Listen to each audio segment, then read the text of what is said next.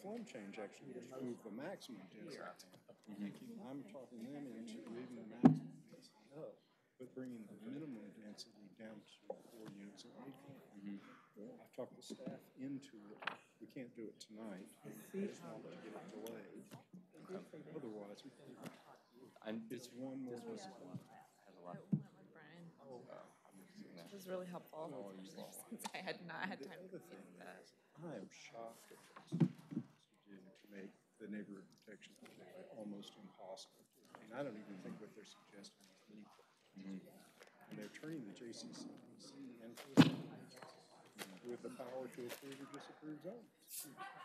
Uh, I don't even think it can do that, even if only the city can have an applicant. It's a city council decision, not a JCCC. Not a JCCPC decision. It's just crazy. And nobody knows it's happening because the, And we can't delay them. I didn't meet the staff about that. I only got my packet Wednesday. It's a lot. So, everybody can have their say, but, That can rest. and they basically said they need It to a be time. Yeah. up or down. And also, Be long when you think? I bet you the member council has no idea what's. Not I've seen more. all. Seen more. Can we, We are already out of. Yeah, we can, we, we, I think we can pull a section of the, of the omnibus out and say, we, we'll take that up in, in, in a month. It, it was like, Because I don't think stakeholder groups know. Uh, I mean, we just had the attorney for a neighborhood association call the staff out directly and say that the staff's attitude towards NPOs is so hostile that it's, to suggest it as an alternative is, is false and disingenuous. Um, and it's true. Uh, and then this ROMF thing. Charlotte, to a station. comments? Good afternoon. Welcome to the Durham Planning Commission. It's good to have you here this evening. The members of the Durham Planning Commission are appointed by the City Council and the County Commissioners as an advisory board to the elected officials. So you should know that the elected officials have the final say on any of the issues that are here before us this evening. We have a big agenda tonight, and as you'll see in a moment, we will likely move a few items around on the agenda that will require a vote of the commission. But if you are interested in speaking on any of the issues this evening, please go to the table on my left, and you can sign up to speak. Uh, Make sure you pay attention to which case you're signing up to speak on, and you'll be asked to put down if you are speaking for or against the particular item. Each side will be given 10 minutes to speak collectively on each case before us. We do have the ability to allow additional time if a lot of people have signed up to speak. Uh, Finally, all motions are stated in the affirmative, so if a motion fails or ties, the recommendation is for denial. Uh, Again, I will note that we've got a good crowd here this evening. There are still empty seats, uh, but we have been told by the fire marshal that you may stand as long as there's an empty seat in the room, but if, it- if there are no additional empty seats and you're standing in the back, you're going to be asked to get a seat or to, to go out into the hallway. Uh, But at this point, we're in good shape. So thank you all again. May I have the roll call, please? Before I call the roll, I wanted to just announce that the following members have requested an excused absence. Mr. Johnson, Mr. Brine, and Ms. Satterfield. Commissioner Alturk? Here. Commissioner Baker? Here. Commissioner Durkin? Here. Uh, Commissioner Hyman? Present, Chair Busby? Here. Commissioner Miller? Here. Commissioner Ketchen? Here. Commissioner Hornbuckle? Commissioner Gibbs? Here. And Commissioner Williams? here. Great, thank you. If we could have a motion for the three excused absences. So moved. Second, Properly moved by Commissioner Miller and seconded by Vice Chair Hyman for excused absences for uh, Commissioners Brine, Johnson, and Satterfield. All those in favor, please say aye. Aye. Any opposed? Great, the ayes have it. We'll move to the approval of the minutes and the consistency statements from our September 11th, 2018 meeting. Are there any comments or changes to the minutes and the consistency statements? Seeing none, we'll accept a motion for approval. Motion to approve agenda and consistency statements as presented. And a second? Second. Okay, Moved by Vice Chair Hyman, seconded by Commissioner Gibbs. Uh, Staff would ask for one correction, um, Yes. uh, approval of the minutes and consistency statements, not the agenda. Ms. Hyman has said That's what I- approval of the agenda, so Oh, we're I'm asking for approval of the sorry. minutes and the Minutes, consistency yes. statements. Oh, okay, thank you. Thank you. Great, so this vote is We knew what for approval of the minutes and the consistency statement. All those in favor say aye. Aye. Any opposed? The ayes have it. Before we get to adjustments to the agenda, any updates from the staff?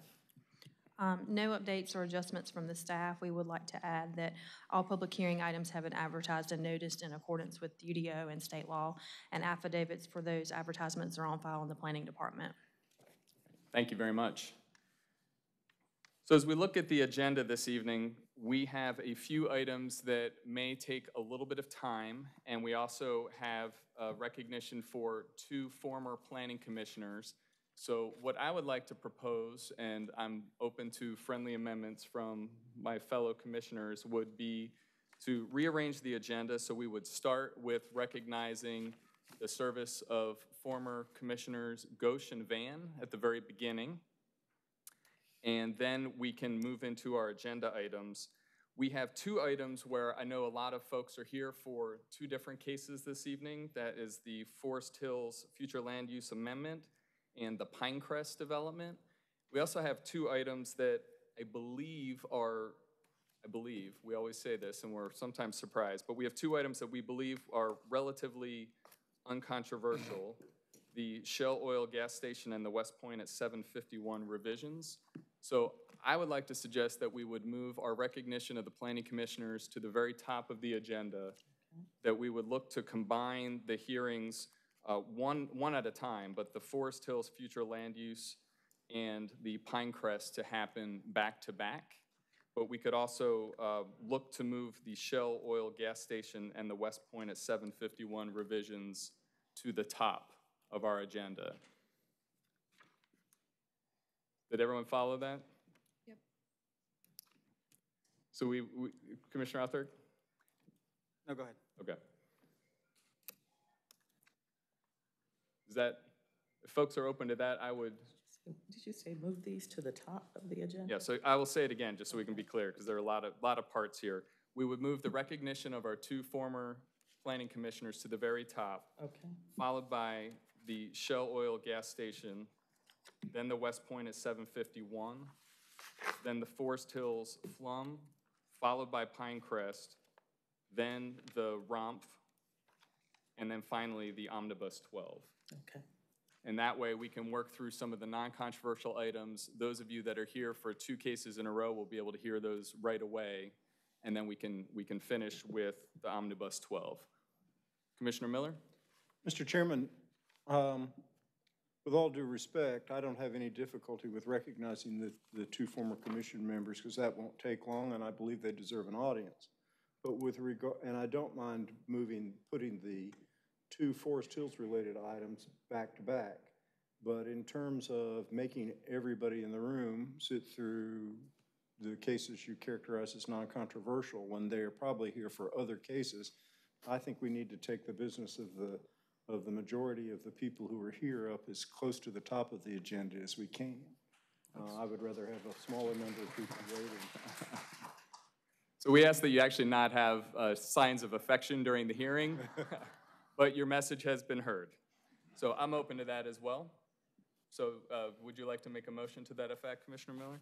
Mr. Chairman, I would like to move that we begin with recognition of former commission members, and then uh, we take the two Forest Hills cases, uh, and then we follow that with the, um, the rail maintenance facility case, and then finish up with the Shell Station and the Westpoint at 751 revisions, and then, uh, and then finally the, uh, the text amendment omnibus number 12. We have a second? Second. All right, moved and seconded. All those in favor of the motion for the revised agenda, please say aye. Aye. aye. Any opposed? Great. Thank you. We will move on with our two recognitions. I'm going to come to the microphone here at the front, and I would ask Commissioners Ghosh and Vann, former commissioners, but always commissioners in our heart, to come join us.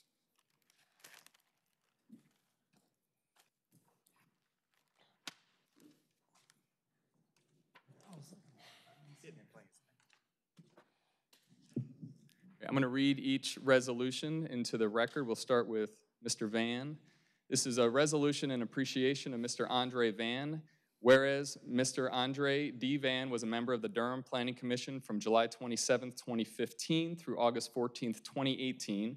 And whereas the Durham Planning Commission and the citizens of the city and county of Durham have benefited from the dedicated efforts that he displayed while serving as a member of the Durham Planning Commission. And whereas this commission desires to express its appreciation for the public of a job well done, now therefore be it resolved by the Durham Planning Commission that this commission does hereby express its sincere appreciation for the service rendered by Mr. Vann to the citizens of this community, and that the clerk for the commission is hereby directed to spread this resolution in its entirety upon the official minutes of this commission, and this resolution is hereby presented to Mr. Vann as a token of the high esteem held for him, adopted this ninth day of October 2018.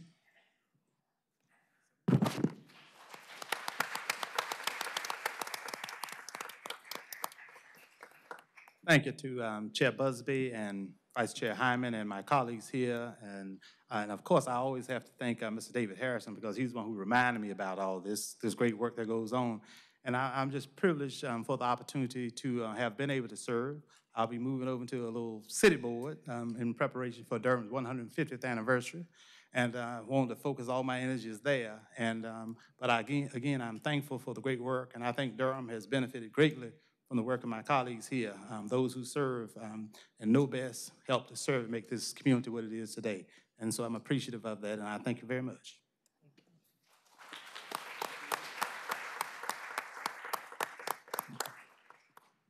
And in addition, a resolution in appreciation of Mr. Indranil Ghosh, whereas Mr. Indranil Ghosh was a member of the Durham Planning Commission from June 22nd, 2015 through August 14th, 2018.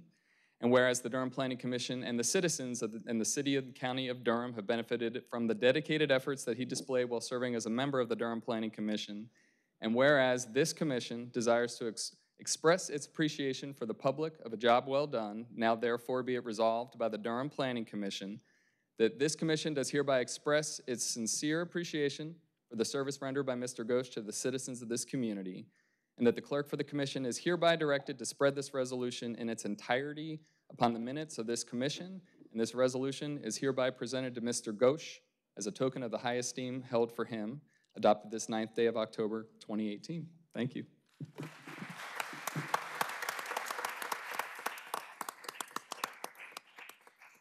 So I see they got my full name in there. That's, that was, I wasn't expecting that. Um, Yeah, I really enjoyed serving on the planning commission. Um, Mr. Baker, I think you're sitting where I used to sit. I haven't met you yet, but I did look over your resume and was uh, very impressed with your credentials. And I look forward to the great work that this planning commission has done and will continue to do in the future. I see you guys are missing a few commissioners today. Just, I'm in the audience. Let me know if you need me to hop up here. Thank you.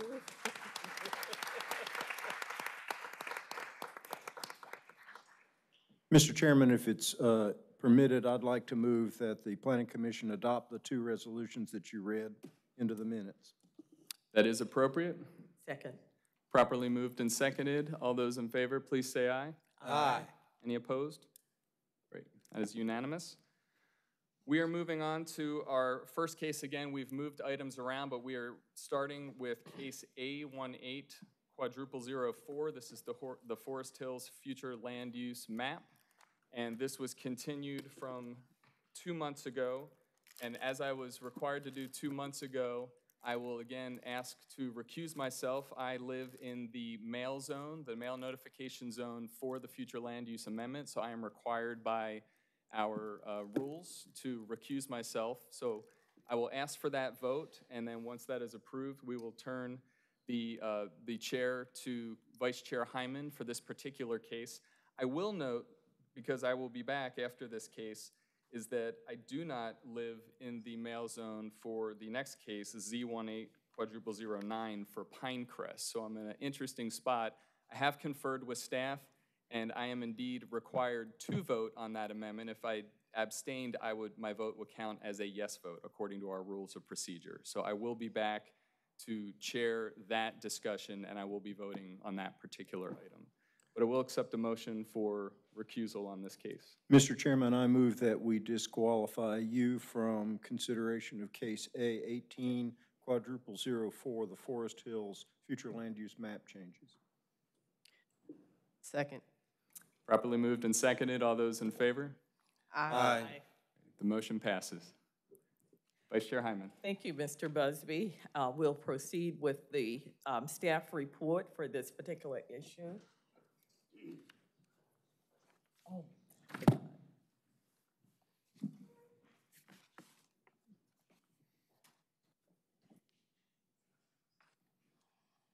Carla Rosenberg, Planning Department. Um, Staff has no further information on this item, um, but is available to answer any questions you may have. Thank you. I do have uh, two individuals who have signed up to speak. Yes. Um, The applicant, let me see, it's like, I have to adjust my glasses. Is that James Speed Rogers? No, he's against. Okay, he's against. And then uh, Nil Ghosh. Okay, what a surprise. I did promise you all I would be back here in front of you at this podium. I didn't realize how soon. Exactly, exactly. Um, So good morning, everyone. My name is Nil Ghosh. I'm an attorney with the Morningstar Law Group, and we uh, represent the applicant for this Flum Amendment. Um, I will note that when we filed this application, I was on the Planning Commission. I'm not aware of any rule that would disqualify me from representing them in front of this board now that I'm no longer on the Planning Commission. Um, Since our first meeting at the Planning Commission, we've had an opportunity to meet and work with the developers of the Pinecrest project, uh, which is later on in your agenda. It's the next uh, item. Through our meetings, we've been able to help shape that project in a way we think, that was quick. We've been able Continue, to uh, help shape that project in a way we think will be more consistent with the neighborhood. Unfortunately, while we've made great strides with the Pinecrest project, we've not had an opportunity to digest all of the feedback we got uh, from our neighbors and the staff and from you all on our own application. Uh, And we recognize that there are some legitimate concerns which have been raised, not only by the developers of Pinecrest, but also by some of our neighbors and the planning staff as well. Uh, Usually, the planning commission is tied to a 90-day window uh, from the opening of the public hearing to make a decision, but in this case, we, the applicant, are requesting to have our application referred back to staff so that we can work with them to amend our application in a way that hopefully they can support and which will address some of the concerns that were raised by other folks. Um, And let me be clear, we are not withdrawing our application, and we fully intend to see this through to a vote at city council. It just is the case uh, that we recognize there may be a need to amend portions of our application in order to gain the support of more people and hopefully of the staff as well. Uh, Obviously, when the time comes, we will hope to have your support as well, but for now, we ask that you refer this item back to staff to allow us more time to work on our application. Uh, We will be back at some point, and I thank you for your time. Thank you. I do have another individual who has signed up to speak, and that's James Speed Rogers.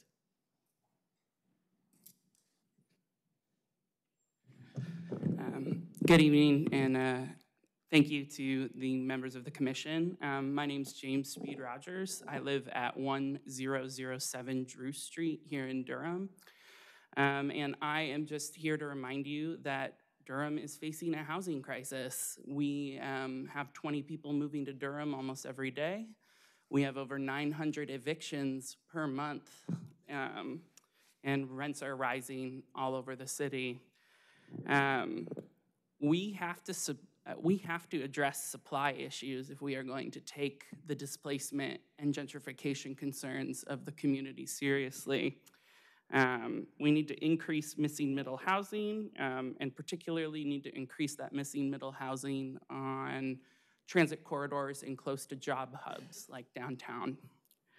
Um, the Flume amendments, to my understanding, do the opposite. They reduce the uh, potential density uh, of the neighborhood. Um, and, you know, I just would like to ask the commission why we are limiting housing options when we should be expanding them. Um, it is my hope that you will vote against this downzoning. Um, Durham needs more housing. Thank you. Thank you. I do not have other individuals who have signed up to speak on this issue. If there are other people who wish to speak um, while the public hearing is open, hearing none, I'm going to close the public hearing and give the mission, members of the commission an opportunity to speak. I'll start to my right. Are there any commissioners who would like to speak? Uh, Commissioner Miller? Madam Chairman, at the um, end of our meeting last month, uh, Commission Member Brine uh, proposed an idea, at least to a couple of commission members, and I think also acquainted the staff with it, uh, as his uh, approach to this idea of a Forest Hills future land use map change. It was an idea based upon uh, looking at the problem as a question of uh, the text and tables of the comprehensive plan and uh, not so much a change of the of the uh, future land use maps or the tier boundaries.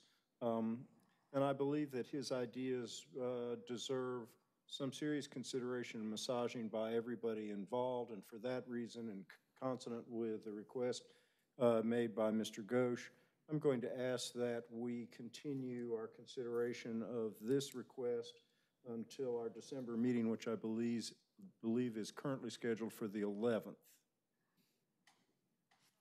Mr. Miller, the applicant actually requested that it be referred back to staff so that they could make the modifications and bring it back. All right, At the then appropriate that's what, time. that's my motion, is that, Great, thank that the you. matter be referred to staff. Can I get a motion to that? um, That's my motion. Okay, can I get a second? Second. It has been moved and properly second that we refer this item back to staff for some additional adjustments. All in favor of this motion, let it be known by um, raising your right hand, please. All opposed? Motion passes eight to zero. Oh, I'm sorry, eight to one.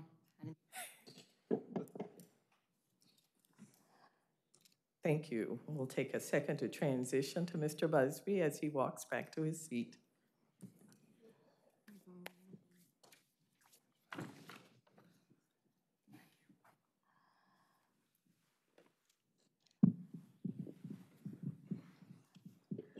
Vice Chair Hyman. We will move to our next case again. We amended the agenda at the beginning. We next will be hearing case Z18 quadruple zero nine for Pinecrest, and we will start with the staff report. Thank. You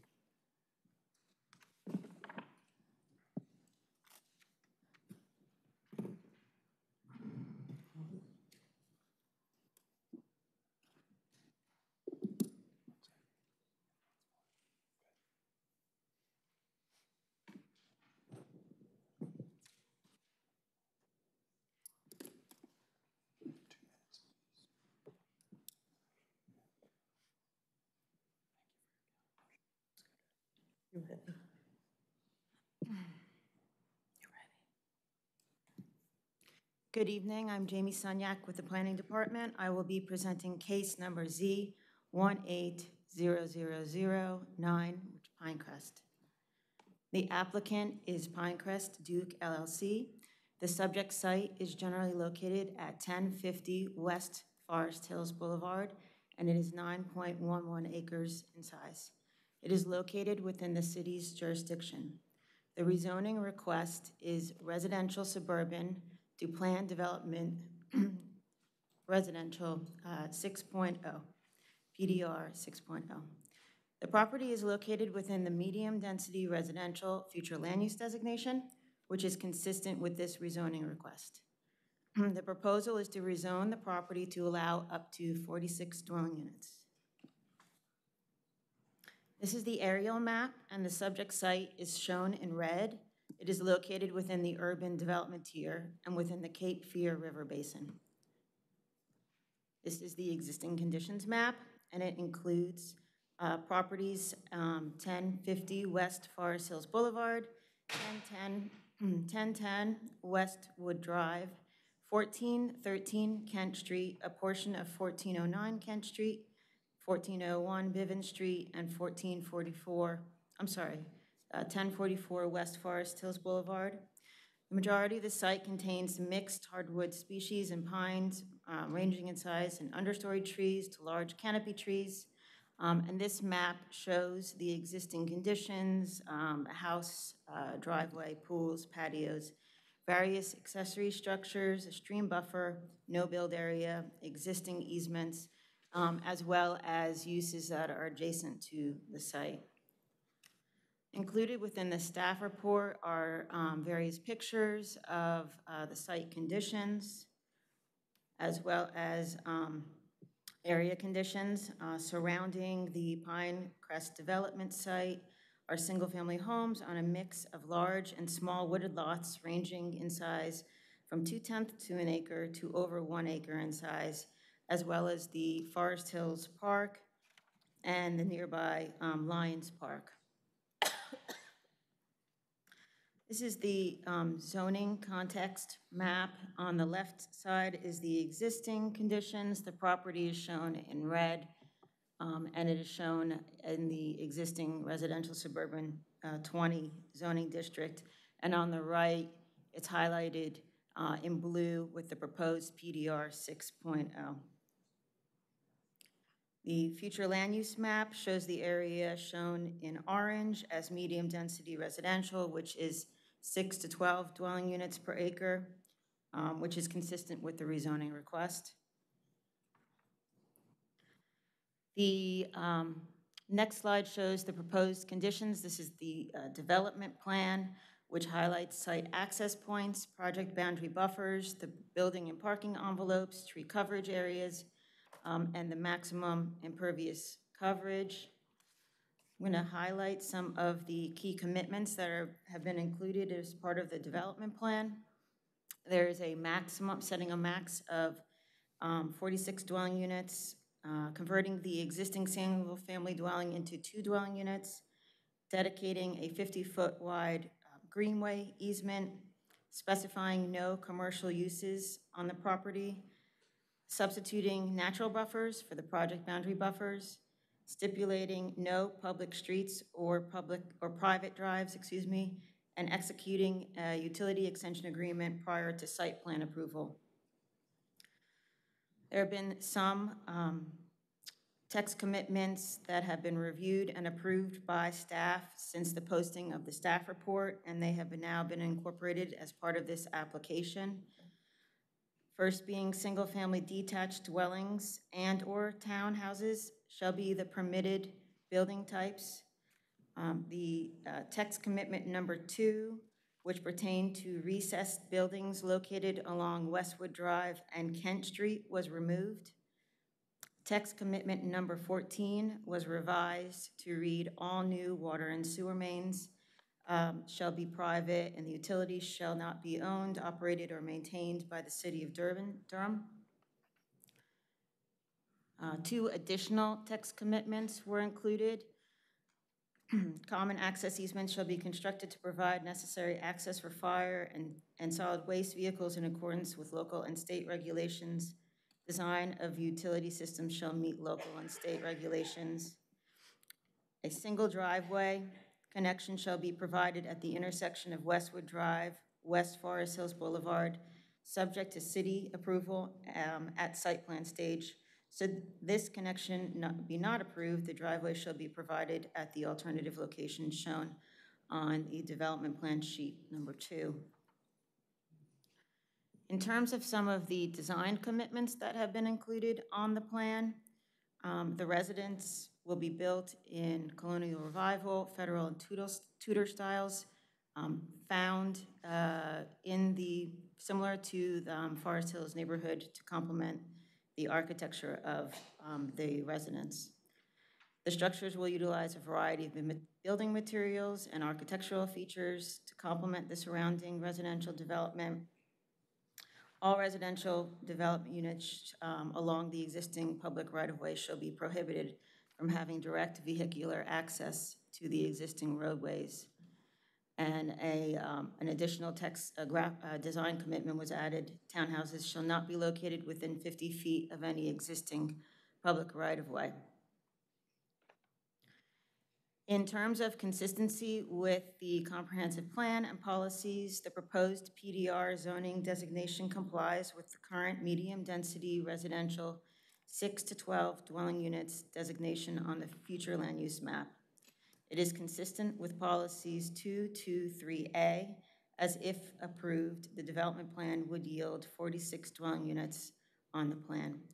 In terms of 231A,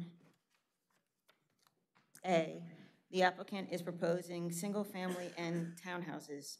No commercial uses will be allowed. The applicant has added design commitments to address the appearance of the structures to be built, um, to be built in the same style as the Forest Hills neighborhood, and to complement the neighborhood architecture.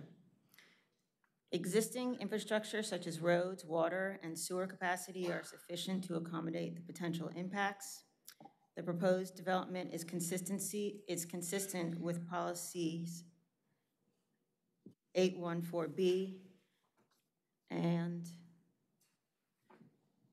1014F, in that the applicant has dedicated a 50-foot wide greenway easement on the development plan to address the requirements of the city's greenway and open space master plan. In terms of policy 814D, Transportation had previously proposed adding a bicycle facility along Kent Street. However, at that time, the neighbors were in support of maintaining the existing on-street parking.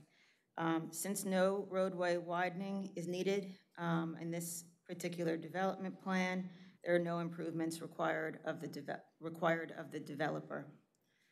The proposed development plan is consistent with 11-1 B, policy, there is sufficient capacity within the school systems to accommodate the anticipated growth. Staff determines that this request is consistent with the comprehensive plan and other policies and ordinances, and I will be happy to answer any questions that you have. Thank you very much. At this point, we will open the public hearing for this case, and we have 10 individuals who have signed up all to speak in favor of this proposal. Now, as I said at the beginning, we traditionally, our rules have us give 10 minutes to each side, 10 minutes for and 10 minutes against, but we can decide to allow additional time to allow people to have time to speak. Commissioner Miller? Mr. Chairman, uh, given the circumstances that we have 10 speakers on one side, and to make sure that our public hearing uh, works to give everybody who comes to speak an adequate opportunity to get their points across to us, I move that we give all the speakers who have signed up to speak two minutes. Second. Moved and seconded. All those in favor, say aye. Aye. Any opposed? Thank you very much. So we're going to call you up to speak one at a time. If you can come up and speak clearly into the microphone, if you can give us your name and your mailing address, and then you'll see there's two minutes on the timer. You cannot miss the beep when it starts beeping. That means it's time to wrap up. Uh, We will start with Ken Spalding and then George Stanziale, and I'll call up additional names as we go.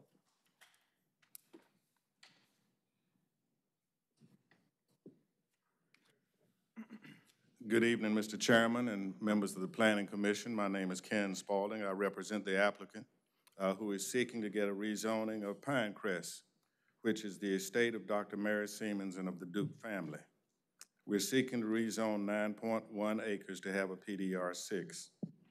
The family wanted this use of Dr. Semans' estate to be developed as a special place in a special neighborhood. We are creating a place respecting the life, the heritage, the legacy, and the, and the tradition of the Duke and Semans family. We also wanted to respect the wishes of the city of Durham through your comprehensive plan and the neighborhoods adjacent, Long Meadow and Forest Hills. We have given our most earnest and sincere efforts to reach these goals. We've had to weigh and juggle our policies and procedures of the city and the county with the needs of the residents and neighbors. Since our last meeting, we have had four different types of meetings with neighbors and residents, still trying to work things out. That you add to the 15 meetings that we've had over a year's period of time is a total of 19 meetings. We have worked extremely hard to be able to come to a consensus on this. And I want to give the Long Meadow neighborhood and the Forest Hill neighborhood credit for working diligently with us, recognizing there were some things we could do and some things we could not do. And we recognized there were things that they needed and wanted that we wanted to make sure that we could address and give them. We feel we have created a future place which will be unique to Durham, the Triangle, and the state of North Carolina. Wave time. I'll, I'll wait my time to Ken. Mr. Chunk, you're waiving your two minutes? Okay, thank you. We've had specific goals of making sure we had proper buffering. We've respected our ecologic and our environmental aspects.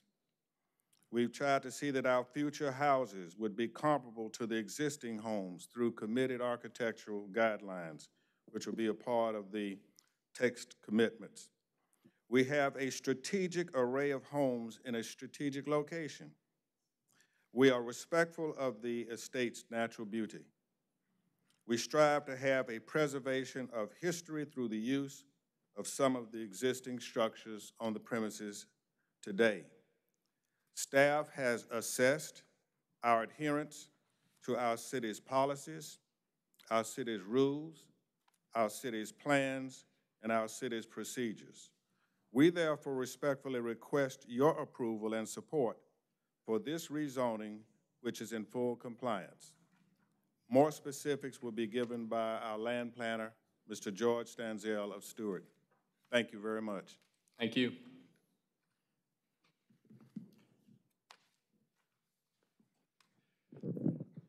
Uh, Good evening, Mr. uh, Chair and members of the commission. My name is George Stanziale. I'm President and Director of Design at Stewart, and I live at uh, 115 Cofield Circle in Durham. Uh, As a follow-up to Mr. Spalding's very uh, on-point comments, in addition to the 19 meetings we've had with neighbors over the course of the past year and a half, uh, we've worked very closely with the Durham Neighbors Together group uh, and have reached a lengthy agreement with them on a number of items uh, such as density and residential housing types, boundary buffers, uh, a path along the existing stream, entrance relocation, architectural guidelines, as well as um, our intention uh, to seek a 20%, up to 20% reduction of density at uh, site plan approval, uh, which will uh, keep us in compliance with the comprehensive plan policies. Uh, Our effective density at that point would be 4.17 uh, units per acre, uh, and uh, very consistent with surrounding densities in both Forest Hills and Longmeadow, uh, immediately across the street um, from our project on Kent Street. While we completely understand that DNT does not represent all of Forest Hills, we have listened to all the neighbors and incorporated many of the conditions and requests we have heard from them uh, on a consistent basis. Uh, This, um, these have been included uh, in our development plan text commitments. Uh, In addition, though, I'd like to read into the record uh, three additional text commitments um, that have been approved uh, by the plan, pre-approved by the Planning Department. First, single-family homes will be served and accessed by a private access and common area, drives, and parking areas. These private accesses and common areas do not meet the City of Durham street standards. The features within this area are private and will never be uh, eligible for public maintenance.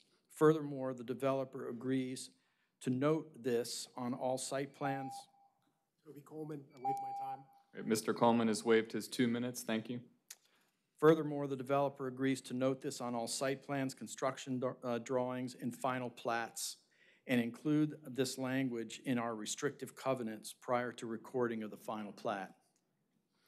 Second, uh, a a maximum five-foot wide trail with a natural surface will be constructed along the east side of the stream uh, on-site uh, and will extend outside the zoning boundary on parcels PID 201749 and parcels 201750 to connect to Bivens Street and Forest View Street rights-of-ways. Should a greenway be built uh, per the Durham Trails and Greenway Master Plan, the natural trail will be removed and replaced with the, with the, uh, the new trail. And then thirdly, a 20-foot uh, boundary buffer shall be provided along Westwood Drive and West Forest Hills uh, Boulevard. That's an increase from 15 feet to 20 feet. We're hopeful that you will see that we've truly made an outstanding effort to understand and be empathetic toward the, uh, our neighbors' concerns and feedback, and that you will feel that uh, this will be a high-quality and u- com- uh, unique community in Durham and most likely in the Triangle. Thank you very much. Thank you. Our next speakers are Bo Clark, Peter Jacoby, Connie Semans, and I. Jarvis Martin.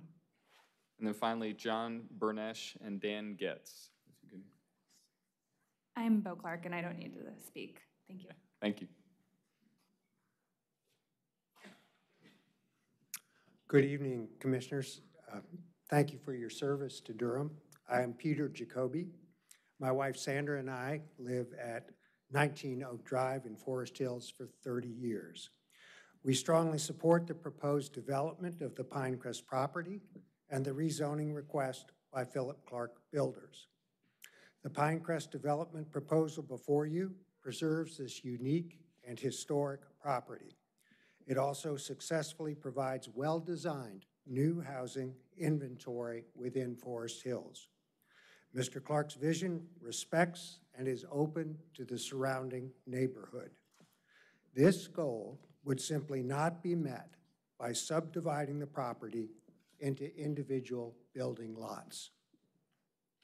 I also want to thank Durham Neighbors Together for engaging with Mr. Clark to make this a better development and for focusing on the future impacts of new urban housing in Forest Hills. In future years, I believe Forest Hills and Durham residents will walk through the new Pinecrest with family and visitors.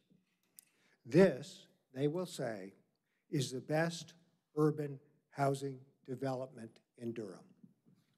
Thank you. Thank you. Connie Semans?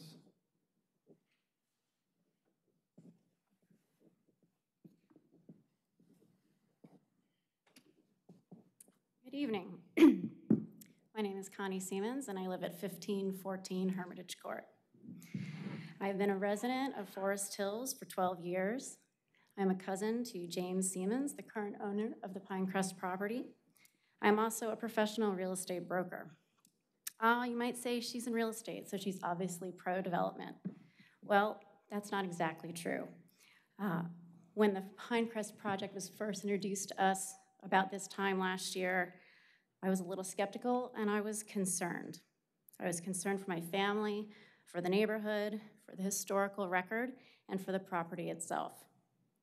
Over many months of conversations and presentations by and with Phil Clark and his team, as well as researching and evaluating many of his previous projects, I have come to admire and support Mr. Clark's vision for Pinecrest.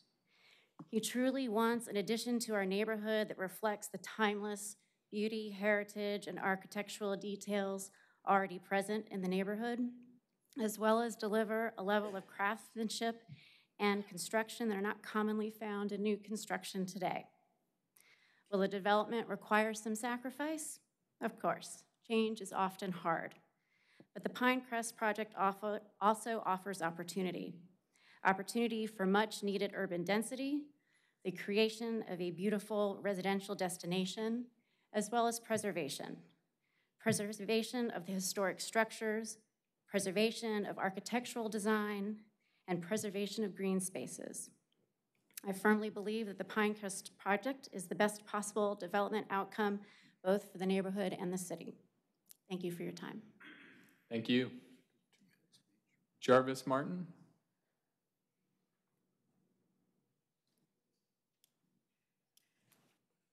Good evening. Mr. Chairman, members of the commission, first, uh, let me say thank you to all of you for your service. Having had the opportunity for over eight years to sit where you all have sit on the second Tuesday of each month, I well understand the personal sacrifice and commitment that you give to your service, and it is greatly appreciated, and because of that, Durham is a better place. With that in mind, uh, over the years that I had the good fortune to serve, one of the things that all of the commissioners hoped for and wished for was that developers would work with and listen to the residents when it came to the developments that they were proposing for our neighborhoods. I can say in this case, based upon the feedback that I have gotten in talking to the development team, that they have put forth a sincere effort to do that, and many of the concerns of the residents have been met, which have been stated earlier before. Uh, as a professional, I am a certified state real estate appraiser. I can say that based upon what information I have been shown about the project, that this development will blend very well with existing homes in the uh, Forest Hill community, as well as add a new dimension for folks to, to consider this as a place that they want to live. Because of those facts, I'm asking you to support this rezoning tonight. Thank you. Thank you. John Bernesh and Dan Getz, please.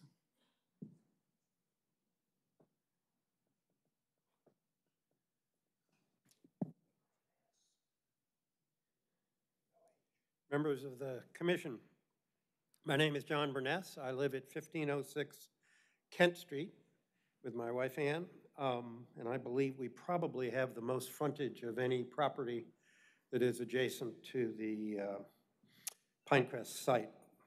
Uh, I've lived in Forest Hills since coming to Duke in 1990. Um, typical of Durham, there were many views on this project when it was first presented. And while I was not involved in the negotiations, I am very glad to see that the neighbors opposed to it were able to gain changes that I think improve the project and appreciate that the developers were open and willing to respond to many of the community's concerns. Knowing Mary and Jim Stevens, as I was privileged to do, I think they would be pleased with the end result. And I urge you to support this application for the Pinecrest development. Thank you. Thank you, Burness, Mr. Burness, and I'm sorry for pronouncing your name wrong earlier. Speaking of pronouncing names wrong, Mr. Dan Getz, how did I do? Thank you. Thank you. Members of the commission, uh, good evening. My name is Dan Getz. I live at 1414 Shepherd Street in Durham, and I'm here to support the proposed rezoning. For 30 years, I've lived in Forest Hills, three blocks from the Pinecrest Estate. For those many years, I've biked, walked, and driven around the property whenever headed west. This past Saturday was the first time that I set foot on the property after attending multiple meetings with my neighbors, with design experts, planning staff, and with Phil Clark's team. I've come away respecting the process and thankful for the many chances to interact with and learn from one and all. My conclusion to support the development comes down to three core points. First, trust. Trust that the Semans family has acted in good faith in engaging a responsible developer, a developer who has engaged with the local officials and neighbors to improve the initial plans. Two, confidence. Confidence that the planned development is consistent with the larger public consensus in Durham, that we need more housing options near the city's center to create a more dense urban core. Finally, three, concern. Concern that failure to approve the proposal would jeopardize chances to transform Pinecrest from an outsized and isolated island into a vibrant asset that will benefit the neighborhood and the city. Thank you for your attention. Thank you. So that concludes the speakers who have signed up to speak, but I've seen a lot of folks come in. I do want to give anyone an opportunity if they would like to speak during this public hearing. This is the Pinecrest zoning map change case. Is there anyone else who would like to speak? I am not seeing anyone, so I'm going to move to close the public hearing and bring it back to the commissioners for any questions or comments. Are there commissioners with questions or comments? We start to my right. Commissioner Alturk. Oh, no, he's you. Okay. Commissioner Alturk. Thank you, Chair. Um, I have a couple of questions for staff. One is relatively minor, a clarification. In attachment six, in the last section there, you mentioned a, um, an increase of five students. Is that supposed to be nine, or? I, think you had nine in the table, so I'm just, again, it's, it's a minor clarification question. Let me just get to the table. That would be the correct number.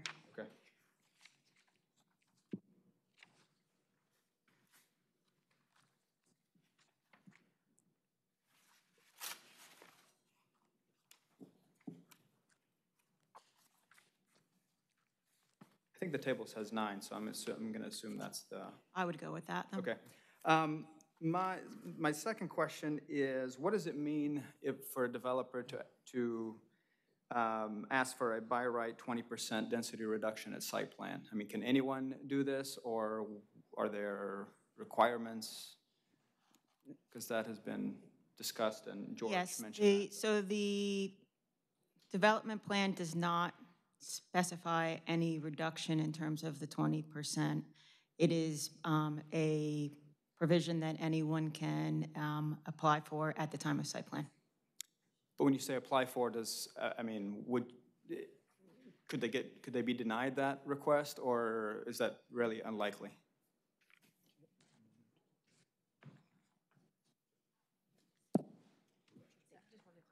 I just, I'm sorry, I apologize. I wanted to clarify that the twenty percent is actually um, referred to in the section about development plans, that you can do that without that sort of change or that twenty percent reduction being considered a significant change that would require rezoning.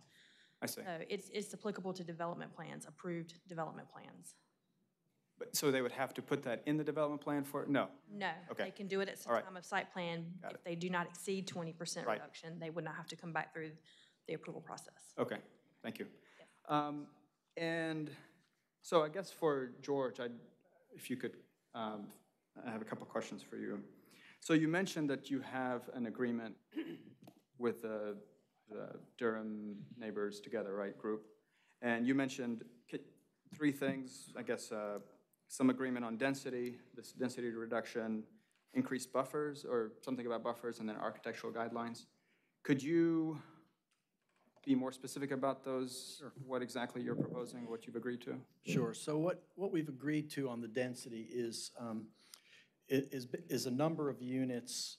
The neighbors were concerned about not only the area that we were zoning, but what would happen on the remainder of the, of the property, um, which is, which is zoned RS20. On that property, there are, there are two homes. The existing mansion, the main uh, home, which we are going to uh, turn into two flats, two, so two units. And then there's an existing cottage that is outside of our zoning area, but is part of the Pinecrest estate. We will be um, uh, redoing that, that cottage. Um, And then there are some other, there are several other lots uh, that homes could be built on in the, R- under the RS20 zoning. And we've agreed to build only two more. Potentially four could have been built. We've agreed to build only two. Okay. So we've agreed to a total of 41 units over the entire Pinecrest property, both on and off our zoning, our zoning area, um, including the home, the main, the main manor house, and the, and the cottage.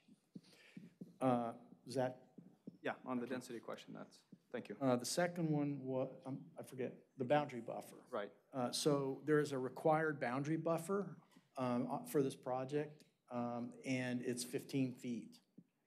Uh, We've agreed with, uh, with DNT to increase that to 20 feet.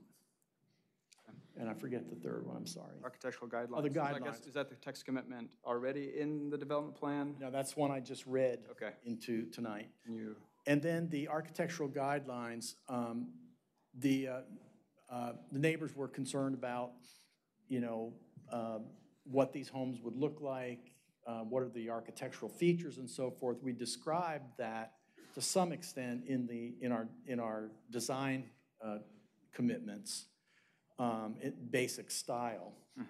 But they wanted something further, and they wanted it to be, um, they wanted uh, architectural guidelines that could be uh, recorded uh, with the county and, and become, essentially go with the land. So we provided to them an, uh, an additional set of guidelines that they've accepted um, that will be recorded. okay. I guess my bigger question is, what kind of agreement is this? I mean, is this a legally binding agreement that? It's a legally binding agreement between two LLCs. Okay, and if they back out, then, I mean, if at some point they, I, I guess my, my concern is, so uh, with the density reduction, I understand that you're trying to fit in with the six to 12 units because of the FLUM, and then at, at site plan, you'll you'll reduce it. But I, I guess I'm wondering, why not commit to the increased buffer and the architectural guidelines in the agreement now, right? Well, we did, 20 we, Or we did, 20-foot buffer, for example. we now. did. Okay. That's one of the ones I read into the record. I see. Yeah. Okay. So what you've read into the record is based on the agreement you- have with? Yes. Okay, sorry, there were too many, there were a lot of, all right. Okay, And that, and that will be made, um, that will be made, that is now, uh, becomes a part of the, the development plan. So those three additional committed elements become part of the development plan. I see. All right. And go with the property. Okay. All right, well, thanks for clarifying that. I'll, um, I have no further questions at this point. Great, Thank you. Commissioner Miller? I also wanted to address that. Um, So tonight we've learned that uh, this developer has made some agreements that are outside the scope of a rezoning case, the public rezoning case that, that is the, the subject of our concern and the only subject of our concern tonight. We should not consider these when we decide whether or not to approve the rezoning application that has been submitted and modified by these uh, several uh, uh, commitments that are to be included in the development plan. So what we have before us tonight is an application uh, to rezone this property to a PDR to allow up to 46 units. Um, There are a whole bunch of commitments, commitments to preserve historic structures, uh, commitments concerning buffers, commitments concerning design of units. All of those are in there. We've heard about some other agreements that the, that the developer has made with his neighbors. These are appropriate, uh, and they can range from a handshake to an enforceable contract, but they're not our concern. Even the uh, agreement to request the uh, 20% reduction, which our code does allow all developers to ask for at site plan times. We build this into the code uh, because when we get a property rezoned and there are commitments in a development plan, you go to site plan and you start working with the staff and you start looking at the site and you discover that you may need a little leeway. Well, we build that leeway into the development, uh, into the site plan process. um, And what the code allows is, is that as long as this, a, as long as the leeway isn't significant, then it's okay, it's by right, it doesn't, it's not something that can be approved or disapproved. But if it's more than a certain amount, uh, then it's a rezoning, and you have to start all over again. For housing density, uh, the breakpoint between um, uh, significant and not significant is 20%. Uh, But the case before us is for 46 units. Uh, And if you are comfortable with 46 units, you should vote for this rezoning. If you're not comfortable with 46 units, then uh, you should ask more questions or perhaps vote against it. For my own part, uh, I am comfortable with 46 units on the nine acres. Now, George also spoke about, the developer owns about, if I'm not mistaken, 12 acres, all contiguous, that are the, that, the Pinecrest property. The rezoning only covers about 9.11 acres. So there are some other parts of the property which the developer will be able to develop, but at the existing RS20 zoning. Uh, What happens on those three acres, not before us tonight, not something we should take into account in deciding whether or not to approve this rezoning. Uh, I am immensely grateful uh, to the developer and to the neighbors for working through a difficult process uh, and coming up with an elaborate plan, uh, but uh, all the same, a very good one. And I believe that when this project is finished, um, we will have in Durham something, a type of development that will broaden the scope of development uh, that we have seen here over the years to include something uh, that we've not seen before. And I hope uh, the effect of it will be to influence and affect uh, other developers, not only in what they build, but in the way they deal with their neighbors. Uh, One of my reasons for being on the Planning Commission is to make sure that the community is fully engaged in the planning process, one that is complicated, one that is expensive, one by its nature is alienating to people. Uh, We have overcome all of those things in this case, and so I'm voting for it. Uh, I- The gentleman talked about trust. Uh, I'm a person who uh, cuts the cards even when he plays with friends, uh, and we've done that in this case. Uh, But still, I trust that, um, and am confident uh, that everybody here has acted in good faith and that we will have a really good addition to to Durham on an interesting piece of property. Uh, So I'm voting for it, and I encourage all of the rest of you to do the same. Okay, thank you, Commissioner Miller. Commissioner Williams and then Commissioner Gibbs? Is that right? Okay. Commissioner Gibbs? Okay, I, uh, I got all uh, involved in, uh, in the previous uh, descriptions of things. Uh, And I agree with just about everything that's been said so far.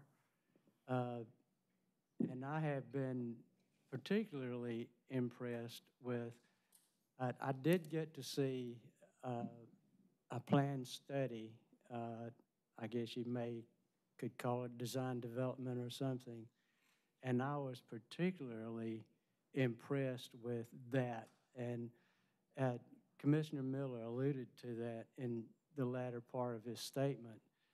Uh, And I, the way they have worked, the developer has worked with the Forest Hills residents uh, is, is very encouraging. But as far as the design of this piece of land, uh, again, I agree with Commissioner Miller.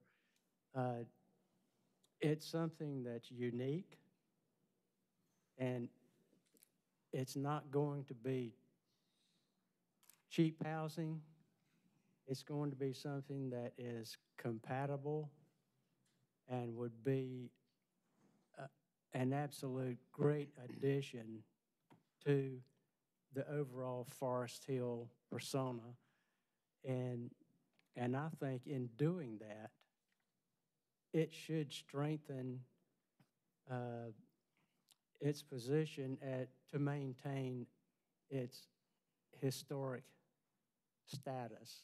And I know it hasn't been designated as a historic area, but it would make it pretty doggone hard for anybody, any other developer to come in and infill develop what's up on the, I call it up on the hill of Forest Hills. Uh, And I, I just wanted to offer that general uh, comment. And I uh, thank you, Commissioner Miller, for uh, I couldn't say it as well as you did, but uh, I will be voting for this because I think it, it sets a precedent and a pattern that uh, I, I hope to see more of this kind of development. And it can be used for uh, affordable housing too. Of course, this is affordable uh, if you make a million bucks a year.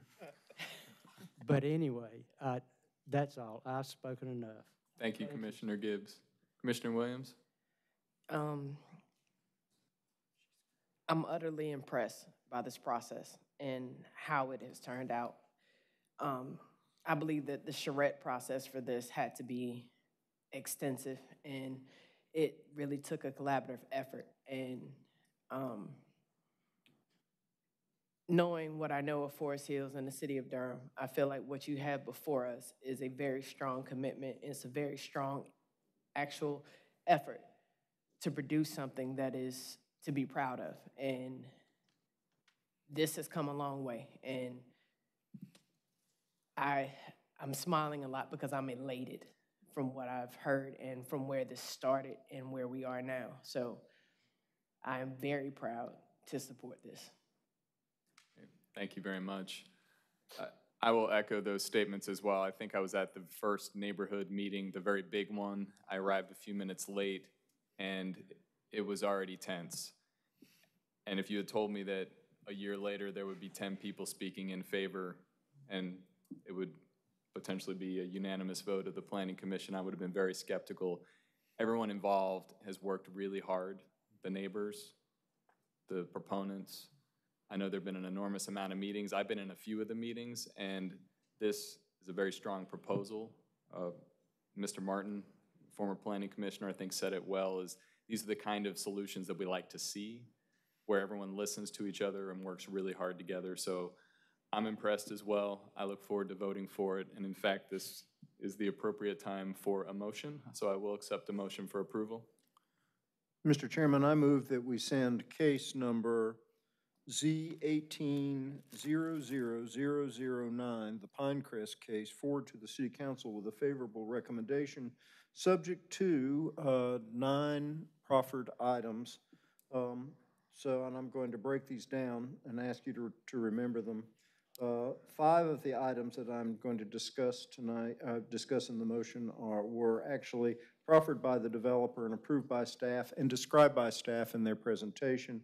Four of them were new items, and one was modification of an existing commitment in the development plan. Then later, uh, during the public hearing, Mr. Stanziale, on behalf of the developer, proffered three more uh, committed elements. So altogether, that is nine, the way I count it. Uh, And so my motion is, is to send this forward to the council with a favorable recommendation, subject to the commitments in the original application plus the additional night items tonight. Second. Okay, moved by Commissioner Miller. We'll give the second to Commissioner Alturk. I do, before we discuss and vote, I do want to make sure that the staff and the proponents are in agreement on the motion on the proffers. That's correct. Okay, lots of heads nodding. Yes, thank you. Uh, We'll have a roll call vote, please. Commissioner Alturk, Yes. Commissioner Baker, Yes. Commissioner Durkin, Yes. Commissioner Hyman, Yes. Commissioner Busby, Yes. Commissioner Miller, Yes. Commissioner Kinchin, Yes. Commissioner Gibbs, Yes. Commissioner Williams. Yes. All right, motion passes nine zero. Thank you very much. Thank you again to everybody for your work on this particular case. We're, we're going to take just a, a two-minute standing break just so we can clear the room, so that when we begin our next case, we can hear the case in front of us.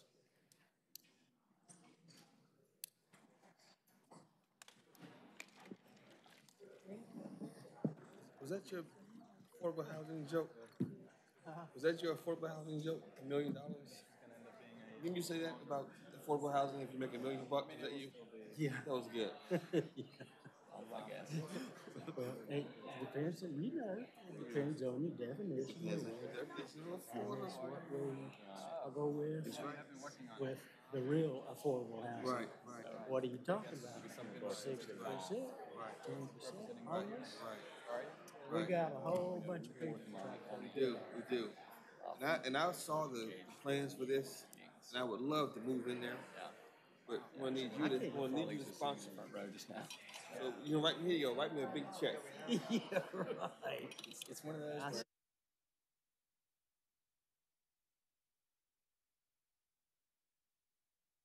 you know, it's, it's like you're off. I could have said it. I think it's good for Durham. I think it's good. We need to have, we need to have that. We, need to we have need all- Hi, John. all kinds of us things. be a Because place the- yeah. the money is going to drive something to be able to help those who can't afford it. I, I agree. There's a rising tide floats all boats, right? Yep. And I, I can't believe I say that kind of thing, because I did not. I'll hold it for you, so you guys- I can either. Well, well, in theory, you know, uh, I don't think, uh, those guys meant. They're not gonna try to help anybody themselves, but you're right. If you, if done right, we all should benefit. Is And one of the questions. it is still going to be an uphill struggle, but I think everybody has the right We'll heart. to that, and I think I know our church is active in this sort of thing. the uh, legislature, And all the hurdles through this legislation is. Agreed, agreed. It's Republicans Agreed. Pushing areas. Anyway, Um, Yeah. move around a bit. Yeah. Go out and kick a tire. There you go. Various things, and never heard of so. that. Yeah, I have.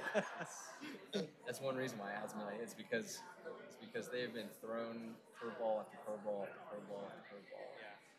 You know, I mean. Yeah, no, it's not, a- I don't think they're, you know, Mhm. You know, one thing that happens is that they did, you know, they, they have changed the route multiple times, and you know, I was impressed to see that uh, they, they changed the route to go to NCCU after uh, a lot of people. So you know, we'll see. We'll Yeah. see. Hey, we, should, we should get a beer sometime. We should. I hope we get you out of here uh, relatively. It's gonna be. I was gonna, I was gonna talk to Cedric too, because I, I was like in that last meeting. I felt There you go. like, okay, I think I have a lot of overlap with these guys. Yeah, I think, we can agree on a lot of stuff. Oh. It's a, it's a good group here. Yeah. It's a good group. He's gonna have to recuse himself. Yeah. So what I've done is I've opened up your presentation. Oh, Just put it there and there. Right. So in the interest of time, we're going to get started again. If, if you are planning to depart the planning commission meeting, if you are still having conversations, please, we urge you to go into the lobby so we can hear the case in front of us.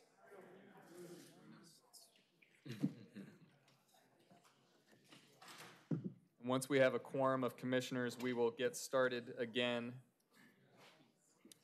Our next case is a comprehensive plan future land use map amendment with a concurrent zoning map change. So these are cases A18 quadruple zero three and Z18 quadruple zero six. This is for the Rail Operations Maintenance Facility or the ROMF. And before we begin, I'll recognize Commissioner Baker. Yeah, I'd like to request to uh, recuse myself from this item. Is there a reason? And Commissioner Baker, do you, do you mind sharing the, the reason your request for a recusal? Yes, I'm involved in the application process. Thank you very much. We have a motion for recusal of Commissioner Baker from this particular case.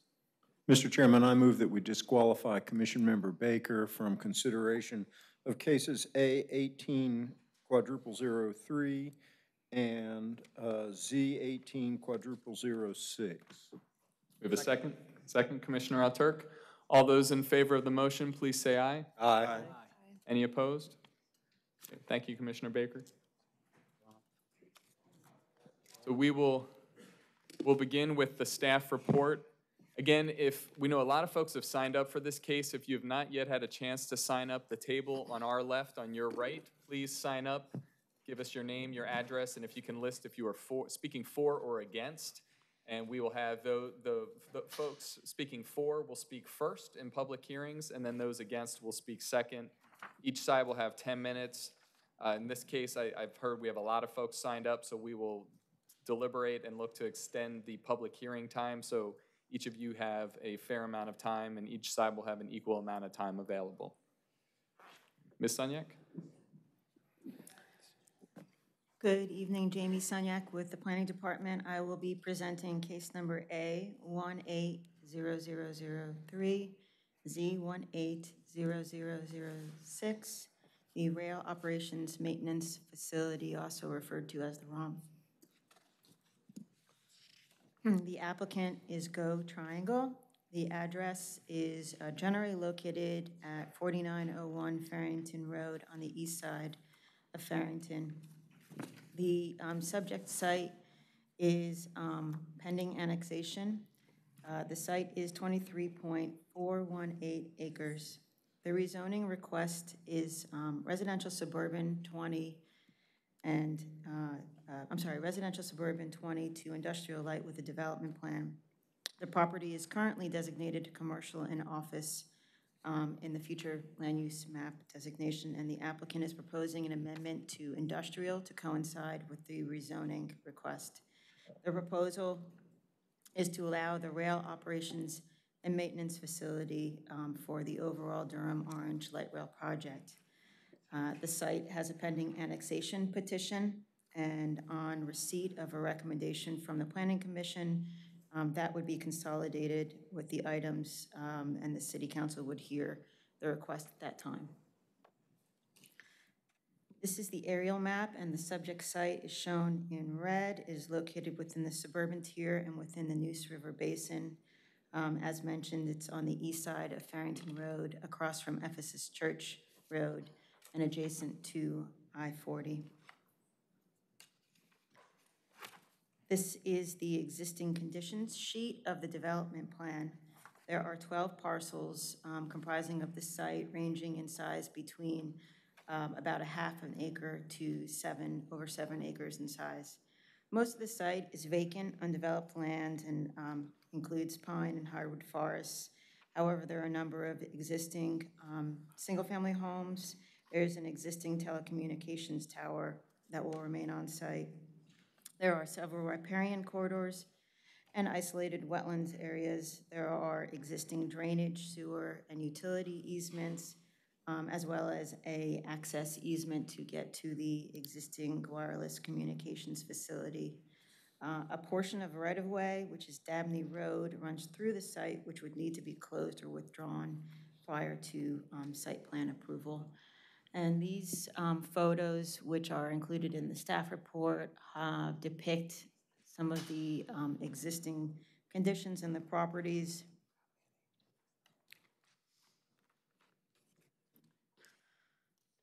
Uh, In terms of the area, the site is adjacent to the Patterson Mills Country Store to the south, the Village at Culp Arbor Residential Development to the west, and I-40 to the east.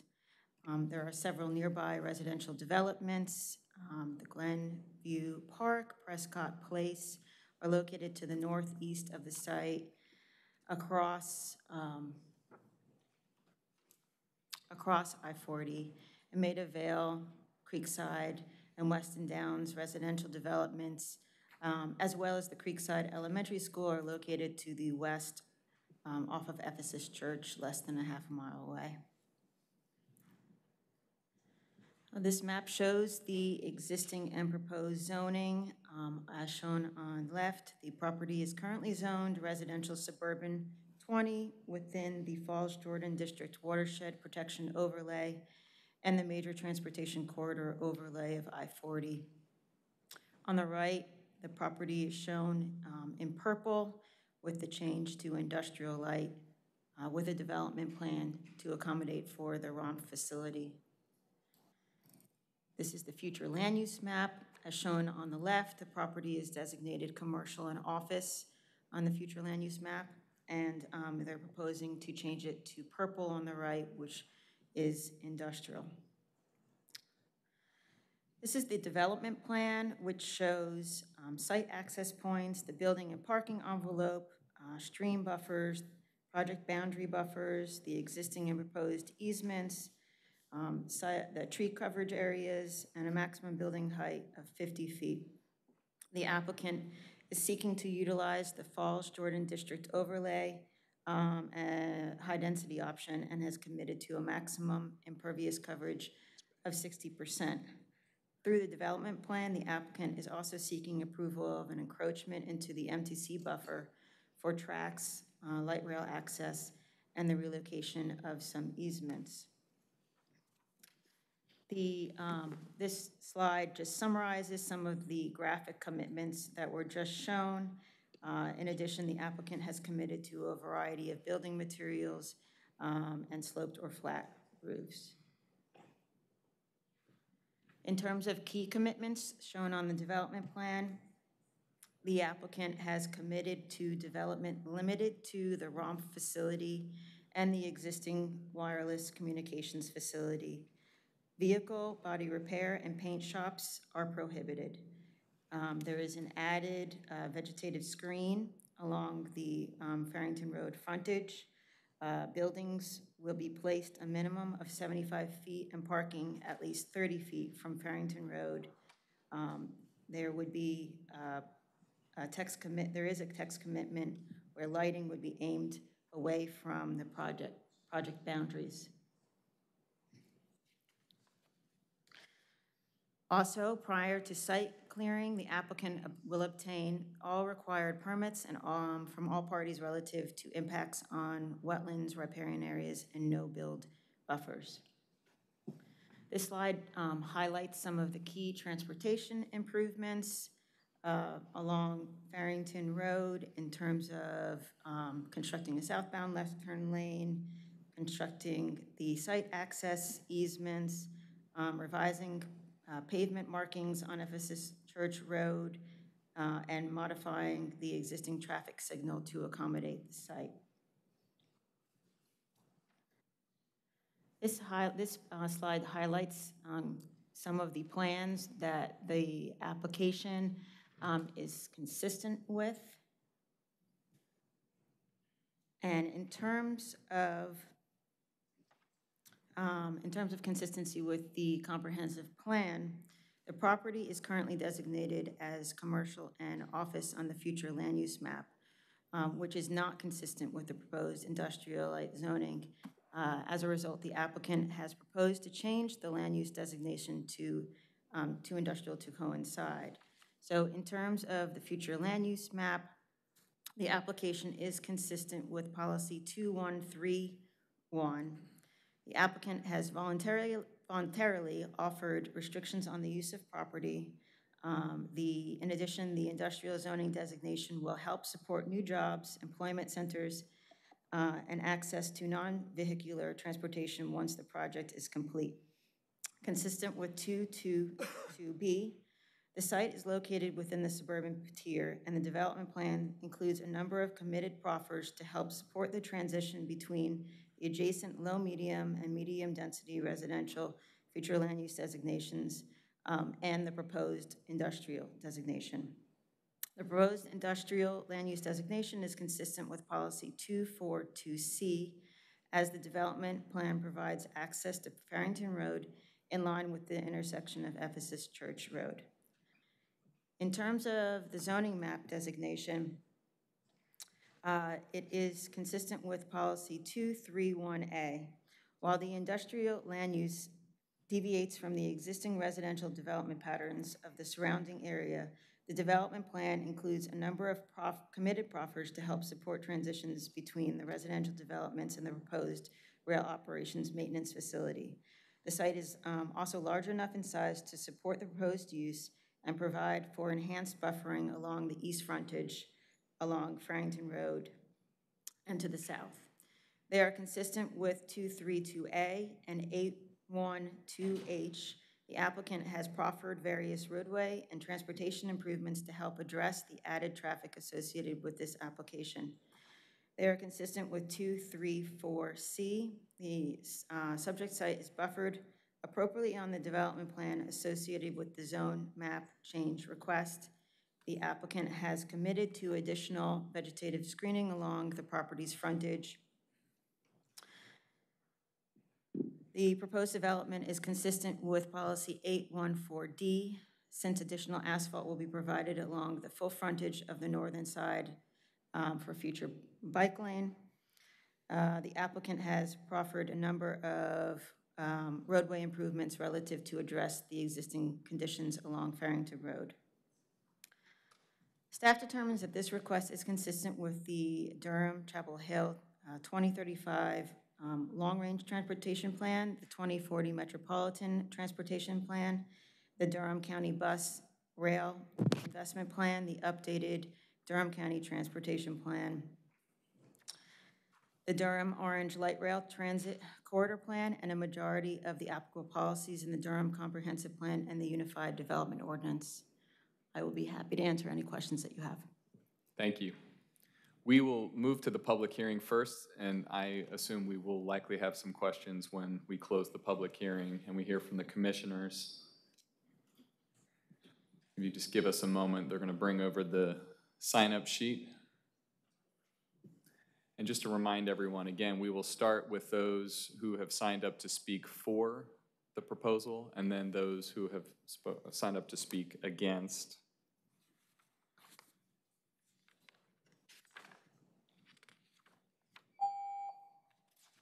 That- That means I'm out of time. We have, you are not, however, we have over 30 individuals who have signed up to speak.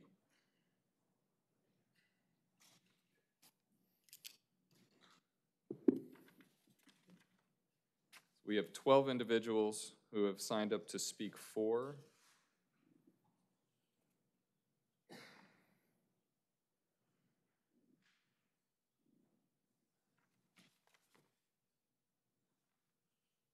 And 25 who have signed up to speak against. Uh, There are some names who have been crossed out as well, so we will do our best. We will have, everyone will have the opportunity to speak if they would so like to speak. Uh, I would recommend, but I'm open to suggestions, that again, we give each individual two minutes to be able to speak. I know everyone has come out. That's going to be a long hearing, but I think it's an important issue, and all of you have come out this evening, fellow commissioners. What do you say? One motion. I, I would accept a motion. Mr. Chairman, I move that we give every, spe- uh, every speaker tonight at least two minutes. Second. Properly moved and seconded. All those in favor, please say aye. Aye. Any opposed? Okay. So we will work through the 12 individuals who have signed up to speak. Uh, I don't know if the proponents had someone in mind that they wanted to have speak first, and if not, I'm just going to go down the list. Is there someone who would like to speak first? Mr. Tallmadge? Again, to remind folks as well, and this is what was happening in one of the earlier cases, everyone who signed up to speak now has two minutes to speak. The, the clock will tick off the two minutes. You'll hear the beeping when your two minutes is finished. You, if someone wants to give up their two minutes of time, they are welcome to do so. They can give their time to another speaker. That's what you saw in one of the earlier cases. So just so everyone knows. But I will read off every, every name. Everyone can choose to have their two minutes to speak if they signed up. So go ahead, Mr. Tallmadge. Good evening. I'm John Tallmadge, uh, the interim project director for the Light Rail Transit Project. I'm a Durham resident and happy to celebrate my birthday with you all tonight. Shall we sing? You get three minutes. Happy birthday. Uh, GoTriangle is a regional public transportation agency created by the General Assembly of North Carolina in 1989 and has been providing public transportation service uh, since uh, the early 1990s. Uh, Our mission is to improve our region's quality of life by connecting people and places through reliable and easy-to-use travel choices. The light rail project has been, uh, in this corridor, has been more than 20 years in planning and development. And it will serve critical connections between the residents and visitors in our region and uh, the three major universities, the, univer- the uh, hospitals at UNC, Duke, and the VA Medical Center, connecting people to three of the top 10 employers in the state, creating tens of thousands of new jobs and infusing billions of dollars into our local economy. This project is nearly 18 miles long, uh, with a proposed 19 stations connecting from UNC hospitals in the west to North Carolina Central University in the east. The large green uh, dot in the left center of this is the proposed location for the uh, rail operations and maintenance facility.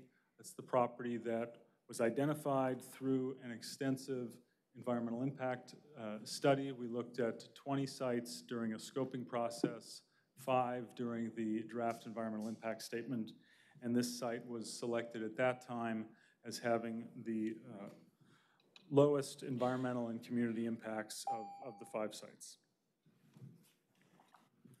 Great. Mr. Green? I'd like to defer my time uh, back to Mr. Tallmadge and also to Mr. Walden. I'm sorry, and, and, and could you speak into the microphone? I'd actually like to defer my time to Roger Walden, who signed up after me. Okay.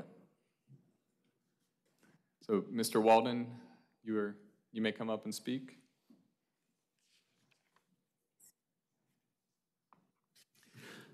Thank you, Mr. Chairman, and uh, good evening to the uh, Planning Commission. I'm Roger Walden. I'm a planner. I've been a planner for a long time, and I'm a, uh, a member of the development team that GoTriangle has assembled. There are some other members of the team uh, here that might be helpful in answering questions tonight. Uh, we have architects, landscape architects, planners, environmental engineers, civil engineers who have all been contributing uh, and working on this project. So uh, that's where we are. And uh, I'm going to be, I'm going to talk for just a few minutes about the applications, and then we'll sit down, and all of us are here available to answer questions if you'd like.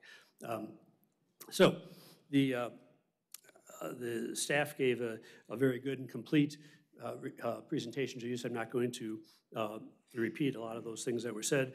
This package of of applications supports the use of this site for a, a maintenance facility, as we have talked about, and we're requesting the amendment to the land use plan and then along with the rezoning.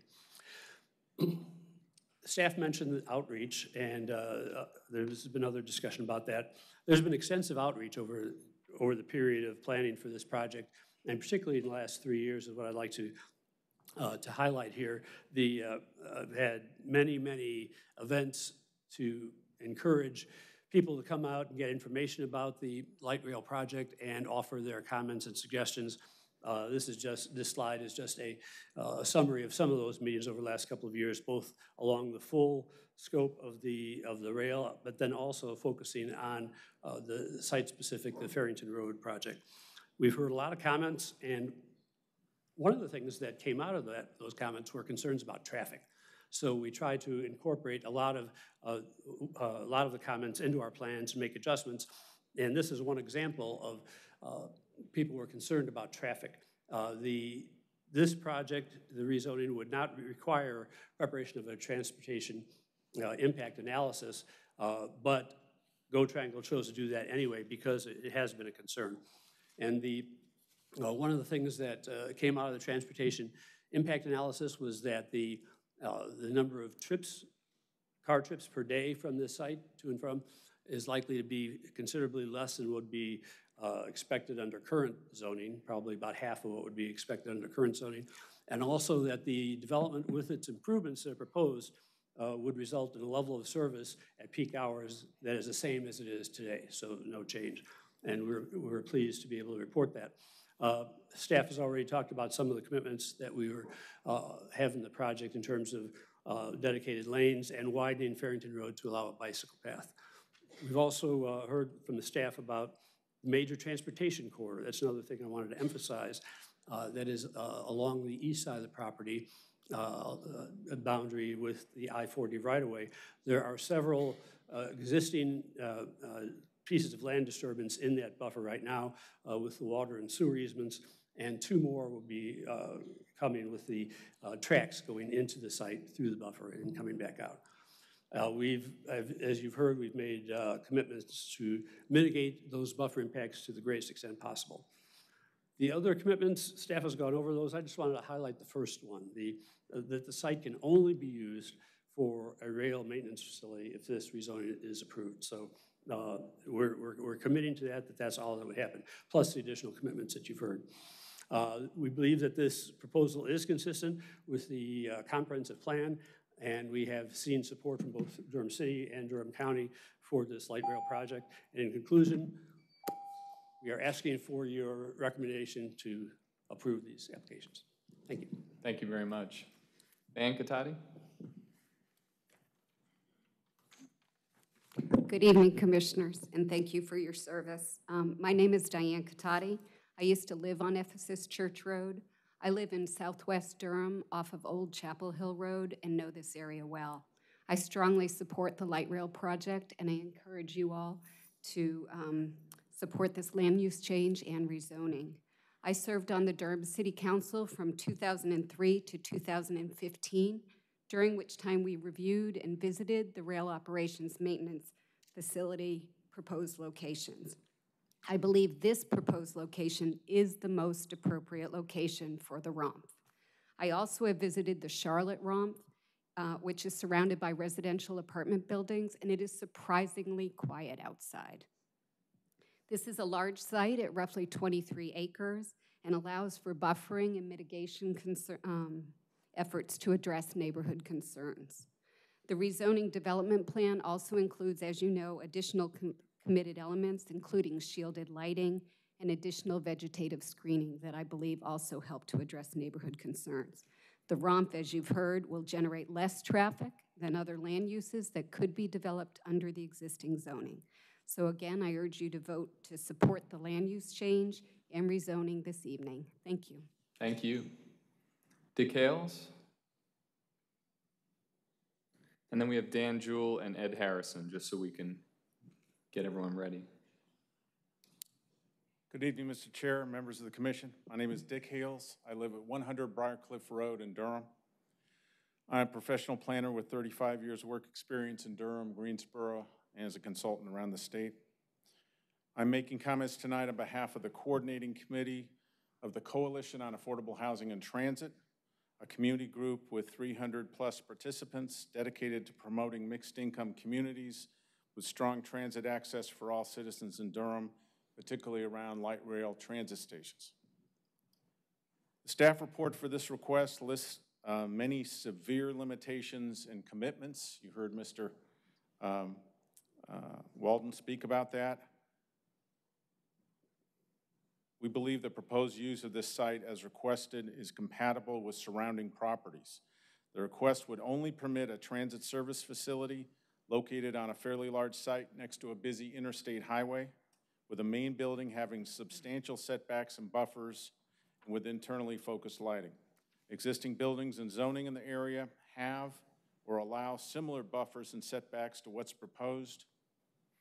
And to be absolutely clear, no other industrial or non-residential uses of any kind would ever be permitted on this site with the proposed zoning. Specific impacts of the proposed development would also be compatible and less than that currently allowed by existing zoning on the site. For example, you could theoretically build 51 single-family residential units on this site with the current zoning. These lesser impacts include less traffic, less school impacts, less water usage, uh, would encourage larger setbacks, would have similar building heights and landscape buffers to what's found in the surrounding area, significant on-site stormwater detention, and very little noise added to the already significant I-40 highway noise. Is that two minutes? Okay. Um, and finally, I'd just like to ask all persons who are present in support of this case to please stand at this time. Great, thank you. Thank you. Dan Jewell?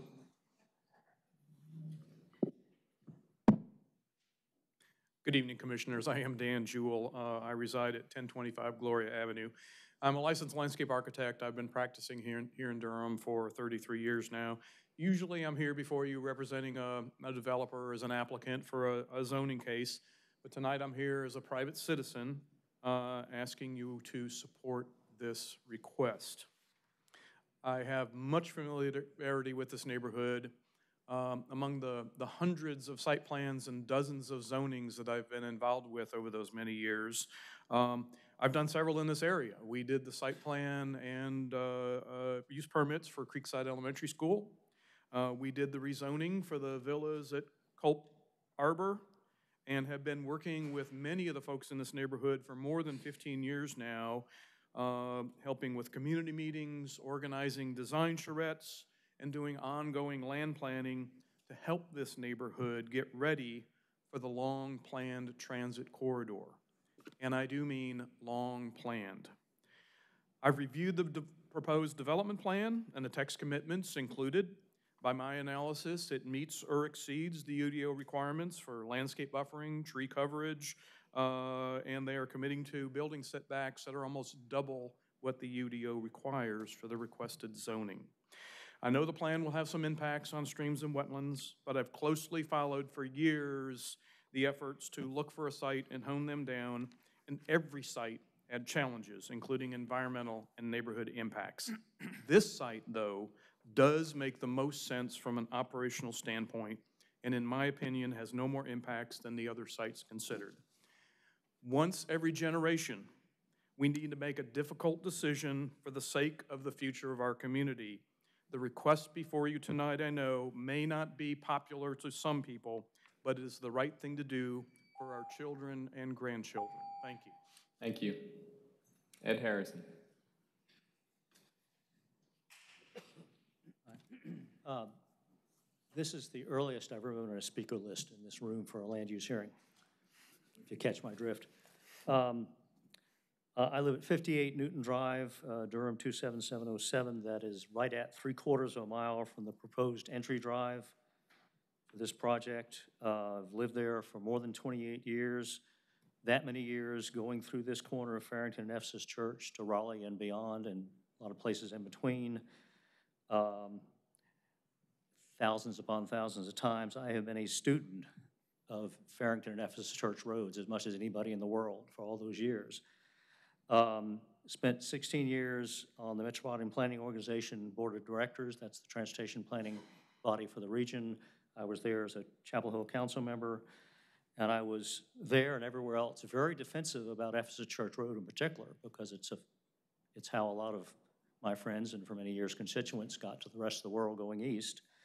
And so for me, traffic here, traffic is and should be a major concern with any proposal on Farrington Road, particularly at this corner. And the, uh, just a note, early on in the staff report, you're advised that the future land use designation for this property is commercial and office, and I interviewed uh, actually transportation staff about the implications for that some months ago. Um, And that basically means a strip mall, literally a narrow strip, and medical office. And those are two really high traffic generators. So any use is probably less traffic generating those.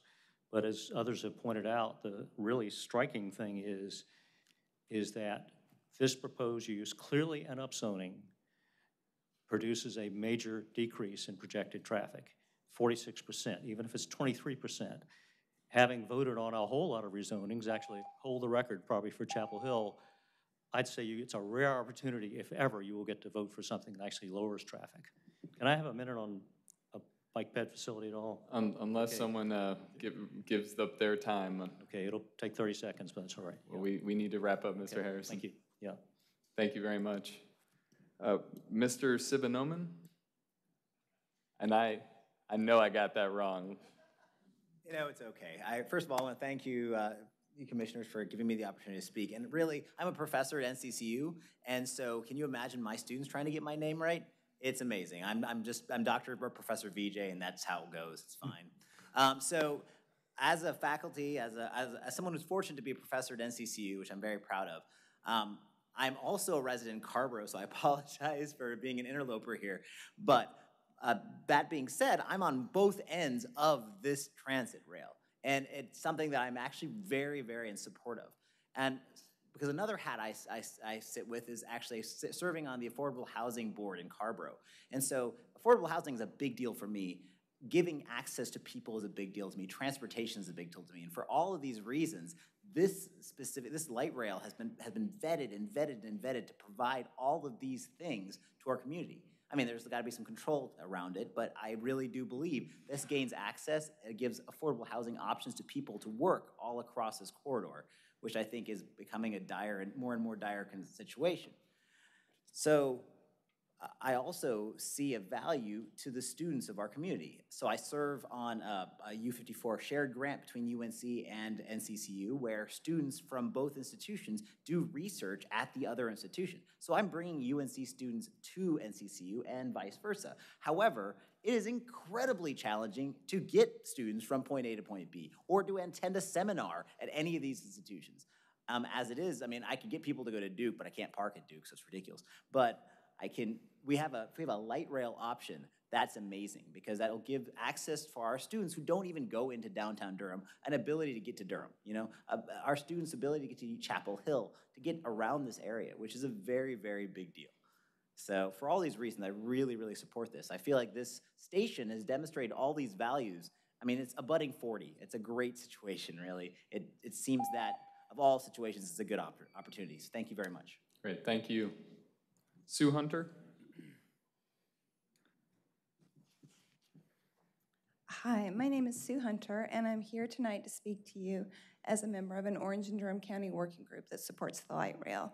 I'm also a former resident of Durham County and Eastwood Park, which is just around the corner from this facility.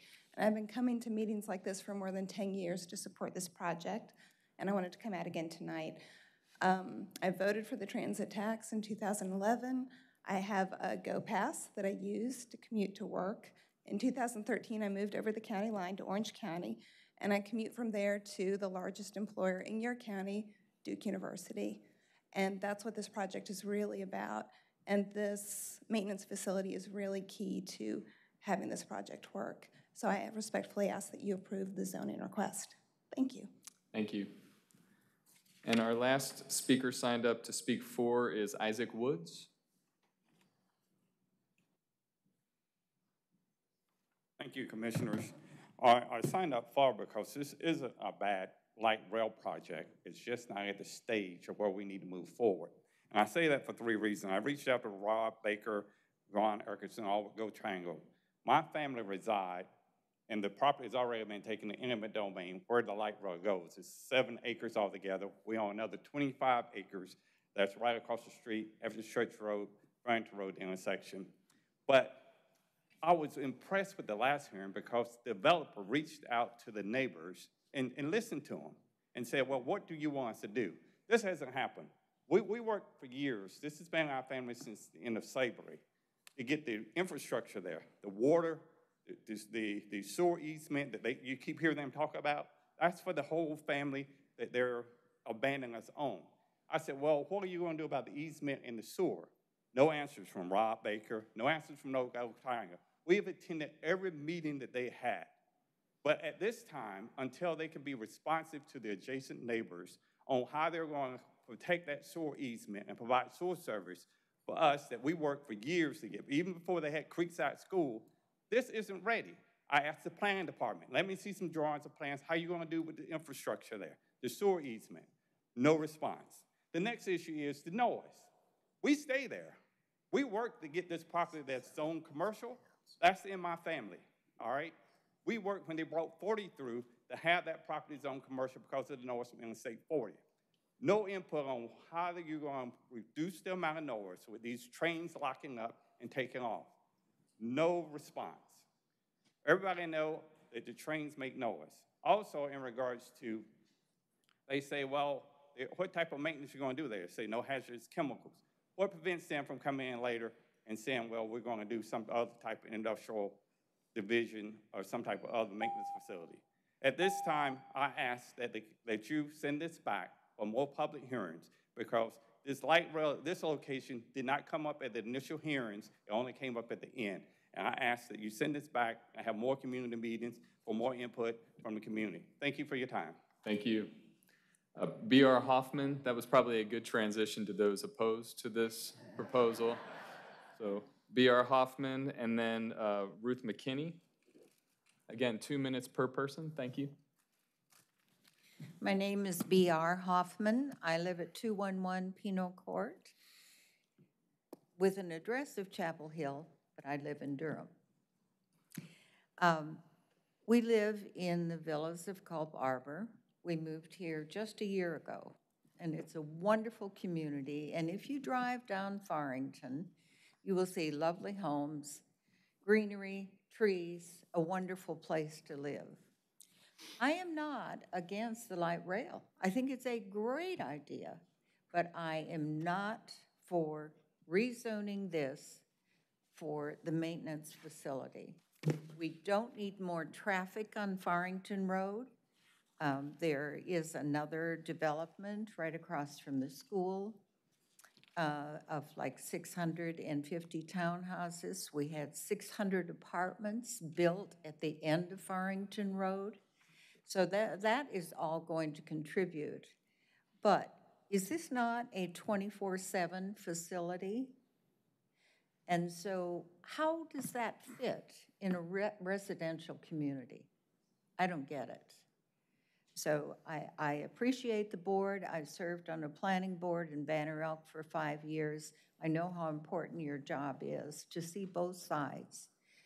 But I ask you to vote against this rezoning.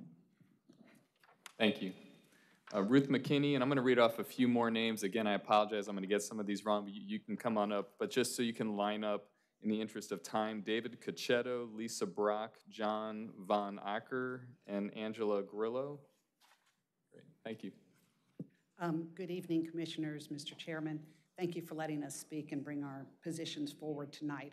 I don't want to talk about the pros and cons of the light rail. I'm just looking at the zoning issue uh, with my comments. I live at 51, I'm a new resident at 5139 Niagara Drive. I've lived in the area of this project for almost 50 years.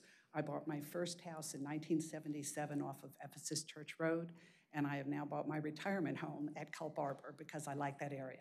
My first job was as a school counselor at Githens Middle School when it was a junior high school and attached to Jordan, which those of you under the age of 40 can't even remember. Um, I'm concerned, let me first compliment the staff that you're, in your presentation tonight and in the consolidated report. I thought you did an excellent job of representing the residential nature of the neighborhood and showing the area with the Creekside Elementary School. What you can't get from the slides and from that report is how quiet it is out there. It's beautiful and peaceful. It, you can take walks at night, you can take walks early in the morning. It's a peaceful, lovely area. The, the major traffic is when parents are taking their children to school and home. Um, my concern is threefold about the remainder of the report, which I think had some omissions. Um, I don't agree with the conclusion that the planning uh, criteria have been met. Um, my first concern echoes the concerns of the gentleman who spoke. Um, I think it's going to be a very noisy project. Um, my second concern, and, and there was nothing in the report that addressed noise, nothing. I read it over and over today after it was posted online. Second, um, I'm concerned about the 24/7 potential for servicing that area. My understanding, again, from talking to neighbors, is that there will be repairs done at night, there will be repairs done on weekends. Those are times when we're sleeping, those are the times when we're relaxing, that's the time when children are doing homework. And it's not appropriate in a residential area. Thank you. I didn't get to my third point, but thank you for letting me speak. Great, thank you very much. David Cacchetto? We appreciate all of you staying within the two-minute limit. You can imagine if we added one additional minute, that would be, with 37 speakers, that would be a lot of math to have to do sitting up here. So we're trying to keep it focused. You may go ahead, sir. Understood. Good evening. Uh, My name is David Coquetto. I own a home at 5146 Niagara Drive in the villas at Culp Arbor. Uh, As you know, a residential development adjacent to the property proposed for rezoning. 108 of my neighbors and I signed a petition opposing this change in zoning.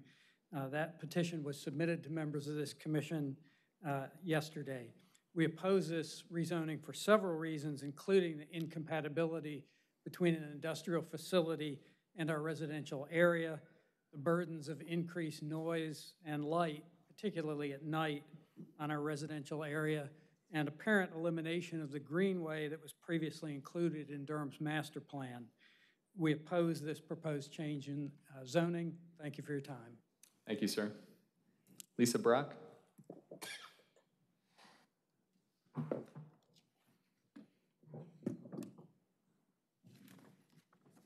Does this start when I say my name, or does it start when I start talking?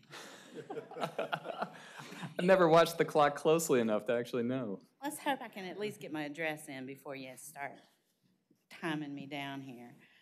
My name is Lisa Brach, B-R-A-C-H, like the candies. No, I'm not related. Yes, I wish I were. Um, my address is 5233 Niagara Drive in the Villas of Culp Arbor. And you've already started me and I asked about that. So I'm going to say my piece. It made sense 10 years ago when Durham Planning Commission sought a developer whose market was 55 and over who built the Villas of Culp Arbor on Farrington Road. After all, Creekside Elementary had already outgrown its capacity, so having a development where 90% of the owners had to be 55 or over was a good plan, um, past, being past their childbearing years. Um, placing a community of retirees along Farrington Road also made sense as you tried to control the traffic congestion, which was already at a maximum capacity, particular at rush, particularly at rush hour times of day. It made sense to develop unused pasture land into homes, which brought higher tax revenues to the city of Durham. Our neighborhood quickly filled with retirees from all over the U.S. Michigan, New York, Florida, Tennessee. Californians were lured to our neighborhood, which is now 500 to 1,000 feet away from the properties to be zoned.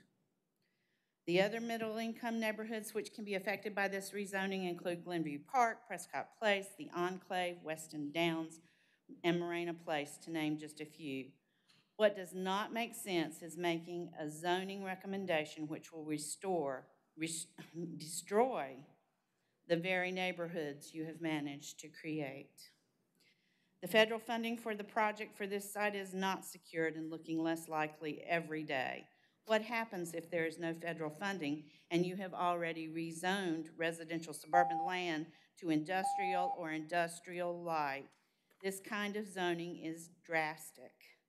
It's spot zoning. It's against the UDO guidelines. And ma'am, I'm, I'm gonna have to stop you there unless someone is willing to give you their time in the interest of fair. Oh, you just got to, and, ma- and madam, what is your name? Thank you. Uh, what is your name? Grillo. Grillo, thank you. This kind of zoning is drastic and cannot, and probably cannot be undone. Um, it's spot zoning, it's also known as leapfrog zoning, and it's against UDO guidelines unless you've managed to change those lately. With the closest industrial zone nearly ten miles away, it is typical of spot zoning. I plead with you, my neighbors wearing these badges, raise your hands plead with you to err on the side of caution rather than crush a decision, than rush a decision. Very nervous. Rush a decision which has the potential to negatively affect the health, safety, and quality of our neighborhoods and our lives. Please do not recommend the rezoning of these properties. Do not place us at risk for the what-ifs that can be placed on an industrial zoned property. Thank you. Great, Thank you, Ms. Brach and Ms. Grillo for sharing your time. Do you want the last minute? No, I'm just asking if she wants the last minute. It's not gonna take me that long. My name is John Von Aiken, and I call home 5203 Niagara Drive. It's in Culp Arbor.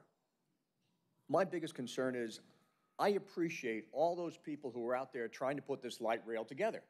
I'm not arguing it's something that's necessary. So the commission, the committee, everybody who has to do something about it has to get involved. The only problem I'm having is that how many of those people, especially those that came here tonight to get it approved, live in the area that will be affected?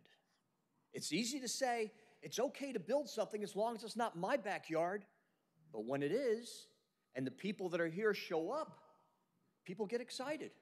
Yeah, because of the additional noise factor that'll be on Farrington Road throughout the day and night, the extra trucks that'll be on that road, the extra traffic, let alone the fact that, as she was trying to mention earlier about the government funding, if this does not go through, what will you do with the property?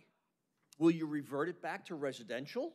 Or will you sell it to some commercial developer who wants to put in a light industrial that it's rated for and start building factories there, which will definitely be anti-local community? These are all things I encourage you to think about before it's too late. There might be other solutions as far as where you could put the rail yard. I applaud you for at least looking into it and considering it. And right now, since the other gentleman had the opportunity of saying the people that want this thing turned down, I'd like those who will not have a chance to talk, stand up and saying, I'm against this program. You can just stand up, thank you. That, that would violate our rules of procedure. I just wanted to make the effect, since the other people had a chance to show that they had maybe 15 people here. There's a lot more voices to be said, and I'm going to get off my time right now. I thank the committee. Do what you got to do, but think about it. If your parents were living in that facility, what would you do? Thank you very much. I'm going to read off a few additional names.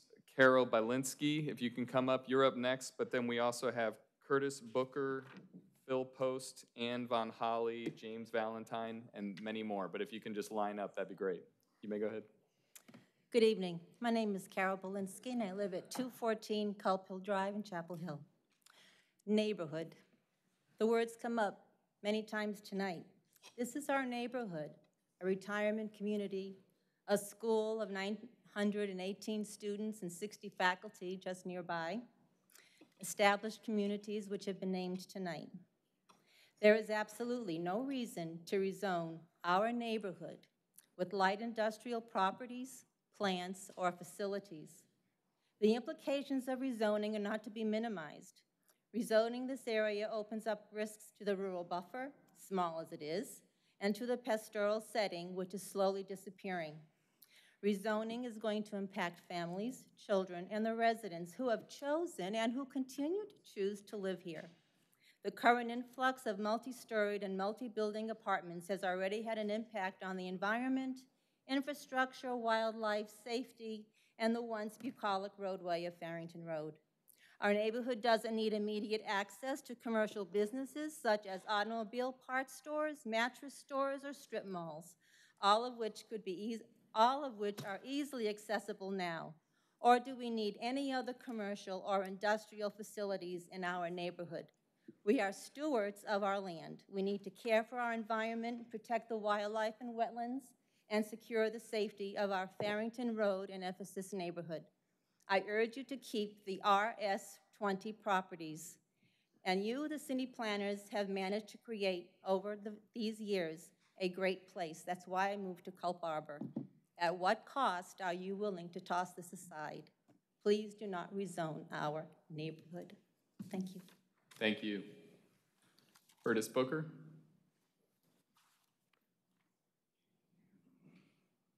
I'm not going to be able to give this in two minutes, but um, Chairman Busby, did you give out the, okay, all of you have a copy.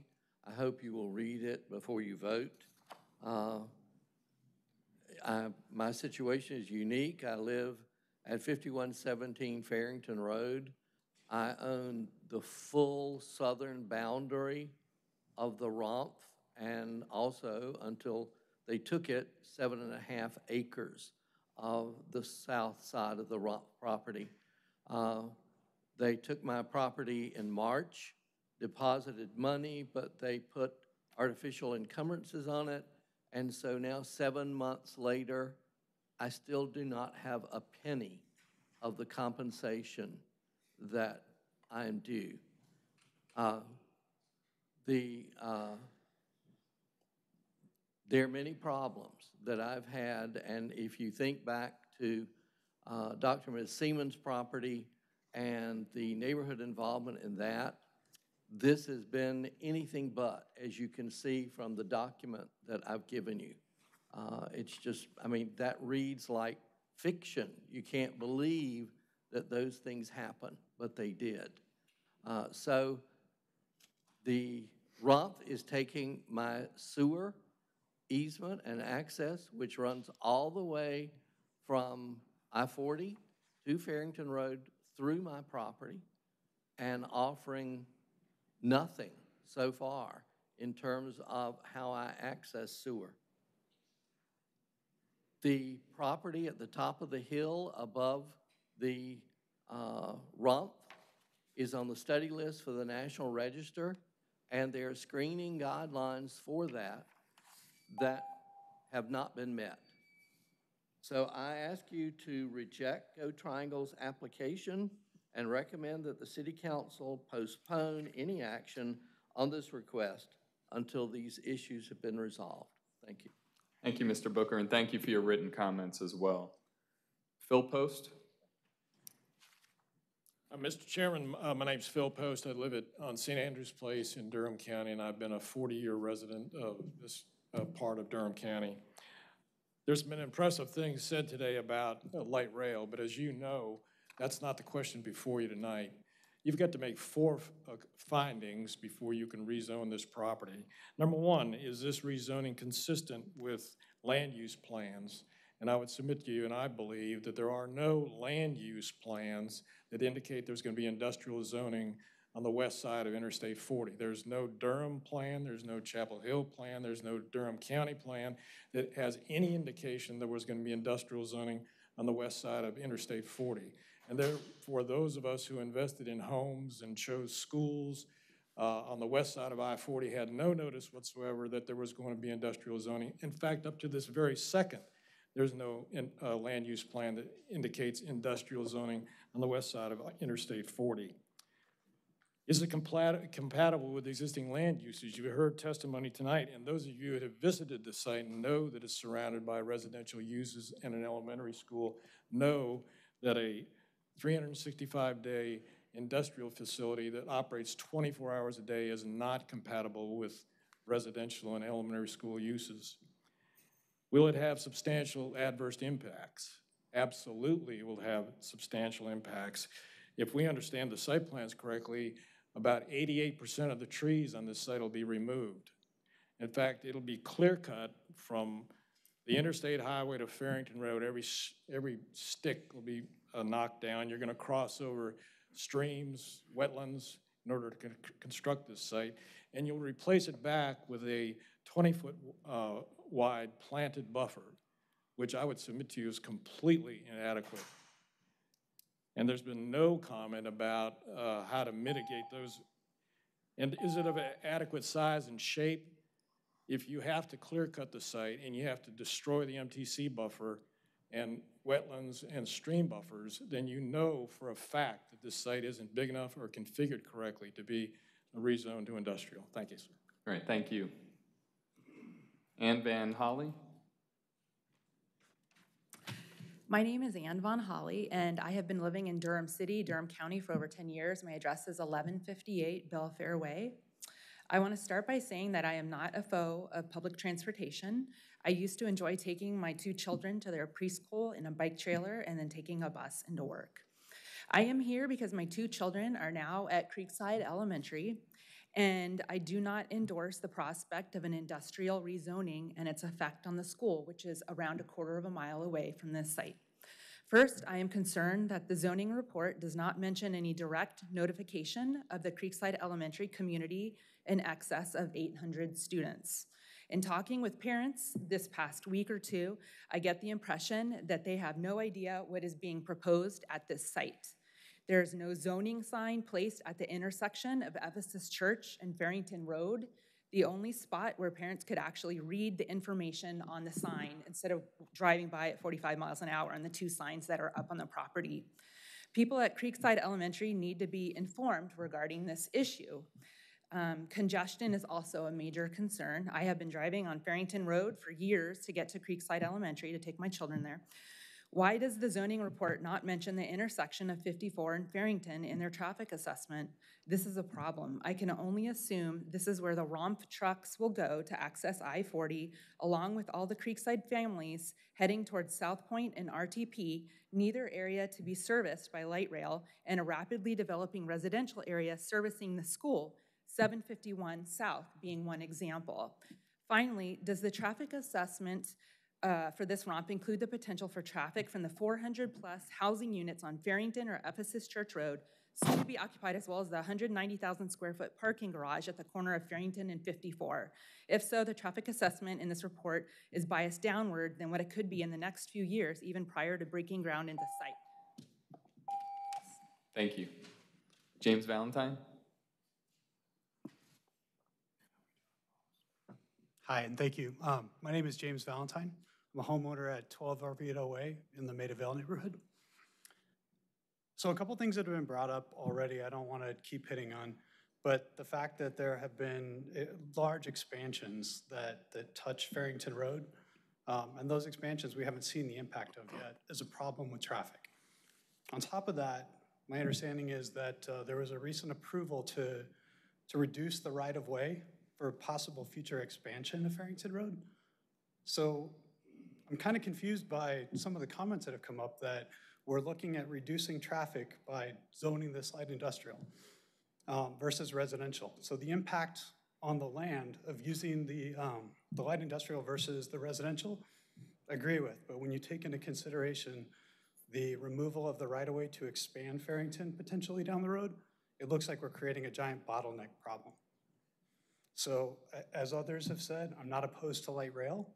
I think that it's, it's great for the community, but I think that there needs to be more study on alternative locations for where this can go. Thank you. Thank you. Barbara Post? And then Denise Hoffman and Kathy Abernathy, and I'll keep working on trying to read the next one. Good evening. My name is Barbara Post. I live at 104 St. Andrews Place in Durham County, and I've been a Durham County resident for 40 years. I strongly oppose the rezoning to build a ROMF in my neighborhood because important information is missing from the application. For example, the plan does not show where the tracks will be nor where the overhead power lines will be located. With regard to the buffers, there, where is the 20-foot wide, uh, 40% opaque buffer?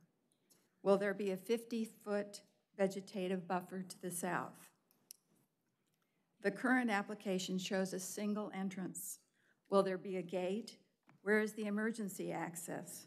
What if the single entrance is blocked?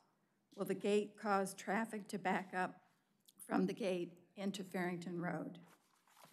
There appears to be a mysterious access to the cell tower, as well as a mysterious access to I-40.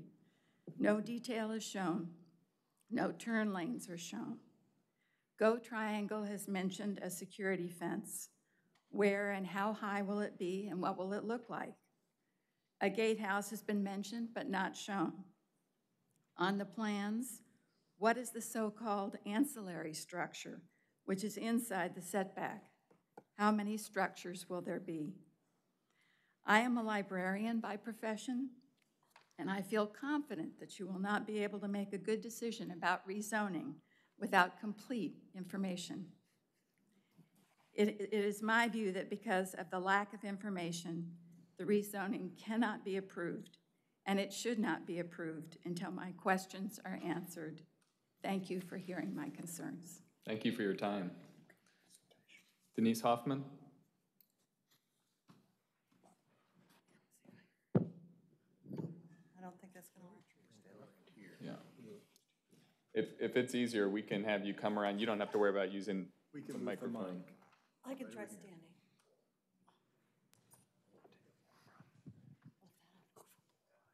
Okay. Here, a microphone. We have a microphone coming out. I'm sorry about that. That'll be easier. All right, thank you for your patience. Thank you, I'm sorry. Denise Hoffman, 234 Culp Hill Drive. And like I, many of my fellow speakers here, I thank the commission for letting us have this opportunity to be heard. I also was impressed, as all of you were, with the Pinecrest proposal we heard earlier, down to details like greenway and architectural considerations. And yet, it feels as if there is no consideration for what this is going to do to impact our community in the same way. So we would like to see that more be looked at. What is going to be done to make sure that we have those same kinds of considerations? Thank you. Thank you very much. You can feel free to leave the microphone up there. Next is Kathy Abernathy, and then Linda, um, and it's me, it's me, not you. I'm, I'm just not reading it right, but yes, that, you're after that.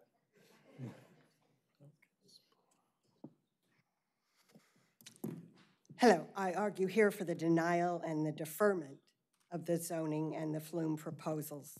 It's our right to be here as citizens when it's a rezoning. We've not had, we've had input for the light rail, but this is our opportunity to let you know what the rezoning will impact us. Please do not let the priority and commitment to light rail persuade you to ignore the American Planning Association professional standards against spot zoning. Tonight is the first time I've heard of the proffers.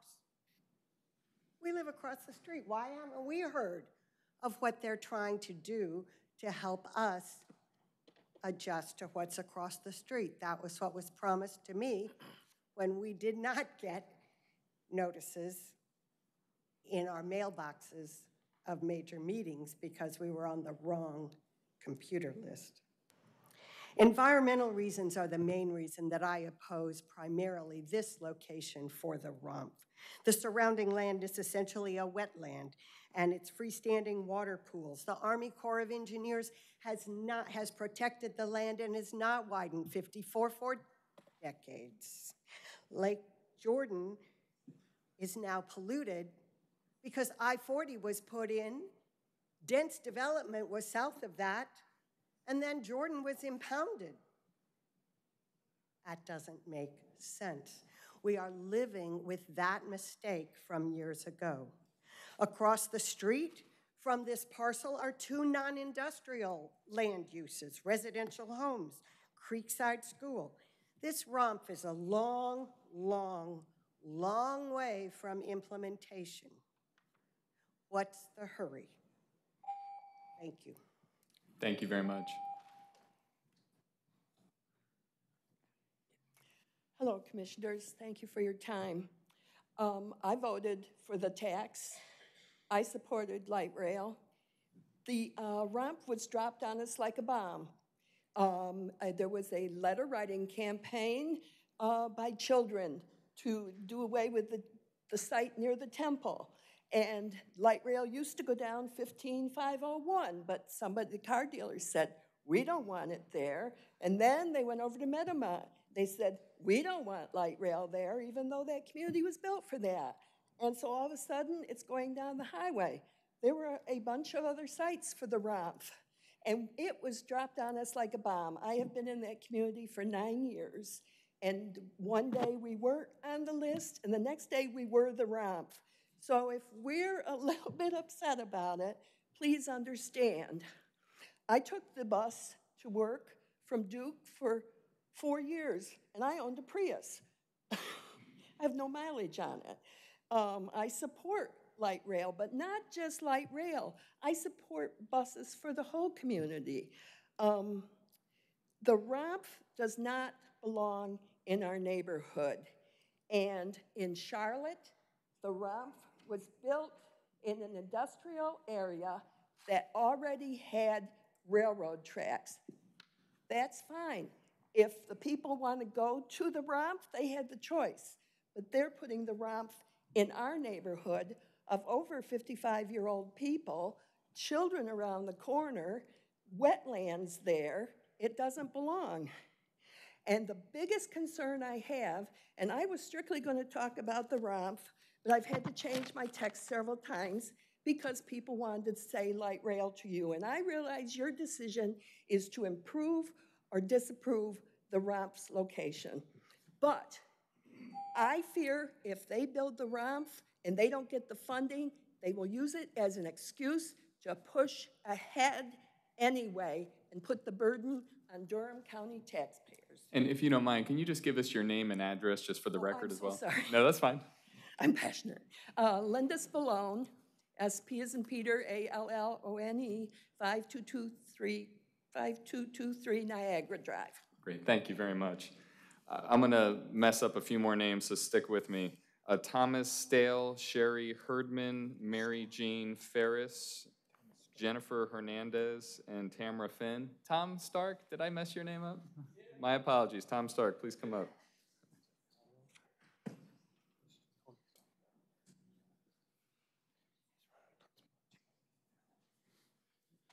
Hi, I'm Tom Stark. I live at 105 Kyleway Drive in southern Durham County. uh, but it says Chapel Hill.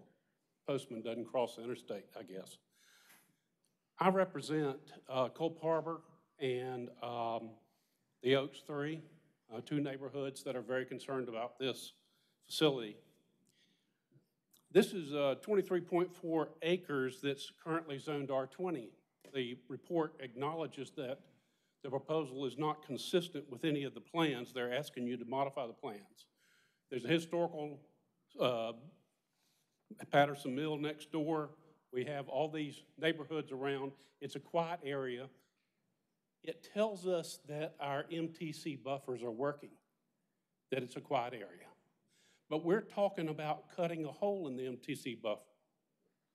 We're also talking about putting in a facility that will make at least as much noise as the highway, or so the report says. But for those of us that have lived near a rail yard or a light rail, or have used a light rail regularly, we know that those steel wheels moving through tight curves make a lot of noise.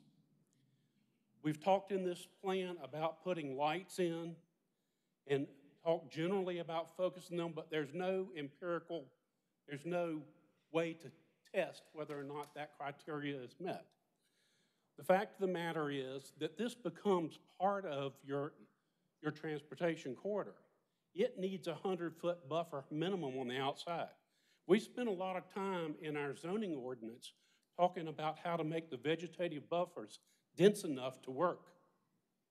The buffers that are suggested for this site don't even address sound and are clearly inadequate. This site is not big enough to put an adequate buffer and locate the site. At the other end of the line, there is room next to rail yards, and there's a, a, a rail yard just down from um, the turn in the rail line at the east end. And we're gonna, I'm gonna have to stop you there unless someone's willing to give their time. And, and, great, thank you. You may proceed. It, you have industrial areas. Sound is heard in context. Sharp, squeaky sounds, and remember that this facility is going to do most of its work from 11 at night till 5 in the morning. So through the night, you have these lights going and the noise going. When you're in an industrial area, you hear that in context and it blends in. When you're in the country or in a residential area, it's noisy. You've opened up the hole to the highway. You hear the tire noise. All of those sounds grow. And then you hear these high pitched sounds of a working facility, an industrial complex. You need to put industrial sites with other industrial, not in residential areas. I know there are a lot of other sites that were looked at along 15501, uh, 15501 as it turns north around Duke, and also uh, on the east end along railroad lines, or even right along Main Street. There's, there's some room between the track as a grade separation between Pettigrew and the track. There are places that you can design this thing to work where you don't impose it on a residential community, where you disrupt all. So um, my clients would like to see you uh, recommend denial of this proposal and ask that they place it in a more appropriate location. Remember, not against the rail line, just against this facility in this location. Thank you. Thank you, Mr. Stark. We, uh, we have Sherry Herdman and Jennifer Hernandez and Tamara Finn. And then we are rounding into the home stretch with just a few more after that. Hi, um, thank you, Durham Planning Commissioners. Um, I'm, my name is Sherry Hardman. I'm president of the Oaks Three neighborhood. I'm a resident of Durham County. I have been um, for 14 years, and I have been a resident as well as the city of Durham. I don't envy you in your spot tonight because, as you've heard, um, this is really going to make a big change to a lot of people. And truthfully, um, you heard GoTriangle say there were all these meetings and all this congeniality. But I think if you sent out a survey and told people really what was going to happen, I think you'd find that I'm really realistically, I'm thinking you're going to find 98 out of 100 are opposed to this uh, change in the zoning. That's what they're opposed to because it's just going to change their way of life. Um, you look at Creekside Elementary, it's the largest elementary school in Durham. it has all these neighborhoods that are surrounding it that have just been put in there in the last, you know, five, seven years. The moms walk their kids to school. The other moms and dads are driving their kids. So there is huge traffic already around the school, uh, pa- particularly at rush hour. Um, the other thing that was really in the final uh, presentation was, oh, by the way, there's no light rail to the light rail maintenance. So nobody mentioned that, but we have a light rail maintenance facility, but you can't get there by light rail, so all the employees have to take cars. Then you have all these trucks. You're gonna have things coming from all over the country in trains, then they're gonna be loaded onto trucks, then they're gonna be driven on these very, you know, not very well-traveled two-lane roads. They're all two-lane. Um, and uh, there's only one small section where they're going four-lane on Farrington Road. So you're going to have a lot of traffic issues with toxic chemicals, dangerous materials, and um, this is where the, the people are walking, so. Great, thank you. Jennifer Hernandez? Hi, I'm Jennifer Hernandez. I live in the Trenton community, which is one I don't think has been mentioned yet tonight. It's on Trenton and Farrington. Um, so we all have to take Farrington in and out of our neighborhood. Um, I personally work in Raleigh, 30 miles away. Um, so I'm no stranger to being in the car and driving. Um, and traffic is one of my main concerns. I probably should preface all this with, with I hate public speaking and I'm not very good at it. So it tells you a lot that I feel so strongly to come here uh, and, and, and talk about this tonight. You know, I have a lot of concerns around the traffic impact, and I was very disappointed to hear, um, you know, that the impact that this site will have for future expansion, not only, you know, from a two to four lane, as we've talked about, but even bike path or a sidewalk. I have neighbors that ride their bikes with their kids to restaurants or to the elementary school in the community, other neighbors who walk, um, and there isn't even a sidewalk to speak of, um, much less, you know, me who's sitting in traffic for 20 minutes just to get on to 40 to then start the rest of my commute, um, especially around, you know, the school hours of, of Creekside. And that is not even taking into account the impact of future developments that are going up now. So um, I think a, a lot's already been said about how this doesn't make sense in a residential area, um, and a lot's been said around, you know, the traffic. I don't know that a lot's been said around the greenway impact, pe- pedestrian, bicycles, um, and I think Sherry just touched on, you know, it is ironic that it is a light rail site, um, but there isn't really any transportation method to get there, even biking. Um, so I'm, I'm strongly opposed to this. I hope you all will consider, you know, voting against rezoning this area. Um, it just doesn't make sense in the space, and I think it's going to have a lot more of an impact to the neighborhoods than um, has been indicated so far. Thank you. Thank you. Tamara Finn? Yes. Am I the last one? Uh, No, if I led you to believe that, I'm sorry, there are five Thought more I'd save the speakers. best for last. Okay. Good evening. My name is Tamara Finn, and I live at 412 Nottingham Drive, which is four streets away from where this facility is proposed to be put up. And I'd like to just note to you guys in the front row, I don't think you live four streets from this facility. I can guarantee you that. Um, I want to just say that I am for the light rail. I'm just not for it being in my backyard.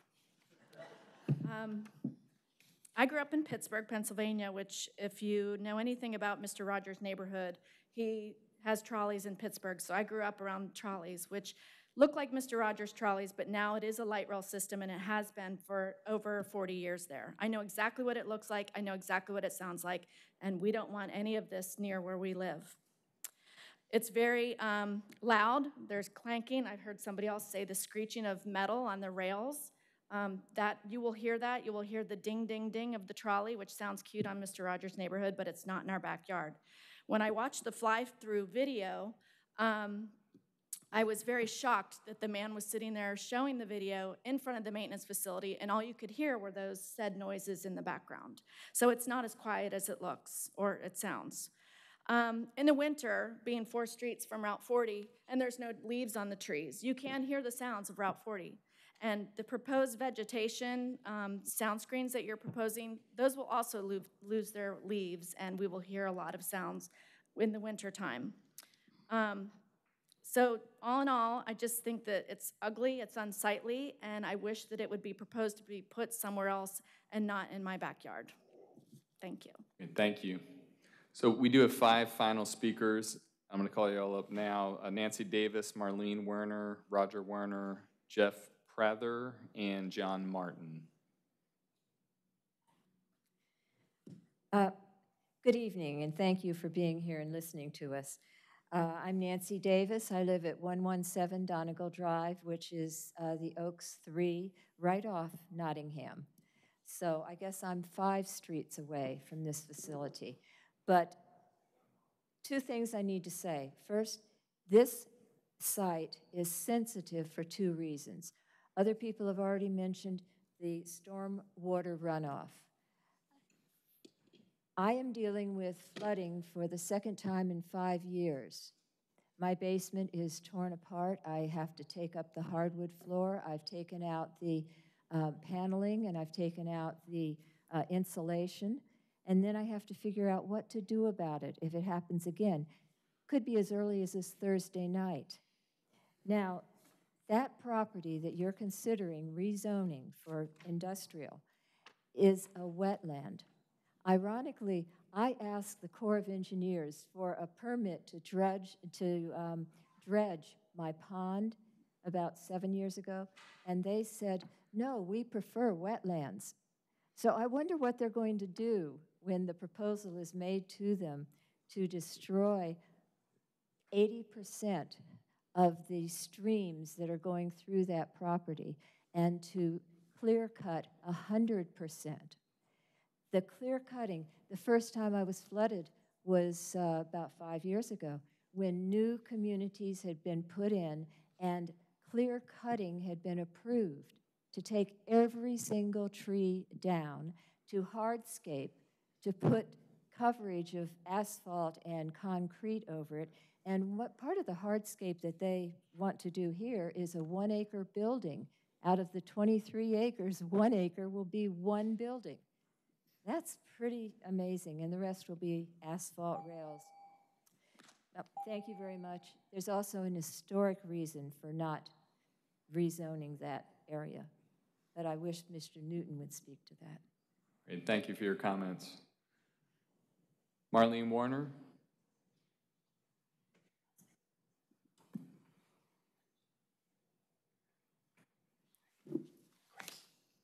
My name is Marlene Werner, and I live at 106 Pino Court in the Villas of Culp Arbor. This is an over 55 community directly across the street from the area that you are considering rezoning. I have been a resident of the Durham Chapel Hill area for 21 years. What attracted me to this area and to my present home was the rural suburban nature of this section of Durham. I spent a good part of my life living in New York City suburbs, then often felt as if they were part of the city with lots of traffic and congestion. I would hate to see this part of Durham become like that. In the short year and a half that I've lived in Culp Arbor, I've seen the traffic on Farrington Road increase. If the zoning is changed to industrial or light industrial, the traffic will get much worse, and so will the air quality. There are many areas of Durham that are already zoned for industrial and light industrial. Please don't rezone our lovely residential area. The community I live in is filled with senior citizens. Nearby is Creekside Elementary School. The health and safety of the residents in this area should not be ignored.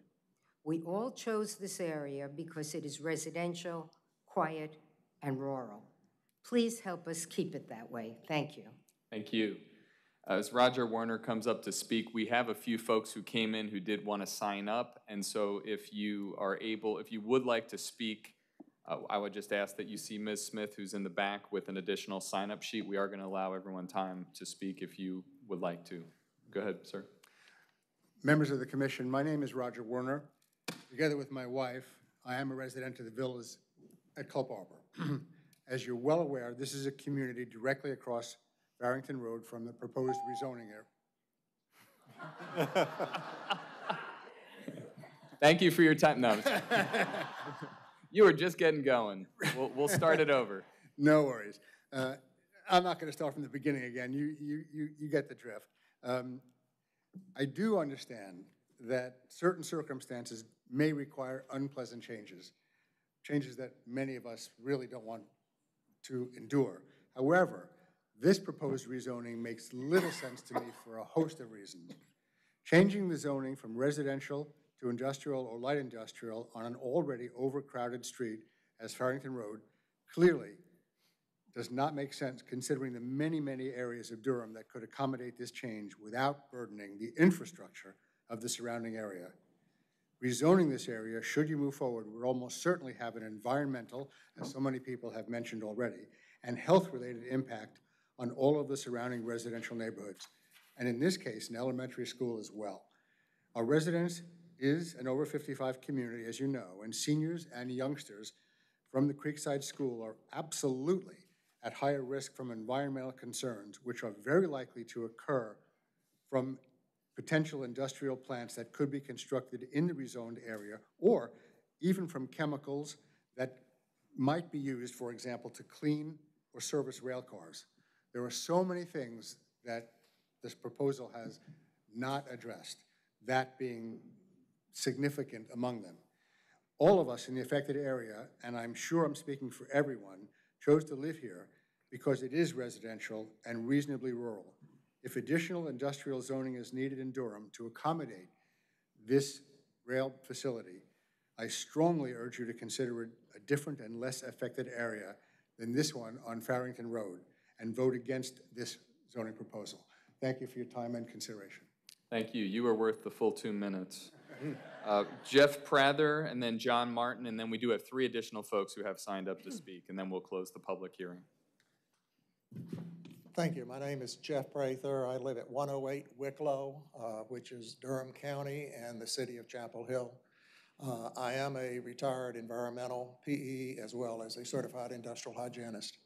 Most importantly, I'm the guy that used to have to answer the irate homeowner who called the Air Force Base at 8 o'clock in the morning complaining about the noise.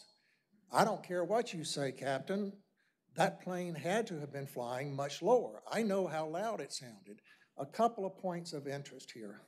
One, nighttime noise levels dropped by around 10 dB above normal daytime. You take away the lawnmowers, you take away the traffic, and so your nighttime noise levels drop. Interesting scientific fact. An increase of 3 dB results in what the human ear perceives it as doubling the sound pressure level. So when they say, we're doing this at nighttime, reality is that's the worst time because your background noise levels are going to be much lower. So any increase in noise level is going to be perceived as that much louder. You talk about a 20-foot buffer. 20-foot buffer of what? New vegetation? Right now you got mature trees. What are they going to plant? You know, a few hollies? It will take a long time before that 20-foot buffer does anything to attenuate the noise levels. Believe me, I've had to answer for 21 years the irritating phone calls, and I've been yelled at, I've been called all types of names. Noise is a significant environmental issue. Do I have concerns about hazardous materials? Yes, I've done a lot of work on hazard sites, and those are a concern. But primarily, look at that. The other point that I would like to make, which hasn't been addressed at all, George King Road, all the way from George King to I-40 is going to be developed. You got the Keenan property already. You got Chapel Run. All of these are basically residential areas. And you're improving an industrial complex right next to it. Thank you, sir. John Martin? Good evening. My name is John Martin, and I do not live in the villas of Culp Arbor. I live at, I live at 401 East Trinity Avenue in Old North Durham. I'm about as far away from this as I could get. So why am I opposed uh, to this. It's really simple. I've lived in Durham for more than 50 years, and in that period of time, I've seen a lot of bad planning and zoning decisions that have very much damaged neighborhoods. Do I have to mention urban renewal and Hayti and Edgemont, um, just to give some obvious examples? But what I would say about those bad decisions is that they were often done with the best of intentions. We're going to make things better, they said, and yet they made a bad planning and zoning decision. That's what's going on here tonight. Light rail may be a very good thing, right? But putting an industrial facility in a residential neighborhood is a very bad zoning idea. Let me say that again. Putting an industrial facility in a residential neighborhood? Are you kidding me? What's the point of zoning if you're going to rezone residential to industrial? Would you entertain anybody else putting an industrial facility in that residential neighborhood or any other residential neighborhood in Durham? I don't believe that you would. Take the previous case. Suppose somebody bought the Pinecrest property and said, we want to rezone it industrial so we can put a cement plant there. You would laugh it out of this room because you know what damage it would do to the neighborhood. Now, I would urge you to consider the damages that you will do to these neighborhoods um, if you go ahead with this. That's not against light rail. There are other alternatives for where to place this that will not do such damage. Please, please think of these neighborhoods. Thank you. We have, uh, we ask you not to, not to clap, uh, rules of procedure. Three final speakers, James Copel, Alex Cabanes, Cabanes, Chris James. Please come on up. Let me start by saying I'm sorry for your pronunciation. Well, you got it right. All right. Yeah, I'm James Copel. I live at 216 Galway Drive in Durham County. And I also live with my wife there, I might add. Um, thank you for a couple minutes. You've heard a lot of opinions about why it's a bad idea to put an industrial zoning piece, own piece of land in a residential area that's, I can't add to that. Should not happen. It's not complicated. How do I know this? Well, first of all, I'm sure you have highly talented and competent staff that has been on the property and walked it, every square foot of it. I'm sure you have. You're busy, so I don't know that you have, and I would not judge that. But it takes about five minutes in a car to understand the conversations that have been going on tonight. You don't have to get out. You can windshield that thing, and you know that somebody had an idea that maybe we could buy a piece of land that's kind of trapped between the interstate and this and these neighbor uh, these residential areas and get it at a good price, and maybe we can put this complex that we need on it. I don't know what that story is, but it's it's completely erroneous that it will work here. It'll be terrible. So, I'm almost done. When you drive home tonight, wherever you live, whether you live in a condo, whether you live in a neighborhood, wherever you live, when you get close, start to visualize a piece of property being rezoned industrial or light industrial and having a cement plant or a train yard on it. And it's, it's just, it's not complicated. So please don't do this. Uh, figure, figure out a plan B. Um, it's a mistake. Thank you. Thank you. You can come on up. We've got two final speakers, Alex Cabanes, Chris James.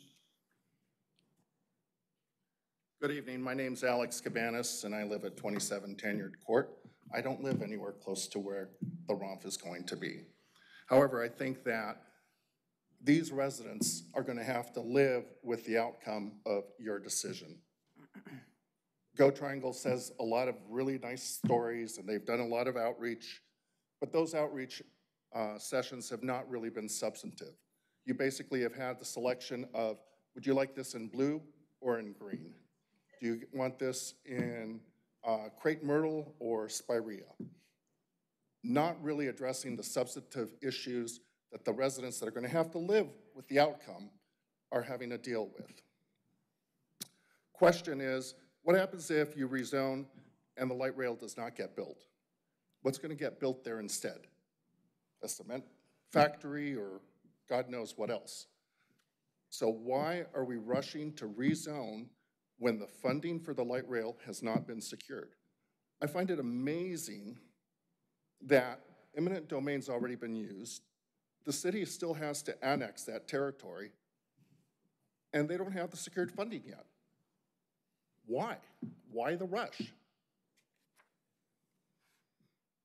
I think that the residents that are going to have to bear the brunt of this rezoning and are going to have to live with the impact of this decision should be given more weight than a lot of the pretty pictures and pretty presentations that GoTriangle and all the consultants give when they can do that in the comfort of their remote home, not having to deal directly with the impact of their decisions. Thank you. Thank you. And Chris James? Hi, my name is Chris James. I live at uh, 105 Great Oaks Place, and I probably have more specific experience in this topic than anybody in this room, or not. So I spent 26 years in San Francisco Bay, 30 miles north or south of Palo Alto specifically, and I saw all kinds of great stuff out there and shenanigans and things that are just problematic. So the San Francisco Streetcar uh, Authority, I sponsored a project to redesign the brakes on, and I went through their maintenance facility a bunch of times. They're loud. They're incredibly loud, and you can't turn a streetcar easily. It has to be on a turnstile. That gets old, it decays, it generates waste. We'll get to the waste in a minute. So above the ground, there are problems. At the ground level, there are problems. Below the ground level, there are problems in different cases. I'm pro light rail, by the way, very pro, just not a facility of that type there.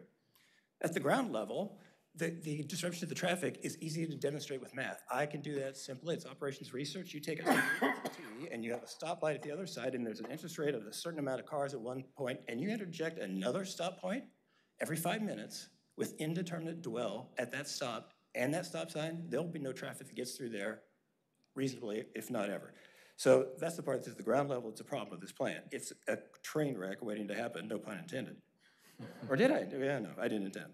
But last and most important, the last house I bought in California in 2000 in Palo Alto, in Palo Alto, California, three blocks from Steve Jobs, six blocks from Larry Page of Google, across the street from David Packard's son, two doors down from a Nobel laureate. I had to sign a waiver, the first thing that said you are buying a house on top of a Superfund site. It was a Superfund site created in 1981 by Hewlett Packard from a leaky maintenance facilities gas tank that was below the ground with reagent caustic materials that are all used to clean things. That can go through geologic strata if it's the right strata at the right time on a beeline. It had gone three miles in 10 years. It was underneath most of the town of Palo Alto, and it still is. You can imagine the horror, spending the amount of money you can imagine that house might have cost. And it says you're on a Superfund site. This facility has exactly the same uh, potential of a train wreck that doesn't need to happen.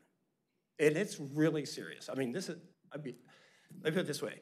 This is thank- Sir, thank you. bonanza Sorry. waiting to happen. and Sorry I to will cut lead you the off, but we've, we've got to, we've given everyone two minutes, so I I hear that. appreciate your time. I will time. lead the charge on all the injunctions that follow happily. I'm sorry? I will follow, I will lead the charge on all the injunctions that will happen, happen happily, and we have lots of funding we could use. Happily. Thank you for your time. So I want to thank everyone for speaking during the public hearing. We're now going to close the public hearing, and this is the time for the commissioners to be able to ask questions, make comments. So I will look to my left if there are any commissioners that wish to speak. Commissioner Williams? Thank you, everybody, for your comments and your very heartfelt uh, statements about the impact of this. I, I too have concerns about implementing um, impermeable surfaces and the effects of the runoff that that's going to generate in this particular area and in areas going forward. I also have concerns about the noise that will be generated from the rail service being implemented in what is seemingly a quiet community. Um, I say that because I live in a not quiet community, but before they started widening 147 in Alston Avenue, there was a train that came through at about 3 o'clock in the morning. and it was a very loud process, so I definitely sympathize with you. Um, Given the concerns of everyone in here as residents and the considerations that you're looking for, I don't think that anything that you're asking for is a far reach. I don't think that anything that you're asking for is too much. And I think that you have every right as citizens, as taxpayers, to feel how you feel.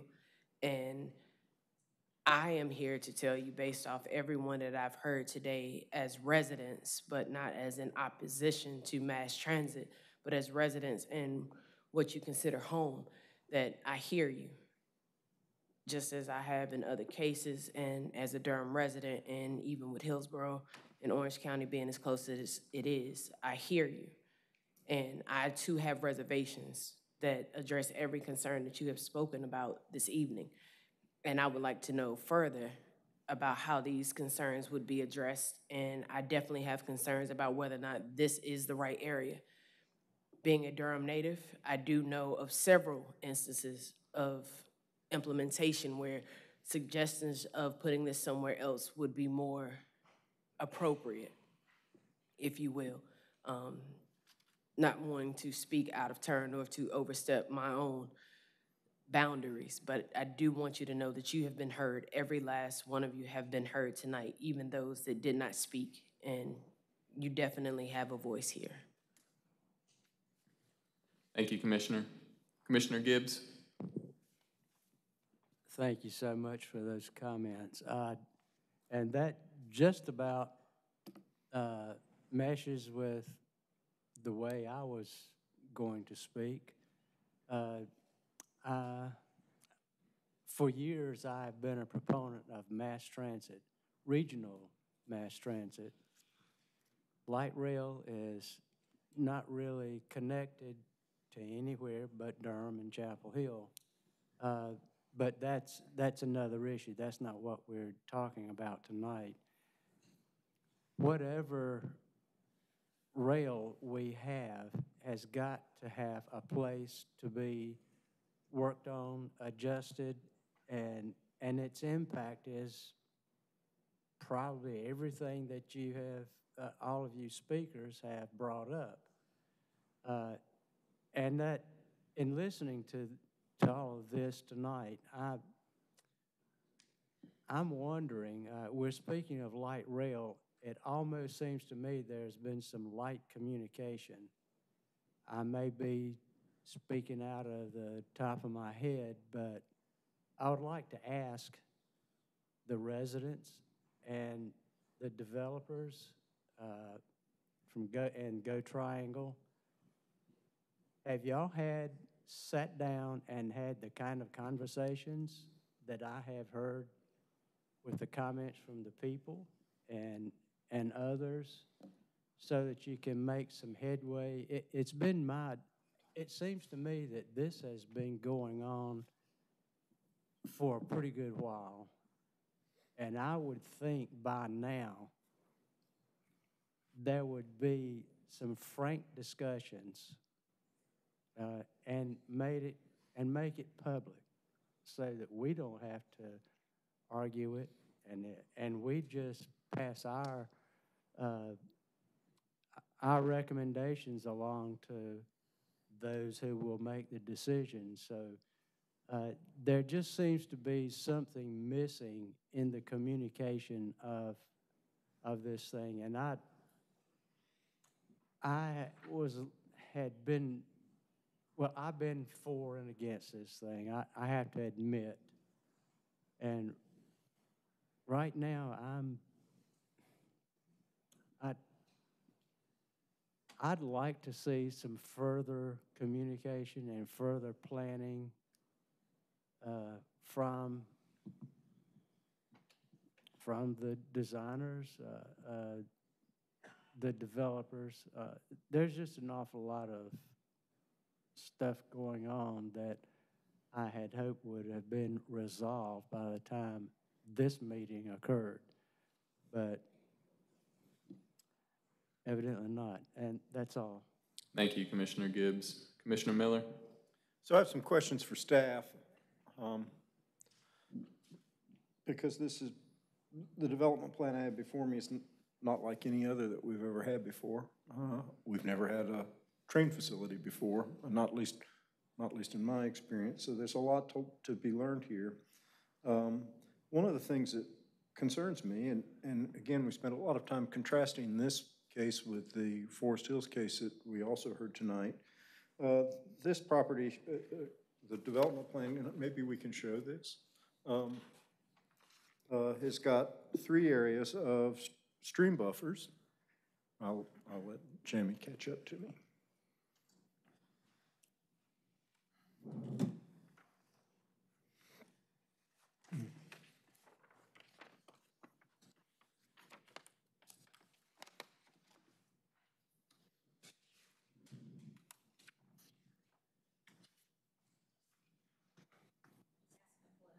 All right, thanks. So there's three areas of stream buffers here, but as I understand the development plan, uh, we've got parking and even the building envelope overlaps the stream buffers. We don't let other developments do that. How is it that these areas encroach on the stream buffers in, in this project? Okay, thank you for pulling it up.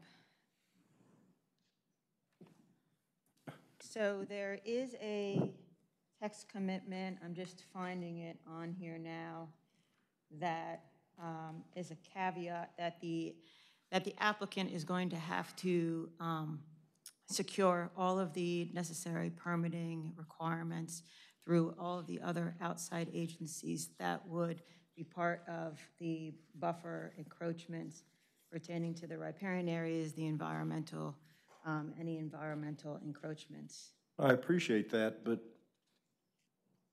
doesn't our UDO say you can't build in the stream buffers? Where does our UDO say you can, you can have a parking lot or a building in a stream buffer? Why is this one different than the others? Good evening, Sarah Young with the Planning Department. The UDO does allow instances for encroach, different types of encroachments into stream buffers. There's actually a very lengthy section with a table with all sorts of different types of encroachments and the particular approval process for them. I looked at those. Right, and so. I didn't find one that I thought matched this, but maybe I misunderstood it. So in this case, they're specifically asking um, to show some of those on here and get them approved through this method as opposed to some of the other methods. So uh, that is why you will see they have depicted um, the different places where they may encroach through and the reasons for that. Hopefully, you- we can, eh, Jamie may be able to better point out the specifics. Hang on. I mean, can, can you cite me the section of the UDO that we're relying on here? Thanks. I, And Commissioner Miller, feel free to continue and we can come back with the All right. answer. And the same thing is true with, with wetlands. We've got, uh, the parking is right over the top of, of wetlands. And we've seen other cases where uh, the developers procured the opinion of engineers that, that wetlands, as they would be defined by the somewhat old manuals that we use, are uh, no longer actually uh, wetlands under the current rules. And the same thing happens, I guess, with streams and stream buffers and their classifications. But there's no indication that any of that kind of thing happened here. I'm just really concerned that we're treating this development so much differently without the kind of explanation that as a lawyer I would like to see.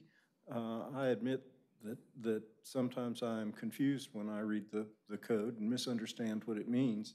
Um, But I- I would like to feel secure if I recommend this to the city council that we're not actually breaking our rules.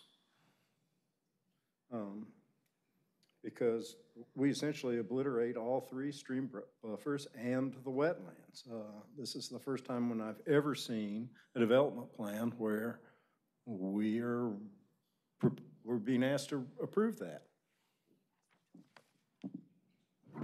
Um, At this point, I would suggest that the applicant um, come up and address your specific questions regarding that, because we have had conversations regarding this.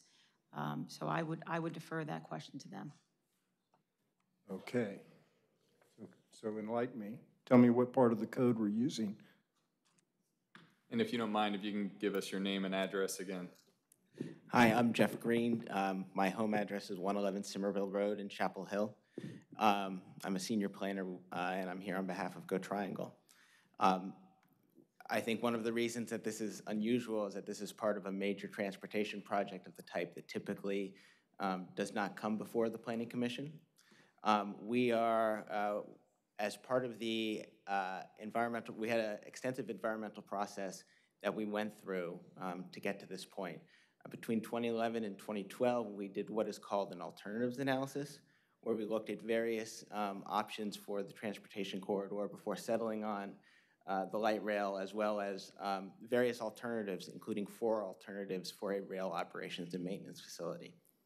Uh, after that, in about 2013, we did this process called scoping, where we went out to the community, showed these alternatives, and said, you know, what else should we look at? One of the items that actually uh, Durham City Council requested was that we look at a fifth site for the rail operations and maintenance facility.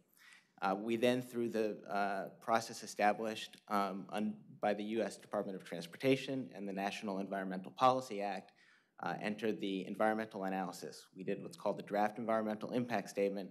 As part of that, we are required to um, avoid any impacts to streams, wetlands, uh, and open waters wherever possible uh, along the entire transportation corridor. Um, and I think, you know, over the, this is a 17.7 mile corridor uh, with about 18 stations, and that's uh, what we've tried to do. Um, this site was chosen um, through that, after that extensive draft environmental impact statement process as the preferred alternative for the operations and maintenance facility. Um, it does have impacts to wetlands and streams and riparian buffers, um, and we are uh, committed as part of our amended record of decision issued by the Federal Transit Administration to addressing these impacts on a project-wide basis. Um, we Well, are. I appreciate all that. I just are- want to know the section of the UDO that allows these facilities. I will, I will defer to staff as far as how the UDO applies, um, but I'm trying to give you the background as to how. I I just wanted the UDO section, that's all. Thank you. So, staff, they have deferred back to you. So I, it's, a- it was our, um, our understanding that there's an application for some determinations of the riparian areas.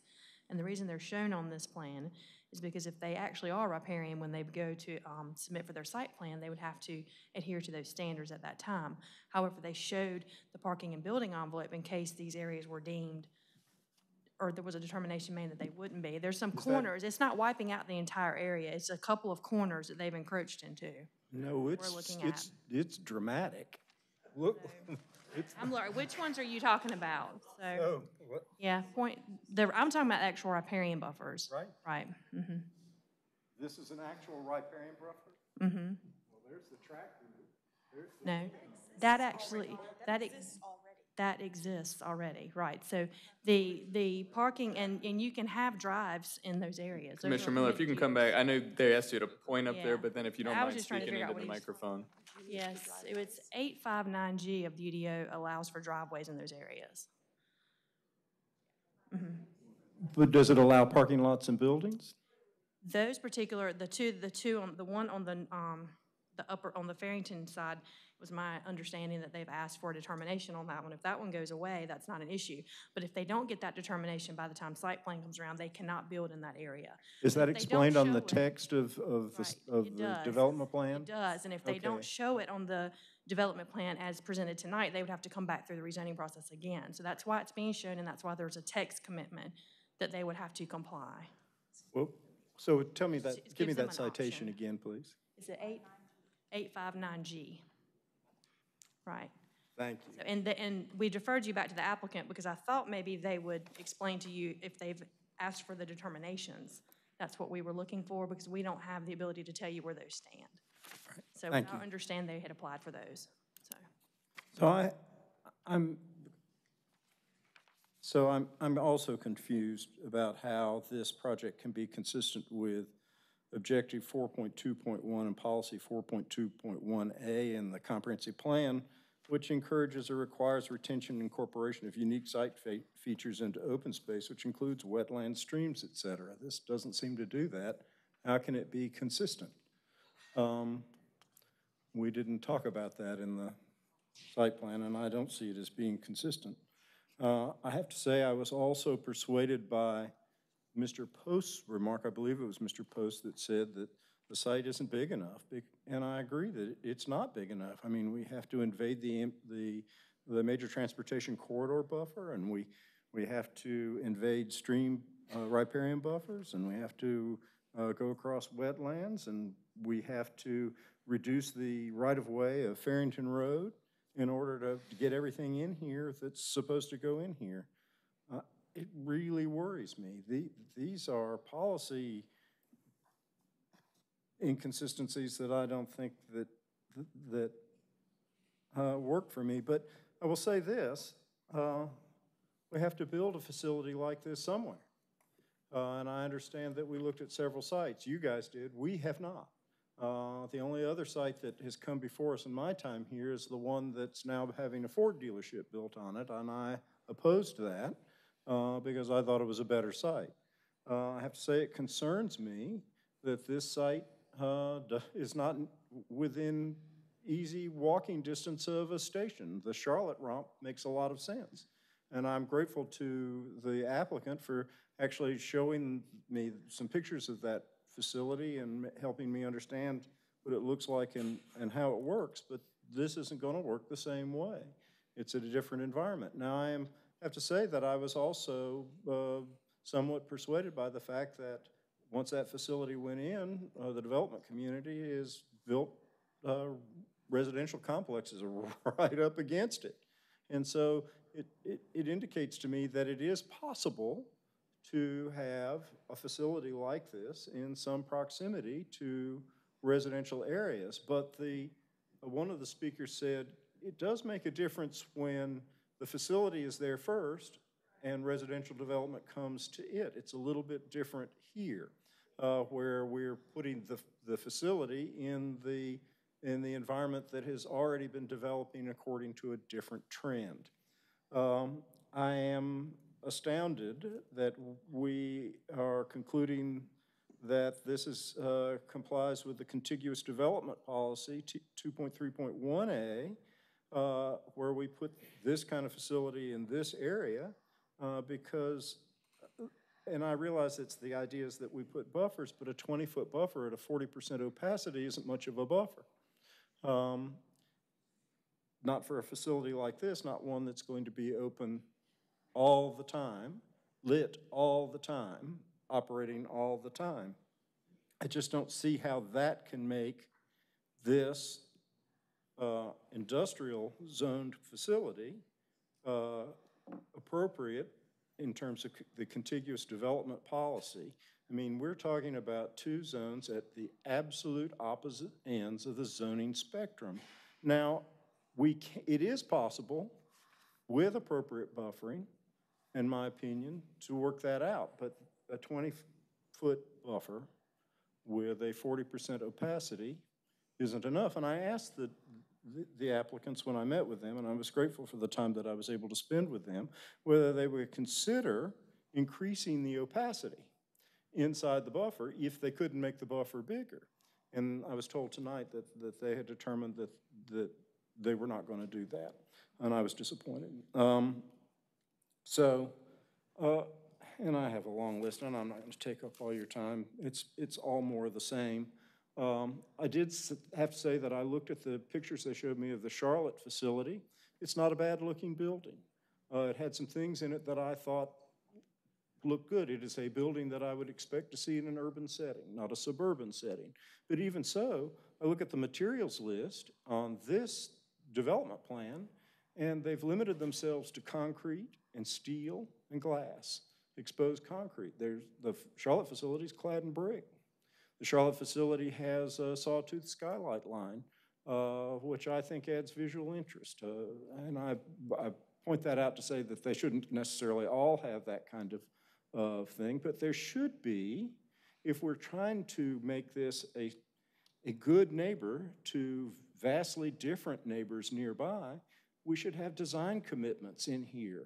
And they should be design commitments that the community has worked with the applicant on, uh, because nobody knows what's appropriate for the community better than the people who live in the community. And that obviously has not happened here. I get the, I, I, twice now, we've had a litany of the meetings that have been held, but they're presented to us by the applicant as, as they were boxes that they had to check off.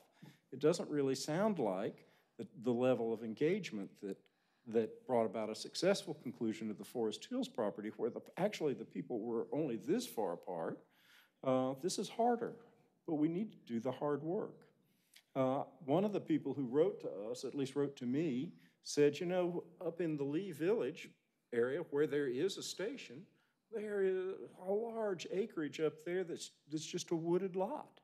Uh, why is this facility not being considered for that place? Um, we talked a lot about noise when I met with the, the folks, and I went and tried to look up noise impacts of, of light rail, and I admit that I poked around on the internet, and that's not, not necessarily the best source of information. But what I learned was is that light rail makes noise when the tracks are worn, when the wheels are worn, or when you ask the wheels to do to make relatively sharp turns, because then the wheel flanges, I learned so much, uh, the wheel flanges actually come in contact with the side of the tracks. Uh, this facility has a very tight loop in it, which almost every train that enters the ROMF building uh, must go through. And I don't know how many times you're going to take trains in and out of the building, but if it's happening at night, if there's going to be loud steel on steel generated noise, it's going to happen here. Uh, and it's probably not going to happen on the long, relatively straight st stretches of track or those stretches of track where the where the turns are on very broad, uh, broad um, chords. So uh, I have to say that if this is the best site out of the five sites that were considered during the environmental uh, assessment, uh, how bad must the others have been? Um, I realize that that there's a great deal of anxiety among the folks who are working very, at GoTriangle who are working very, very hard to bring us a good quality light rail transit system.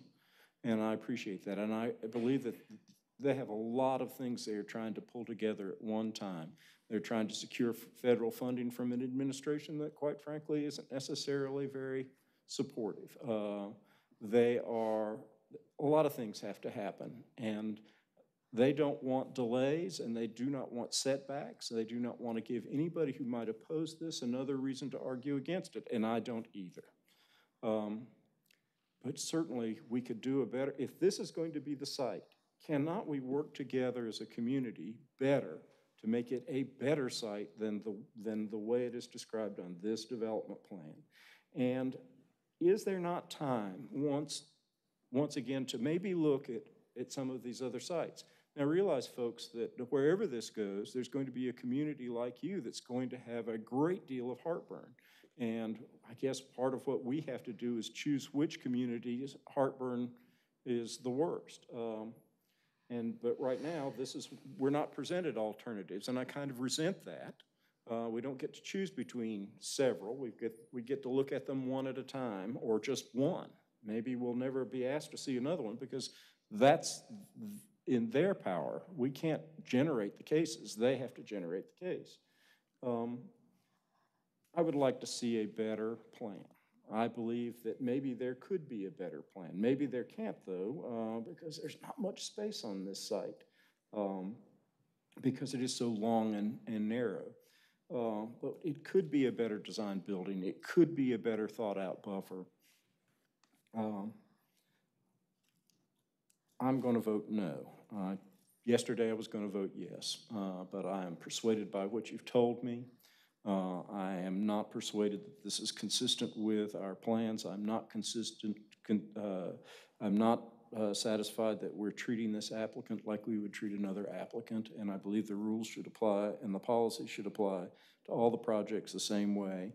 I realize we're playing a high stakes game here, and I do not want to be the member of the Planning Commission who led the charge that defeated light rail. But I'm not talking about defeating light rail. I'm talking about making a better uh, neighbor of this facility to whoever is going to live nearest it, and that includes you folks. Great, thank you, Commissioner Miller. Vice Chair Hyman? Well, I certainly have less to say after listening to Commissioner uh, Miller, who addressed a, a number of areas that concern me, but my comments are more in line with uh, both um, Commissioner Gibbs and Commissioner Williams. Um, It was my hope that a lot of the, the issues that were raised here today would have been resolved. We've been to this place before where we had large numbers of, of individuals who had come in and objected to an issue that was being presented. Yesterday, um, as I listened to both sides of this issue, the one question that I asked, um, I, I wanted to know what the residents wanted. And the response I got was they did not want to see it, smell it, or hear it. So I was under the impression that all of those issues had been addressed. Did not want to see it, did not want to hear it, did not want to smell it. Um, yesterday, I felt comfortable knowing that this issue had been addressed. Today, I'm not comfortable, and basically, um, I'm at the same place that my commissioners are. I can't really support this because so many individuals have not had their issues addressed.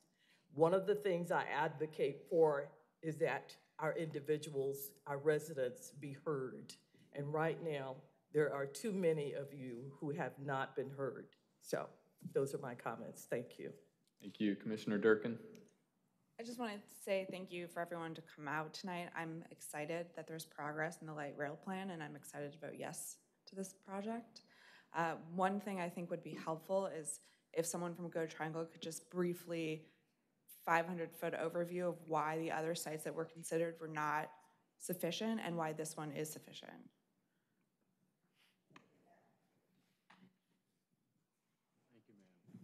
Jeff Green, GoTriangle once again. Um, we, the five sites, so this was called the Farrington site. Um, we had another site called Lee Village. It overlaps significantly with this site. Um, the northern end is roughly um, where um, Ephesus Church Road is on the development plan. Uh, it went a little further south. Um, we are a uh, federal, we're a project trying to get federal funding. FTA, the Federal Transit Administration, is managing it. And one of the rules that we need to follow is if there's a um, project that will impact a historic site, you can't use it if there is a reasonable alternative that does not impact the historic site. And so because of the historic site just south of the Farrington um, site, we could not move forward. That's why that, uh, that site was decided not to move forward. Um, another site we looked at uh, as Can I Commissioner. interrupt you really quick? Is that the same site that you? No, that's the next one. Okay.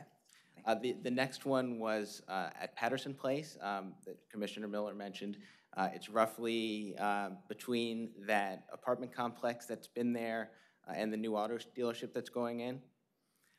That facility was um, feasible in conjunction with an earlier alignment of the light rail project uh, that we had proposed during the alternatives analysis.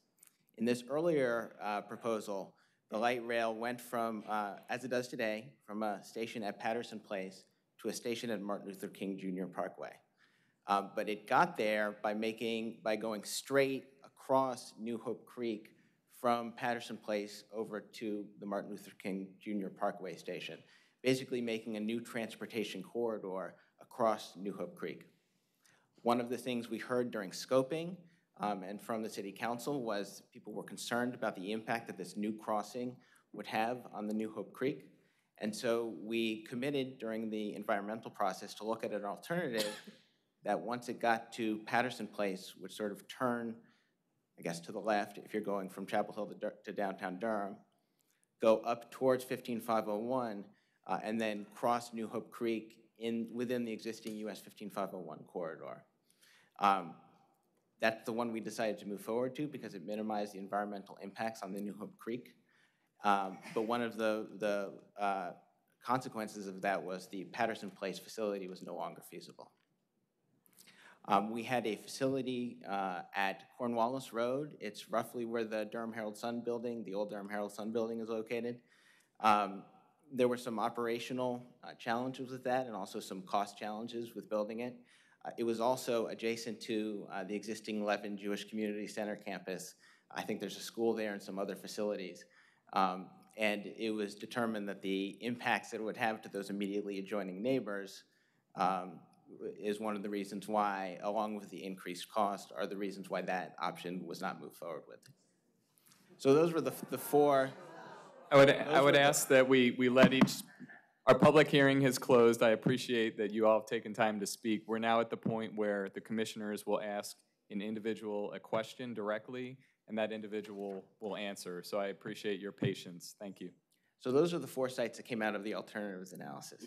Uh, The fifth one that came out of scoping that uh, Durham City Council recommended was uh, along the uh, existing freight rail line, uh, next to, uh, sort of east of Alston Avenue on the site of the Brenntag facility.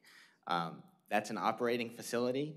Uh, One of the concerns of that, uh, there were several concerns. First of all, putting the ROMF facility there would have required closing an existing and operating business. Um, We, I think our calculation was the number of jobs that the ROMF would bring uh, would be less than the number of jobs that would be lost because of the closure of the Brenntag facility. Uh, Brenntag is one of those companies that they don't need to be in Durham, they need to be on a rail line. So if they're forced to move, there's no guarantee that they're going to stay in Durham, much less the state of North Carolina. That's one concern. Uh, Another concern is um, Brenntag has been there for a while. Um, There's a risk of, uh, ha- high risk of hazardous materials underground, and so that was a high risk of really increased cost for the project if the facility's there. There are also some challenges, especially since we've uh, extended the line with the station at NCCU with actually getting to that site because it's a little bit off of the main line. Thank you. Any additional questions, Commissioner? No. Thank you. Commissioner Al Turk? Thank you, Chair. And again, thanks to everyone for coming out um, and sharing your feedback. Um, I, I, I do think we're in a tough position um, because I, I know that GoTriangle has put a lot of effort into this and they're, and they're trying to, as Commissioner Miller said, um, there's a lot of moving pieces here and trying to secure funding. But I am ultimately convinced by most, many of the opponents that we're not here, you know, to, to hear the merits of light rail. We're here to hear the merits of a rezoning case. Um, and so I, I think part of the difficulty is that, again, as Commissioner Miller alluded to, we don't get rail um, transit projects ever, right? And so we don't have, at least for me, I don't, think any of us are rail experts, uh, we don't have any idea of what the real impact of this will be. So if, if a rezoning comes before us and it's a retail project or a grocery store or, you know, something, we have an idea of what, what kind of impact that would have. We get a great staff report, but, you know, and they tell us what the adverse impacts are on traffic, water, and schools. But, as many of you have pointed out, the- there are other adverse impacts that I do not think that, or at least for me, they have not been addressed. So I guess for the sake of full information, or at least I would like some more information, I have, I have a few questions for the applicant. So in one of the text commitments, text, text commitment three, you say it will not, the ROMF will not include a vehicle body repair or vehicle paint shop. So these functions will be performed off-site. But can you give us a sense of, so what will be done on the, the, the cars? Is it, again, I, I think we need at least some sense of what's happening there. I'm going to ask uh, Dave Charters from our engineering team to, to come up. Okay. um, To help answer that question for you. Okay. And let me ask a more simple question maybe. So it, will this be a 24/7 facility? It will, yes.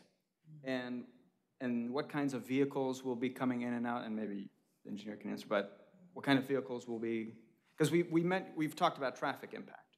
But we need to also know what kinds of, uh, a couple of neighbors have mentioned the kinds of vehicles that will be coming in, like trucks, right? So can you give us a sense of what kinds of vehicles will be coming in and out on a regular basis? I'll turn that over to, to Mr. Charters in a moment, great. but I think the majority of vehicles accessing and egressing the site will be um, employees coming to work. I see, okay. Thank you for the clarification. Good evening, Commission. My name is Dave Charters. I'm managing the design and engineering for the light rail project for GoTriangle. Um, To answer the question of what um, operations are occurring at the facility, so there's um, a few distinct parts to the buildings. The southernmost part on the site is called a maintenance of way building. And in that facility, it includes staff uh, locations and maintenance um, facilities within there to take care of um, align, uh, elements along the trackway that need to be repaired, whether it's parts of the rail, um, parts of the bridges, um, the ties, the different parts of the trainway. So it's called maintenance of way because that's the part of the track that's outside along the 18 miles of the project that the staff will have to maintain. Um, outside of the building, there's a storage area where the stone, as you can see in a railroad track, the stone next to the rails and the ties is stored. So it's really a maintenance function within that building. Um, the next part of the building to the north is called the light rail, the light rail vehicle maintenance building. And that's where there's a couple functions in that building. Uh, on the second floor is the operations control center. It's basically a, a, large room that has computer screens to monitor all of the light rail trains along the 18-mile system, see where everything's at coming in and out of the stations. On the second floor, there's also administrative buildings, offices for the managers of the operators. On the first floor of that maintenance facility is where there are um, three different tracks that come into the building, where the vehicles pull into the building, they're cleaned, they're uh, relatively light maintenance service to repair elements on the vehicles that are damaged or worn out from service. Um, major components of the, of the light rail vehicles um, would be contracted out to be outside of the building. We mentioned as a commitment not to do um, body work or paint, have a paint shop. And that was one of the things that we heard from the multiple meetings we had with the community, that they were concerned with toxic smells and toxic, toxic elements that would be in the building for maintenance. So we committed, although many light rail systems around the country um, have that function within the building, we took it upon ourselves to commit to the community that we would not do that in the building. We would if there's a damage to a vehicle from a, a car accident or whatever, those parts of the light rail vehicle would be dismantled and shipped out of the building to another site, whether it's our bus operations or another facility to maintain. Um, so within the middle part of the building, that's where the vehicles are maintained and serviced. Um, a third part of the building is on the east side, and that's pretty much the car wash. So it's a fourth track that goes through the site where the cars are pulled into an enclosed part of the building, you don't see it, and they're washed just like a car wash where you would pull into a, a BP gas station or whatever. And so those are the main functions of the building. Um, outside of the building is a storage yard, as was explained, where there are two tracks that are going to be built initially to, to um, store uh, up to 24 vehicles. The project at Revenue Service will start out with only 18 vehicles um, purchased but it allows for uh, later expansion as we hope the project is successful. Does that answer you. your question? I guess. Oh, you said a type of vehicles coming into the site also? Yeah, right. So um, as, as Mr. Green mentioned, most of the vehicles coming in and out of the site will be the, the operators, the workers, the maintainers. It is a 24-7 operation. Um, there will be some delivery trucks that bring in supplies to deliver um, stone or other parts of the project that need to be maintained. Thank you. So I guess the, maybe the bigger question is that the thing that kept coming up for a lot of people was the noise. Sure. Uh, has there been a noise study? Can we, is there any way for us to know or estimate how much noise there would be at different times during, during the day? Absolutely. So as part of the environmental impact statement that was prepared back in 2015 and 2016, there's a separate uh, noise and vibration technical report that was done for the initial um, environmental impact statement. Um, subsequent to that, what happens is we had a uh, record of decision issued by the Federal Transit Administration where they approved the alignment, the number of stations, the site for the maintenance facility. And um, the FTA accepted the noise and vibration report at that time. We've had some um, changes along the 18 miles of the project since 2016. So we're in the process of updating the environmental document. At the end of this month, it'll be issued for public comment. There is an appendix, another updated um, technical report on noise and vibration that has been done based on the latest design for the maintenance facility and all the things that have changed over the last couple years on the project. So that will be available. We have an initial um, uh, noise and vibration report that's available now from the um, earlier environmental statement, and we'll have a supplemental version that'll be part of the public review comment uh, document coming out the end of the month. So we have looked at, um, we have, a- as is existing today, if you go up Farrington Road towards the maintenance facility and Patterson Mill Stores on the left, Culp Arbor's on the, on, on the- Patterson Mill Stores on the right, Culp Arbor's on the left. On the Culp Arbor side, for part of that length of the development, there is a, an earthen berm, a, a kind of a little hill along the side of the sidewalk that the developer has put in to help shield the community from noise. We propose to install a similar berm on the east side of Farrington Road, again, to help shield noise from I-40, because as has been mentioned, by removing the tree buffer between I-40 and the development, the noise from I-40 can, can be heard.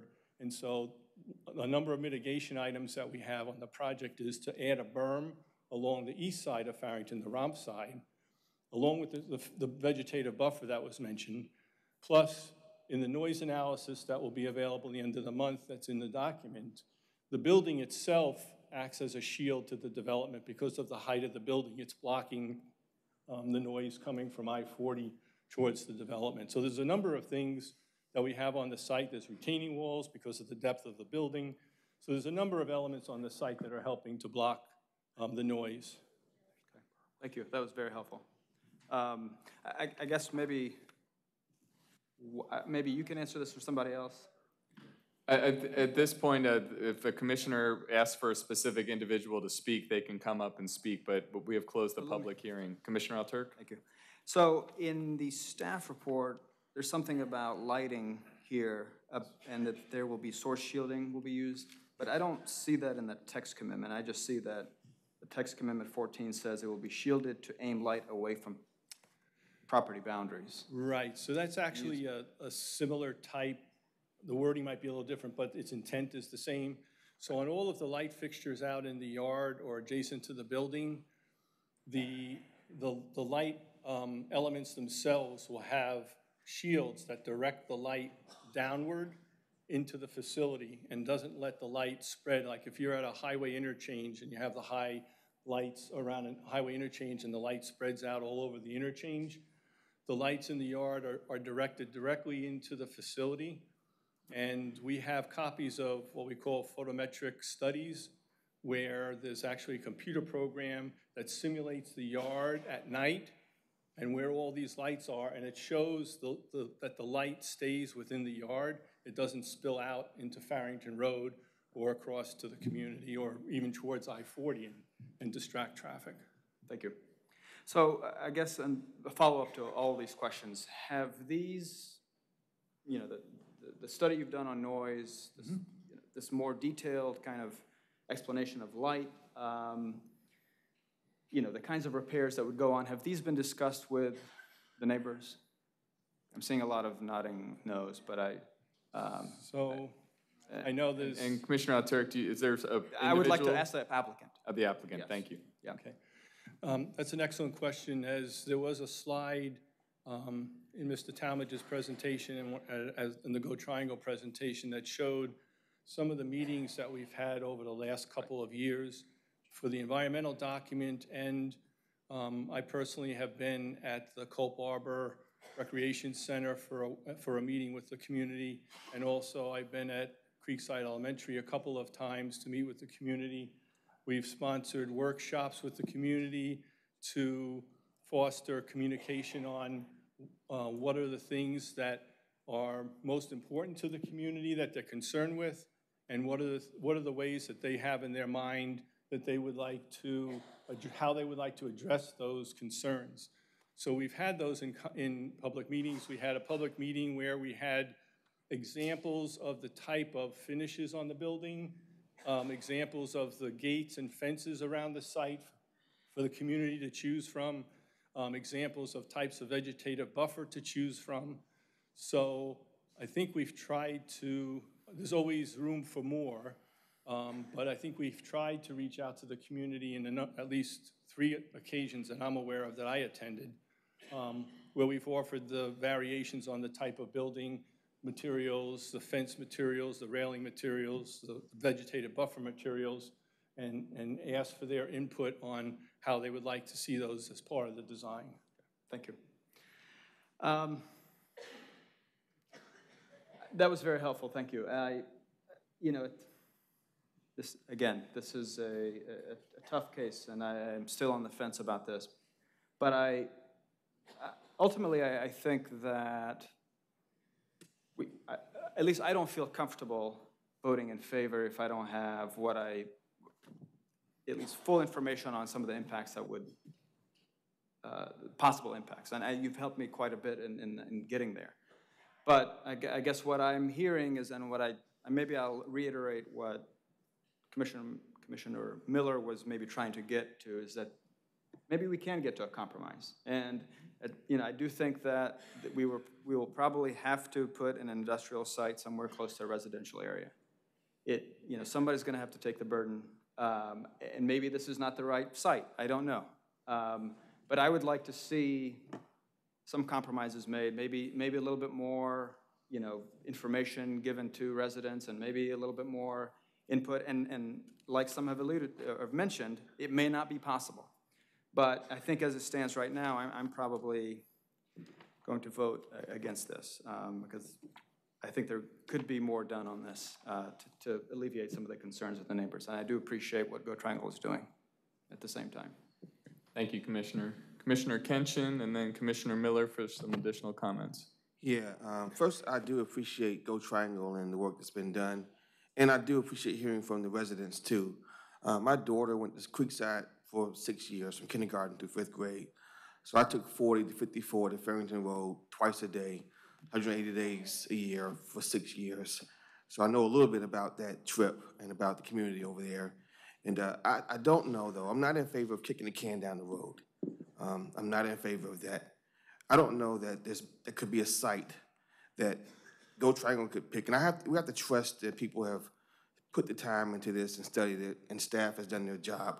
I don't know there's a site that anyone can pick that folks can come in. There won't be a room full of folks saying, not in my backyard. Uh, I just don't know this possible. Um, so I wanted to ask two questions, but Commissioner Alturk uh, asked all of them. My questions were going to be about uh, how much have you engaged the community with this important uh, topic, especially about the impacts. Um, I wanted to know how much will they will they see it, smell it, hear it, and you. One more I didn't think about was how much will they feel it. Um, it sounds like some real work's been done for this, but I, just think that you know we can kick the can down the road, um, which I hope we don't do. Uh, they're going to pick another. If they pick another site, it's going to be a room full of folks saying, "Not in my backyard," um, and I'm just not in favor of that. Um, I understand, and I understand the the fear, and I understand the resentment that folks who live there feel. Uh, I just think there's got to be a way to mitigate the impact. Um, I mean, driving down Fair, I can see it down Farrington Road. I can see things being done to mitigate so that it won't be um, this awful thing that people can see, can think about it. So, um, you know, I just would urge my commissioners to just, I mean, it's not going to ever be, you know, you're not going to be in this room faced with picking a site where it won't be a room full of folks saying that in my backyard. So, um, but thanks to everyone. I appreciate hearing from you, and uh, I, I feel like we can make this work. Thank you, Commissioner. Commissioner Miller?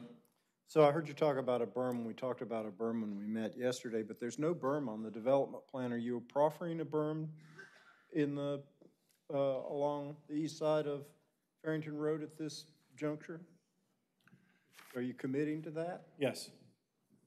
You are committing to a berm? Yes. wh- What kind of berm are you committing to? It's an earthen berm. Um, Some of the things that we've learned on, and Wait a second, I want to make sure staff is listening. Because sometimes they have heartburn about proffers that happen at this stage. So tell us about the berm. So um, on the development plans, um, because of the ongoing design nature, we're not always able to put all of the design features and all of the design details on a development plan. We have, from the 30% design, and we're now well past 50% design, we've been showing a berm along that road, uh, along the east side, in order to help shield the noise from our neighbors across the street. And that was one of the things that came out of our multiple meetings with the community to understand what their concerns were. Like, as was mentioned, they don't want to hear it, smell it, see it, feel it, whatever. And so that's what we're trying to do. We're trying to hide it with the vegetation. We have a, a eight to 10 foot high berm along the east side of the road to help shield it and the Running noise. from where to where? Um, It's from the south uh, property line heading up towards the entrance to the building. And actually it goes beyond the entrance that's at Ephesus Church up around towards the um, Farrington Road Bridge. So we're, we're- we're willing to proffer that this evening as a commitment. And let's just check in with the staff, as we usually do when there's a commitment being proffered. Uh, Grace Smith with staff. Uh, We, they did mention a berm in discussions earlier, uh, but when they applied, and they weren't at the point where they could proffer that when they submitted their application. So we would be happy to work with them and our development review team and get that language appropriate for when it goes to city council. It probably needs to be worded um, so that it meets the Unified Development Ordinance standards, but we can certainly do that. And we would make sure that transportation's involved to be sure that the driveway We don't need 60 days? no, I, not for a berm, not for a vegetative type buffer or berm. We've taken vegetative buffers in the past without a sixty-day continuance. Okay. We have UDO standards that address those. So tell me where the berm goes in relationship to the 20-foot wide buffer? Because that's not shown on the map either, although there is a text commitment to that. Are these separate facilities, or is the one inside the other? So I'm trying to recall the 20-foot buffer. Um, The berm, Don't, don't worry about the buzzer, you can Okay. continue. Well, that was for me. So, so along Farrington Road, on the, on the side of the maintenance facility, we're including a um, allocated space for a bike lane, allocated space for a sidewalk, and then outside of that space for the sidewalk, we have vegetative buffer and a berm that rises up towards the maintenance facility. I appreciate that, but I'm trying to understand how these facilities are stacked. Sure. Is the berm in the buffer? A, a- a berm, if it's going to be Yes. eight to 10 Yes. feet tall, is going to have. Yes, it's within the base. buffer. It's in the buffer. All right. And the other, and I'm going to ask one other question, I'm done. Uh, I'm very concerned about your ability to build an attractive building with your materials list, and we talked about this yesterday, and nobody has mentioned it. Your, concrete, steel, and glass, I mean, is, that's a pretty limited materials list. Can you build the kind of building that these folks want to live nearby without bricks and without other materials? I mean, I look at the, you showed me the Charlotte facility, it's brick clad. Right, it's an excellent question. Um, One of the things we heard from the community is they were not interested in seeing the building in addition to hearing or smelling it.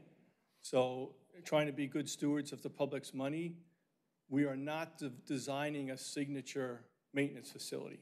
We're designing a functional building that looks presentable and it looks attractive. We're proposing, it's a precast concrete panels on the building. Um, The inside structure is steel to support the panels. There is glass uh, glazing windows to let light in. It's an attractive structure um, that we would be proud of building uh, for the community. But we did not hear from the community that they wanted to see the structure, so we did not feel it im- i- important to us to spend the public's money on something that is more of a maintenance function and not an enhancement aesthetically to the community. Well, let me ask you this, it's a forty percent opacity buffer.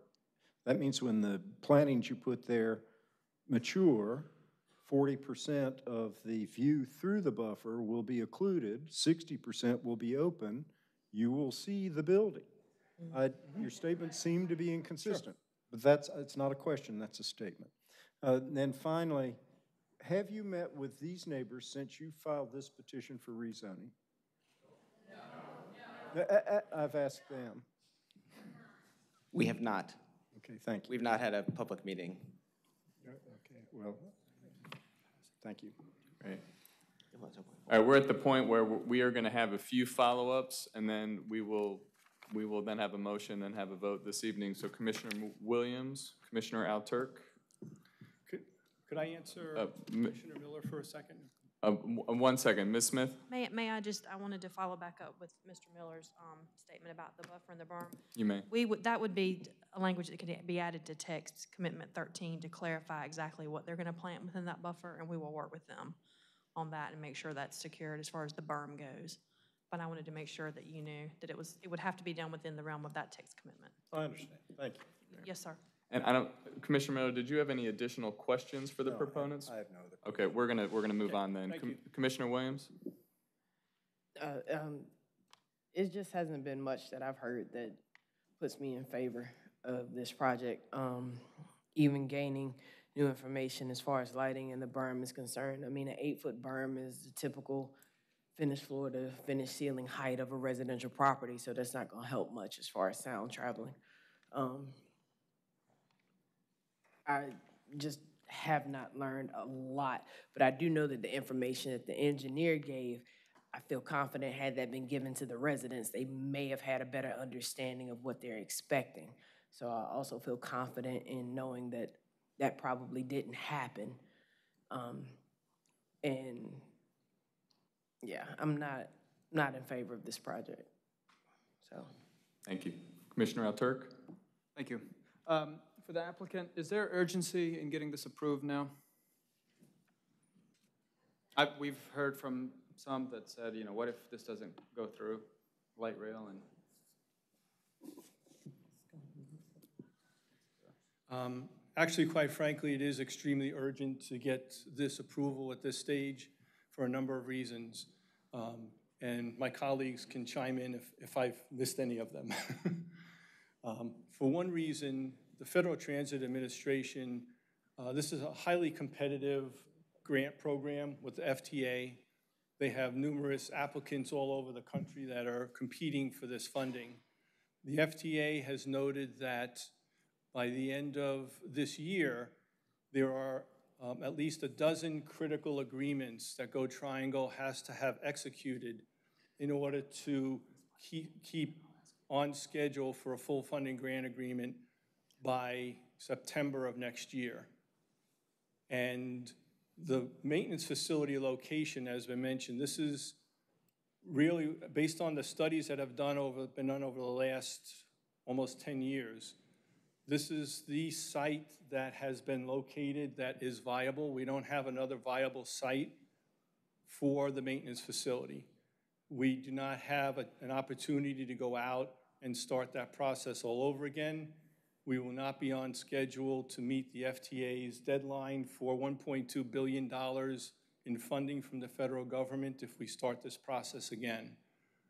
At the end of this month, the FTA will institute what's called a risk assessment on the project. The FTA comes to our office in Durham, along with their consultant team for a one-week works, workshop. And during that workshop, they scrutinize this project from top to bottom and identify the risks to the project before they're ready to continue investing over a billion dollars. One of the risks to the project that they recognize is the location for the maintenance facility. That is why GoTriangle has, there was a question earlier about why are we pushing this to be approved now when we don't have federal funding? The answer to that question is we have to satisfy the FTA's guidelines and their concerns with the risk to the project. If we don't have this site approved, that jeopardizes over a billion dollars in federal funding because we would not meet the schedule. The um, requirements in the risk assessment will assess whether we've achieved acceptance for this maintenance facility site, and if we had, if we do not, the FTA will be applying additional contingency funds to the project, which will um, inflate the cost of the project to the whole community. So this is extremely important to the project, the success of the project, to stay on schedule.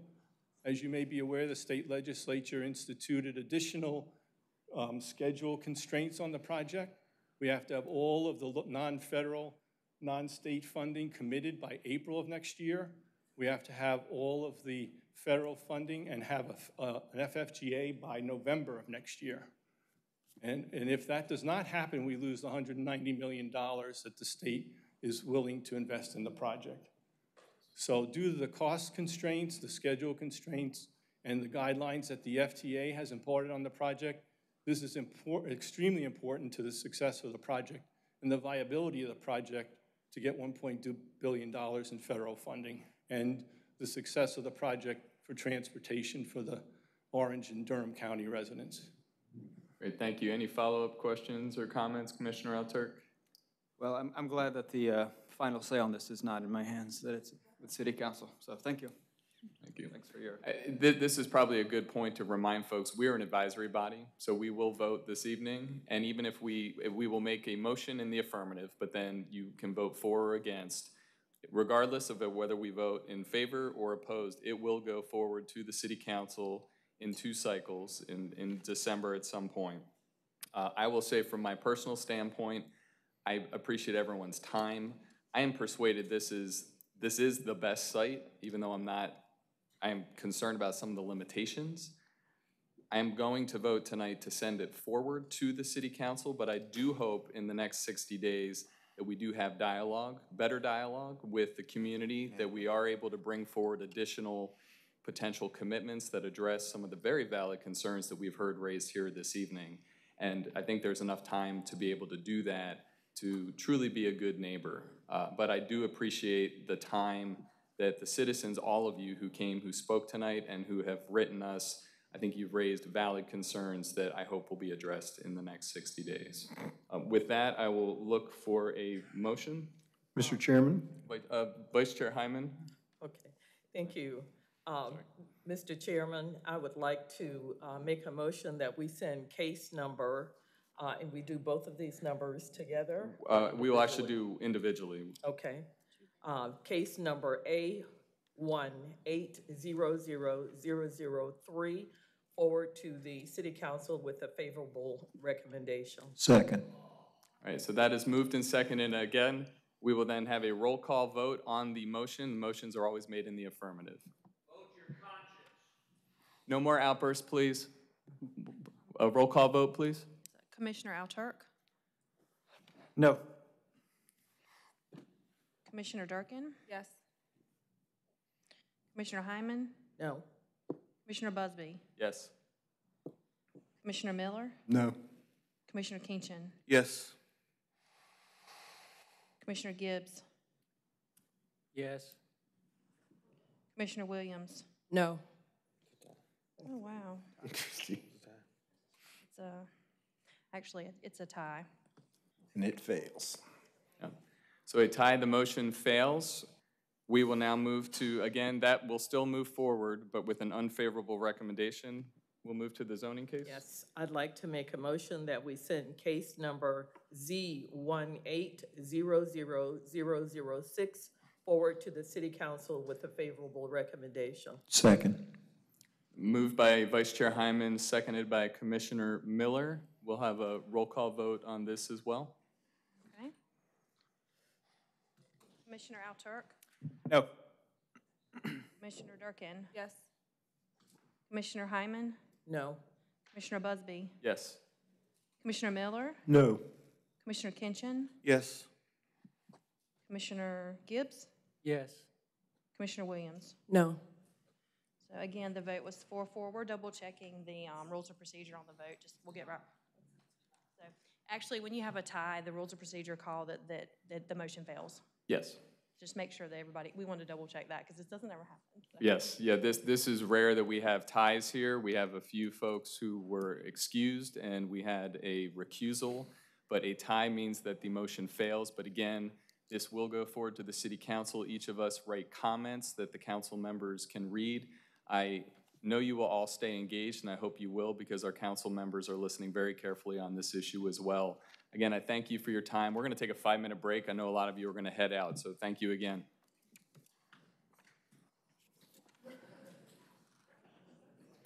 Thank you.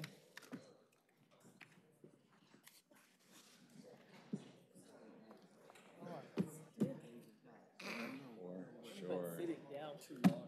I was doing this yesterday.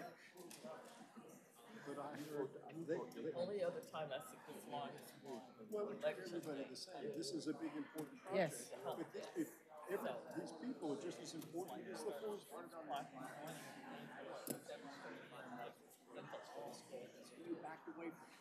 We're going to be here Well, a while, well, too. look, We could have had our Well, vice chair well, look, support us. This was the best case environmental. I could not believe Oh, yeah. Oh, yeah. Absolutely. But they told me that they had addressed all of their issues. We went over that. See, I wish I had gone with you guys so that somebody else, because it's so specifically said they want to see it here. As proposed, they will be. I know, and, and that's whether or not they have regular meetings. They did. Yep, and that's, You're gonna work on it. Well, and, and that's, that's sort of a safety net, sort of, not for us, but Which is? we The land design. depend on in did it for both overall. Yes, yes. So he was part of the design team working on behalf of the. Oh, oh, So, oh. oh but yeah, what I was not. Oh, Yeah, I'm not in favor. Oh, it was just today. I love her, but it's literally this morning. I'm sorry I can't make it tonight. Hear a bunch of questions I have about the. Yep. I hope we can ask them. I'm like, well, that's not my deal. No, uh-uh, no, this was, everybody all needed, gotta ask. everybody needed to be here for this. I think this was, All right, why don't we get going? well, as I said,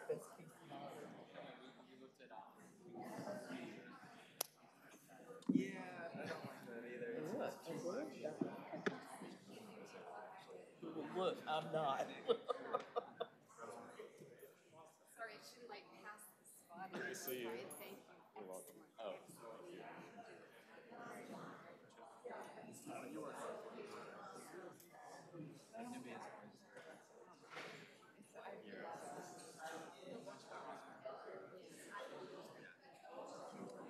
So, So that was interesting to watch from outside.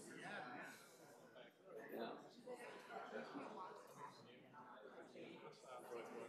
There's no sound, I have to read, I have to read it. Back, uh, it seemed very interesting when I was reading on the screen, it seemed very. Up there with. Was the, was the TV on? At least? I was looking through. Oh, yeah, yeah, no, no, it's. I, they, they've said it's, they've said it's best practice. Yeah. I think it's better just to totally out. I wouldn't have your job. Can I ask you another question? Yeah. I know you got a bunch of things coming before you. Yeah. I, I said I was in road, and I just lost the last, which is, I live. Yeah, probably. They'll have to do. Of I'd love my creek, I wouldn't move for anything, I'd out there after I just watched four or five hundred hours. Well, and I, and I, at the end of the day, I thought I should vote no to at least, The question is, well, not that like my, Appleton has done nothing in two hundred years, three hundred years to evaluate.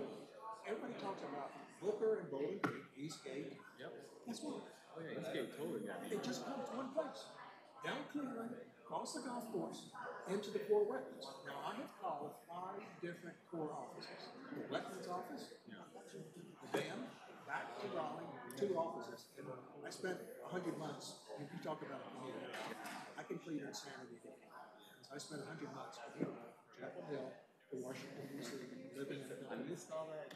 yeah, you missed a very exciting one. But nothing has been done about evaluating the ability of the Corps wetlands to assimilate the stormwater. Who's gonna pay for that? Because every time I approach Chapel Hill, well, a hundred yards down, we're in Durham County. Well, Folks, there it is.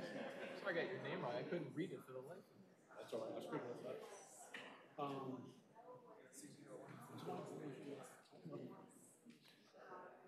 There, there are a bunch of. I think, wait, say that again. I think, I think they're gonna leave. Yeah. And, and they, Yeah. You're one of my favorite commissioners. One of these days, we're gonna be on the same side. Yeah. It's a very fair point. That day, I think everything might freeze. No, but I understand. Yeah, I understand. Absolutely understand. But, um, I talked to you one other thing. Not tonight. Yeah. I want to say thank you for dealing with all. Oh, yeah. It's not easy, right? Yeah. This is what we do. You guys got a little work to do. You guys have already seen Chapel Yeah. Drive. No, city council, man. That's right. They're making a decision. That order is gonna hit before tomorrow. Matthew, uh, it's like we really don't. Remem- I remember what you said, you just needed a vote. There is no challenge. Yeah, that's I've been out. I don't, I, I'm- I don't know who to call. I'm gonna go to the restroom before uh, Chair Busby clears the uh, gallery. Thank you. Somebody needs to uh, do a major study. What can that wetland handle? Yeah. Let's go, guys. We are going to reconvene, and we still have three cases before us this evening. So for those of you that have waited, I appreciate your time. Our next case is the case Z170021. This is the Shell Oil gas station. Oh, yeah.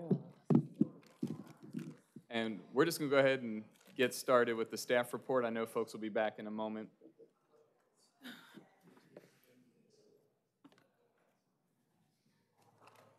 And Actually, we have the, we have a quorum in the room, so.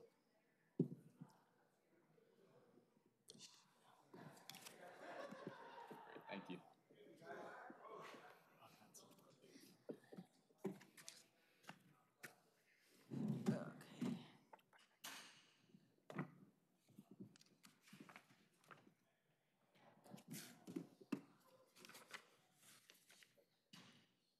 Chill.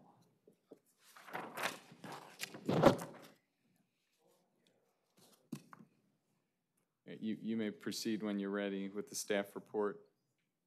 Sure. Thank you. Good evening, Jamie Sunyak with the Planning Department. I will be presenting case number Z1700021. It is the Shell Oil Gas Station site. The applicant is Ash Miller of MLA Design Group. The subject site is 1102 NC 54. It's presently split zoned. The applicant, the applicant proposes to change uh, .65 acre portion of the property, which is residential suburban, uh, 20, and um, 1.35 acres of the office and institutional zone to commercial neighborhood with a development plan. The site is 2.879 acres. The development plan associated with this request proposes an expansion of the existing gas station, which will allow for a total of eight fueling positions and a pay station building. The property, the property is designated commercial and office on the future land use map. There's no change to the office designation.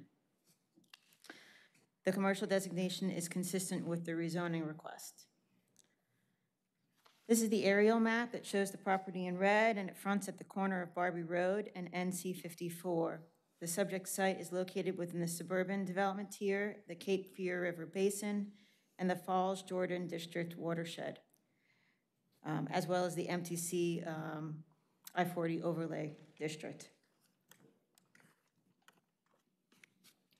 These uh, pictures depict some of the existing conditions on the property. There's the existing gas station, um, and you can see um, the wooded, uh, heavily wooded portion of the site in the background. Um, The photos within the staff report and shown on the slides depict some of the uh, area conditions. The site is adjacent to the meadows at Southport Residential Development to the east and the south, the South Point Towns residential development to the north along NC 54, and a vacant um, lot to the west. The property is um, diagonally across from the NC 54 site that just received a Planning Commission recommendation uh, for zoning to allow for a maximum of 110 townhouse units. Um, The ma, that matter is uh, currently scheduled for the November 19th, 2018 um, City Council hearing. Uh, Other nearby uses um, include the Greens uh, at Pine Glen Residential Development, Cell Tower to the northwest, the Seasons at South Point Memory Care Community, um, and other residential developments, as well as a, a site plan that was, or a site that was approved for self-storage uh, nearby. In terms of the zoning, on the left, you'll see the existing zoning with the property um, split between the RS20 and the OI zoning district. And on the right, you can see the portion that's shaded in a beigey color um, is the portion that is um, proposed to change to the commercial neighborhood with the development plan. There's no change to that real, rear, uh, the rear portion um, of the office and institutional where no development is proposed. This is the future land use map, and you can see that it is also split um, flommed. The front portion is commercial. That's consistent with where the rezoning is proposed, and there's no change to the office. In terms of um, some of the proposed conditions, there's a maximum impervious coverage of 15% on the lot. The um, development plan provides minimum street yard, side yard, rear yard requirements. Uh, Fueling pumps will be at least 15 um, feet uh, from the property line. And um, summary of some of the key committed elements. There's a uh, limitation to the use um, of the site uh, for fuel sales, a stipulation of a max of eight fueling positions, um, dedicated additional right-of-way along Barbee Road and NC 54 uh, for um, various roadway improvements, um, additional um, graphic commitments uh, specifically show the uh, location of the pay the fueling stations, um, and site access points, and a commitment relative to the building materials for the pay station. In terms of um, relationship to comprehensive plan policies, the proposed CN zoning district complies with the current zoning, uh, I'm sorry, current commercial designation on the future land use map. They're consistent with 231A as the proposed rezoning seeks to eliminate an existing nonconforming designation and it seeks to enhance an existing development. Um, The development plan addresses some of the existing site conditions uh, and also seeks to improve the existing deteriorating building. Um, The existing infrastructure such as roads, water, and sewer are sufficient to accommodate the potential impacts. Um, Since the increase in capacity from the proposed zoning trips is less than 3% of the overall capacity of NC 54, and it remains below 120%, the proposed um, rezoning is consistent with 812H. Uh, The proposed development is consistent with policy 814D as the development co- plan commits to additional asphalt um, for a future bike lane on the south side of NC 54. And the um, proposed development is consistent with 1111B, uh, since the proposed zoning will decrease the number of students uh, generated compared to the current zoning.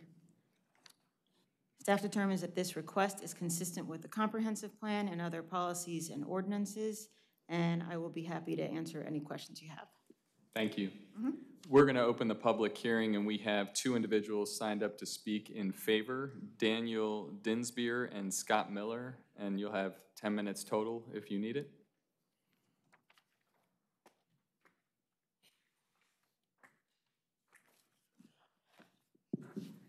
Uh, Thank you for uh, allowing us to come and present to you. I'm just glad we weren't the last case, to be honest with you. I feel for y'all guys. Uh, I just want to thank the, uh, the planning staff, Jamie Sunyak in- in particular, Bill Judge has helped us uh, uh, quite a bit in the transportation, uh, NCDOT along with him in helping us develop this plan. We started this process a couple years ago of, of trying to, you know, determine how do we improve our situation. It's a, it's a tough intersection. And so uh, with the help of uh, the staff bill, NCDOT, we think we've come up with a, a, a really good plan that's going to improve the situation quite a bit out there. And uh, so uh, I it's been a long night. Uh, Scott Miller is uh, our landscape architect and civil engineer, and is, we're available to answer any questions that you may have, and, and just uh, could go from there. That's great, thank you. And you're welcome, you're signed up as well, you're welcome to speak. No, that's all right. I'm, I'm here uh, for, for reference purposes or specific questions you might have. Great, thank you. Would anyone else like to speak on this issue? Seeing none, we will close the public hearing. Commissioners, any questions or comments? Commissioner Alturk? Thank you, Chair. Um, So, right now, there are four, four fueling positions? Okay, and so you're wanting to expand it to eight, is that correct? And where would these go? Because I don't think I see exactly where they would go in the. So what, if you were able to see the site right now, our current canopy is actually, the front of our canopy will line up with the 35 foot of right-of-way that we're giving to the, uh, to, to, to the city, I guess it would be. It's- I don't know if that's exactly correct. And then what, so we're gonna move our whole site back off the road. So our, our entrance right now is just 50 foot off of Barbee and, at the intersection of Barbee and 54. Right. So we're moving our entrance down 80 more foot down to nor, near the edge of our property to get it as far away as we possibly can. And then, it, and we're putting a right-hand turn lane in that will allow stacking. So those four, those fueling positions will be 30 foot, I think it's about 30 foot behind the new right. So, and they'll line up parallel to uh, North Carolina Highway 54. Okay, great. Now, is there an actual commitment in here to have a maximum of eight fueling positions, or no? I think that zoning is a maximum of eight, but Um, Jamie Sunyak. So if you look at the development plan, sheet two, it does show the areas where the fueling positions are located. Right. Um, they're sort of in a rectangular box. Yeah. Um, and there is a, uh, there is language regarding, um, the max of eight fueling positions, and that is the max within the zoning district. I see, okay. So there is a text commitment that says maximum of eight fueling positions somewhere? I I guess. I- It's, it's under the site plan data on DP twelve. I'm sorry, DP two. DP two, okay, great. And. It's, it's not listed specifically as a text commitment. All right, thank you. Um, And why did you go with the CN designation? I mean, that, in- in the UDO, it says that this should be something that is not automotive, automotive-oriented, that is, you know, for commercial, for the residential uses nearby, for the neighborhood. And so it, it strikes me as kind of odd that we're trying to rezone this as CN, I, I the think. development plan. I think the best answer is it's a maximum of eight fueling positions, and the co- commercial would allow more, and we were trying to be restrictive out of, out of respect to the neighborhood. Okay, thank you. Additional questions or comments from commissioners? Commissioner Kinchin? Uh, I'm, I'm gonna vote yes. Um, I live near there and I drive past every single day, almost, probably at least one time. And cars are always stacked on fifty-four trying to pull in, and it's very dangerous. So I'm excited to see that get improved. Uh, I've been worried about that for a long time, so it's gonna be a big help for the neighborhood, so thank you. We, we think it's gonna be a vast improvement to the current conditions that, that are there, so. Yeah, I'll, I'll second that. When I first heard this was coming, I had concerns, and then when I saw the plan and saw the traffic improvements, and to see the comprehensive look at all the other uh, development sites, because we've had many of them come through here, which I, I appreciate the staff report addressing it. I felt much more comfortable and confident, and I, I think it will help at that intersection, because it's a pretty tough intersection. I think that'll help ease some of the traffic issues. And, and again, I, I really have to give Bill and uh, Jamie a, a lot of credit for helping guide us through this situation. We started off not being so generous and giving right away, and we wanted something, and they, and they really, they really helped guide us into this situation where this, to make it a better plan for, for the, uh, for the residents, safety, everything. So, uh, so, so, and- and we, you know, you typically don't enjoy a process. It's very difficult because you're having to, it's a give and take, but uh, we, we do, we do really appreciate it. We- you know, It's helped us out, so. Well, thank you. And any additional questions or comments? Commissioner Williams?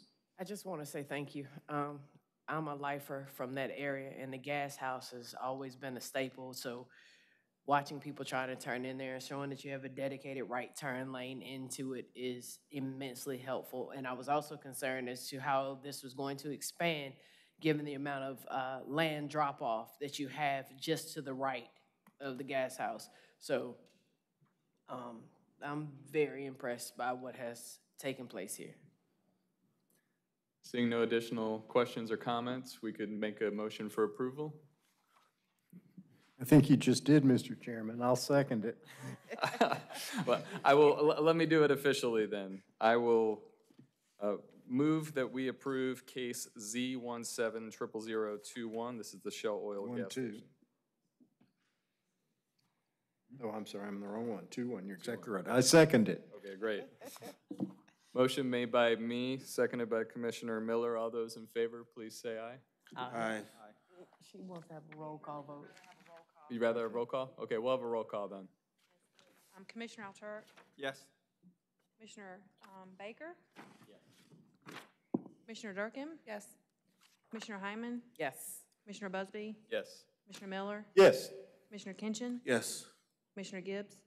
Yes. Commissioner Williams? Yes. It's unanimous, nine zero passes. Great, thank you very much. Appreciate you waiting. We next have case Z one eight triple zero one two. This is West Point at seven fifty-one revisions. We'll Start with the staff report.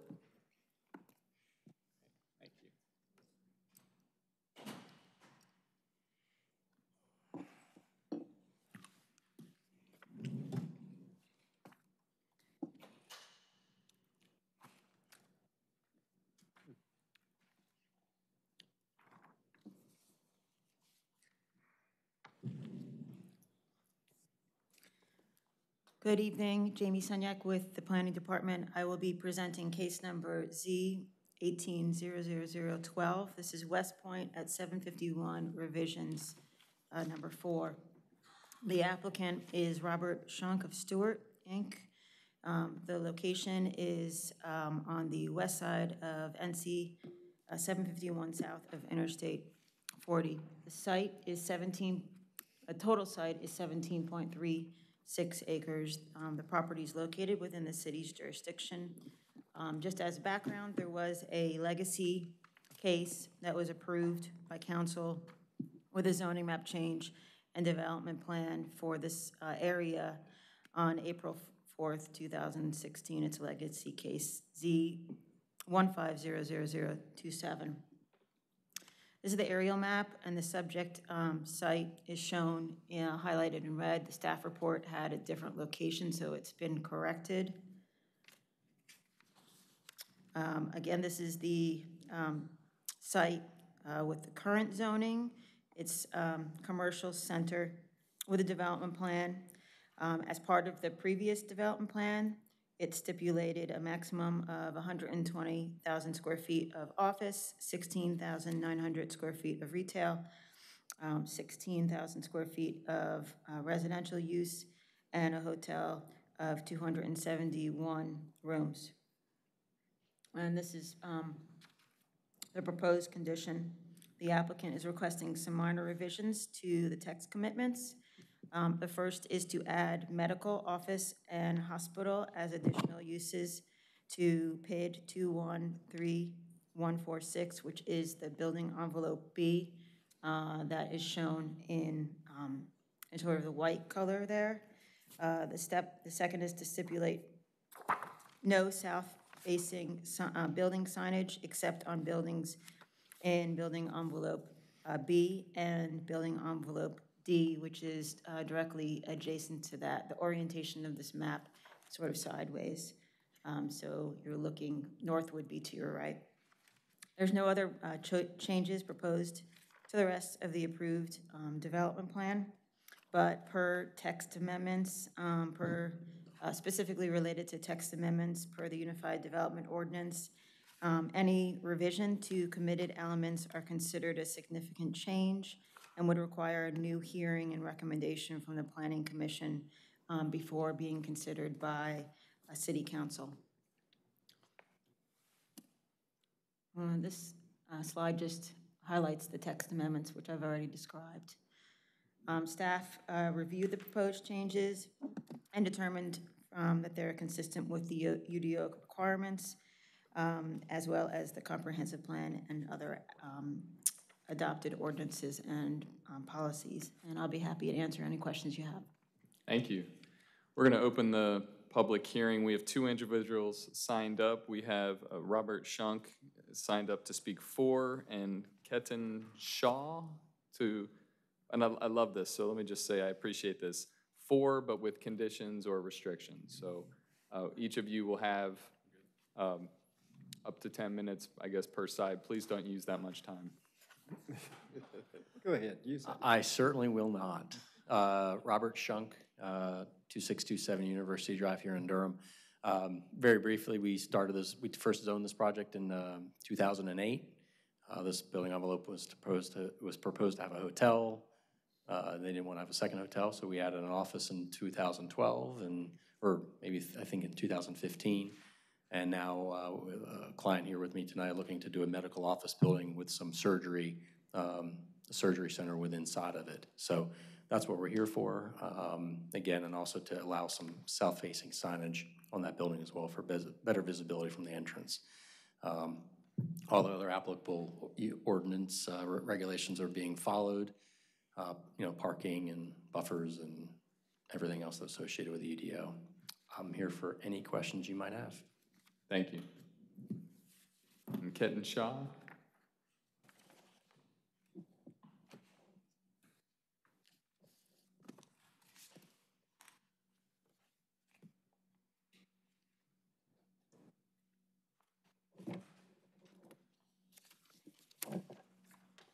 Hello, my name is uh, Keaton Shaw. I uh, own the property adjoining to this uh, site, 7806 NC 751. The few concerns I've had uh, related to this uh, rezoning case have been satisfied by the, the the client of this person, Robert, so I, I- I'm in favor for it. Thank you.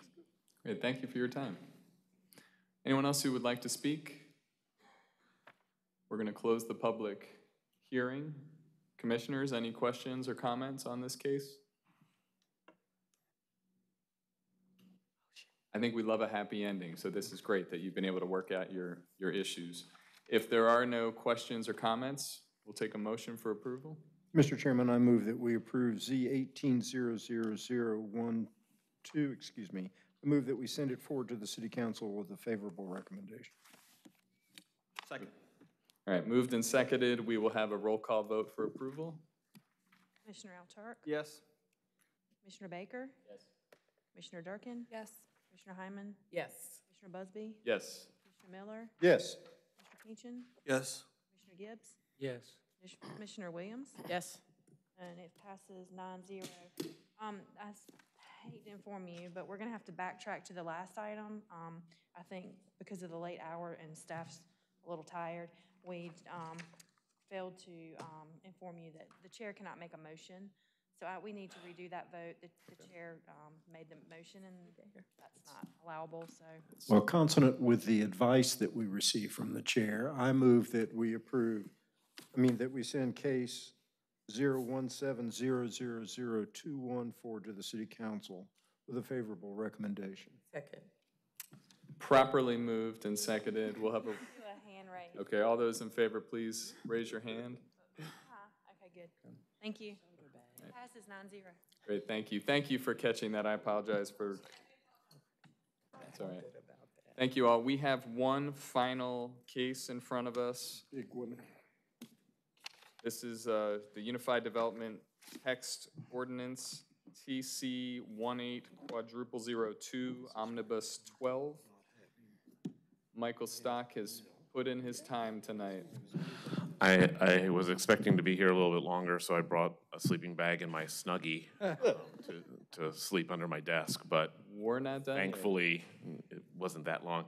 Let me um, pull up my wonderful slideshow, and I emphasize wonderful. Um, Or emphasize slideshow. So I wanted to, um, again, my name is Michael Stock with the Plan, uh, the Planning Department. Um, TC eighteen, uh, is one of the favorites of our mayor, omnibus text amendments. Um, he loves omnibus text amendments. Um, so, um, but I also wanted to present you with just a quick rundown of the quick hits within it. Doesn't mean that I'm looking to specifically overlook anything. I'm sorry? F5, I'm sorry.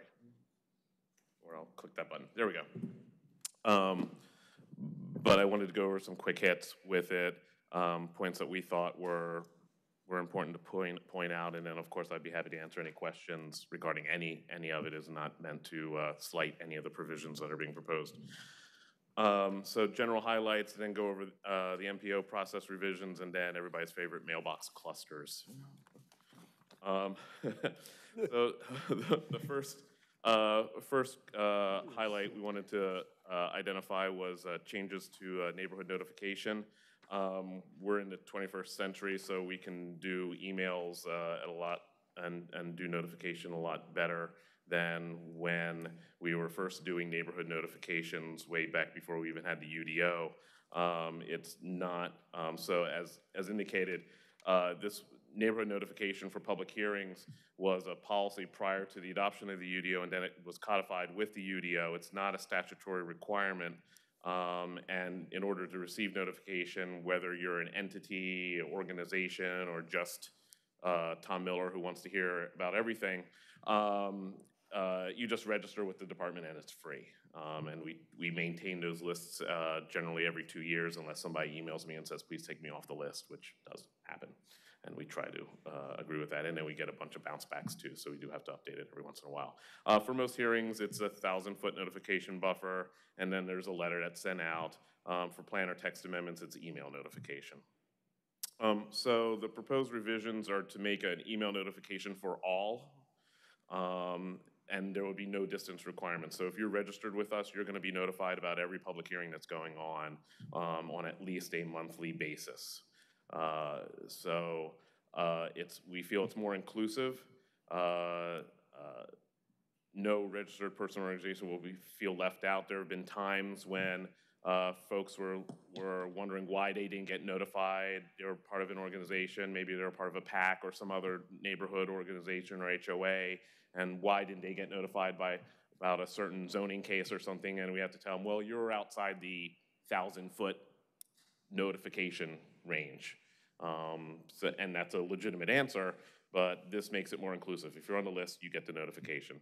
Um, it also simplifies the, the process and it makes it actually a less expensive process because we don't have to print out things on paper and pay postage and that kind of thing too.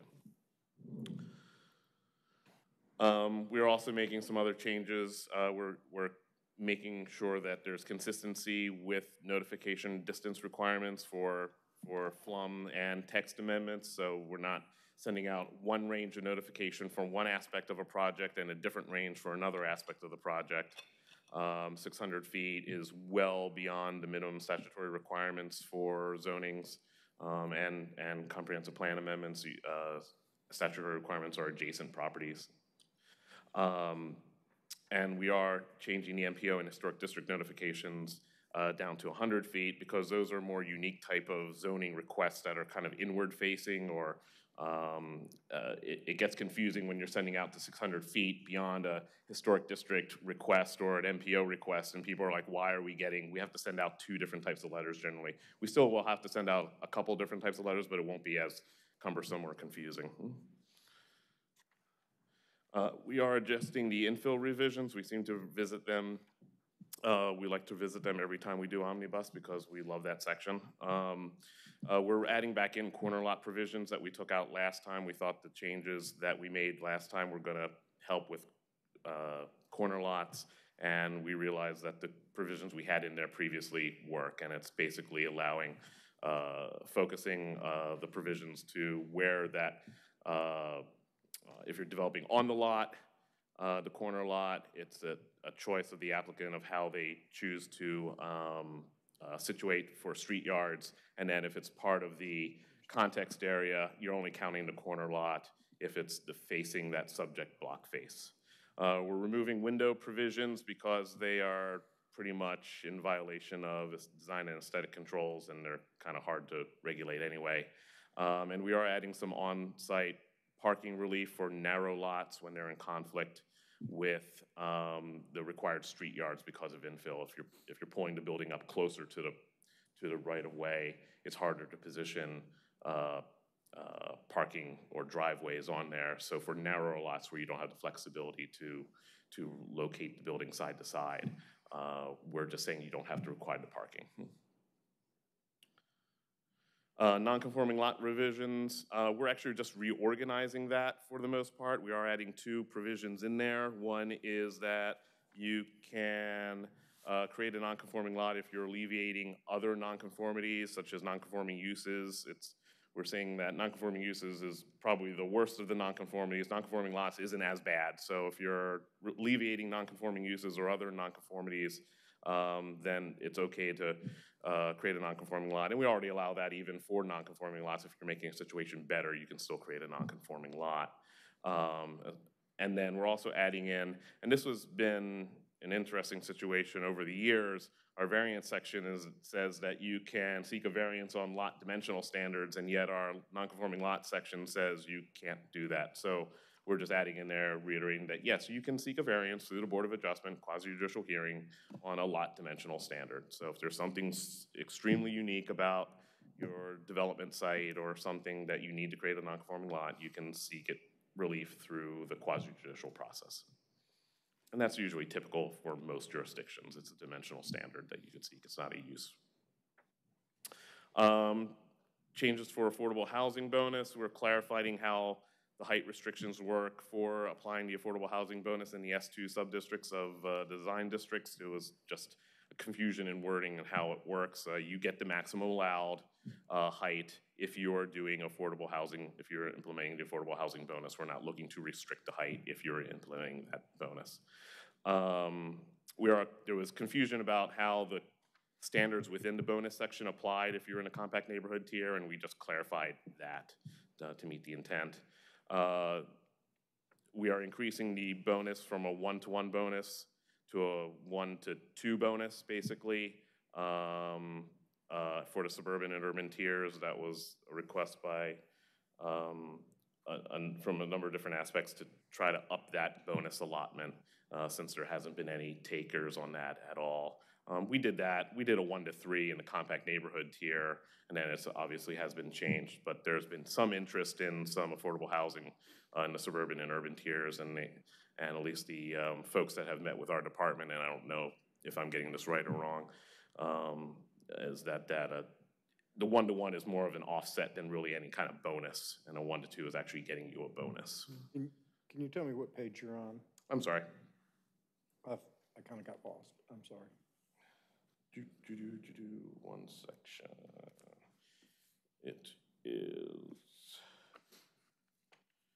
uh, page, uh, the top of page 10, where it's 663, suburban and urban tiers.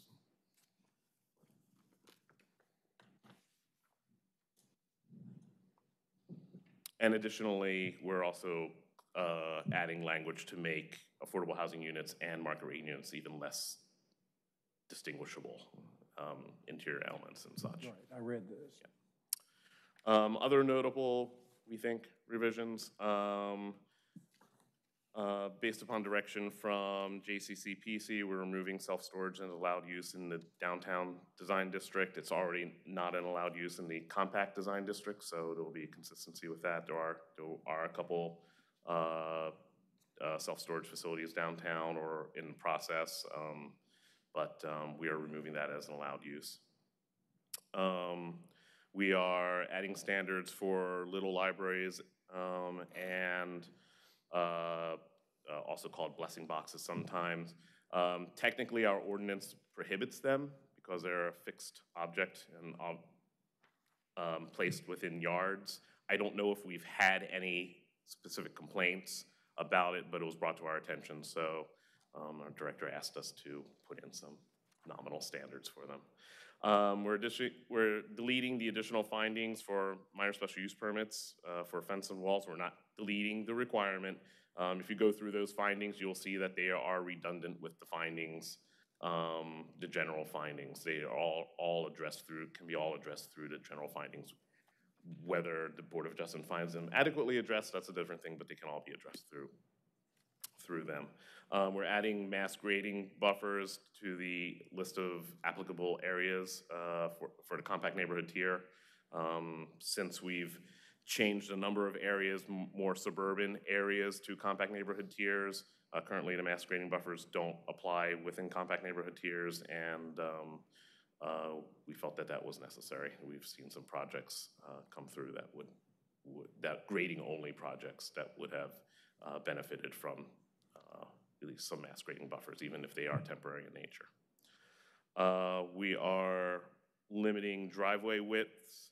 Basically, it's, you you can, it sets a driveway width, and then it says you can go as wide as you want if you do a site plan or plot plan. So we're just getting rid of, we're setting, we're sticking to the limit of 25 feet wide, and this is for usually just houses and, and uh, duplexes and such, but um, not allowing wider than 25 feet.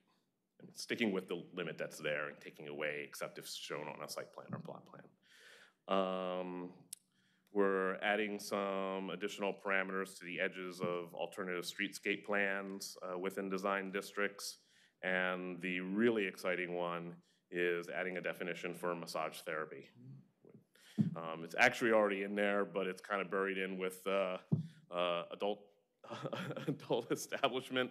And uh, we're adjusting where the the zoning that massage therapy, a reputable practice, um, uh, uh, it, it's getting its own listing in there. So I- I knew Commissioner Miller would be excited about that.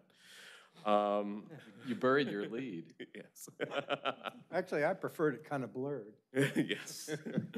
Um, Neighborhood protection overlay, uh, we are part of this, um, and, and it's something that we agreed, and quite honestly, we, we didn't have to necessarily commit to agreeing to it because we were gonna do it anyways.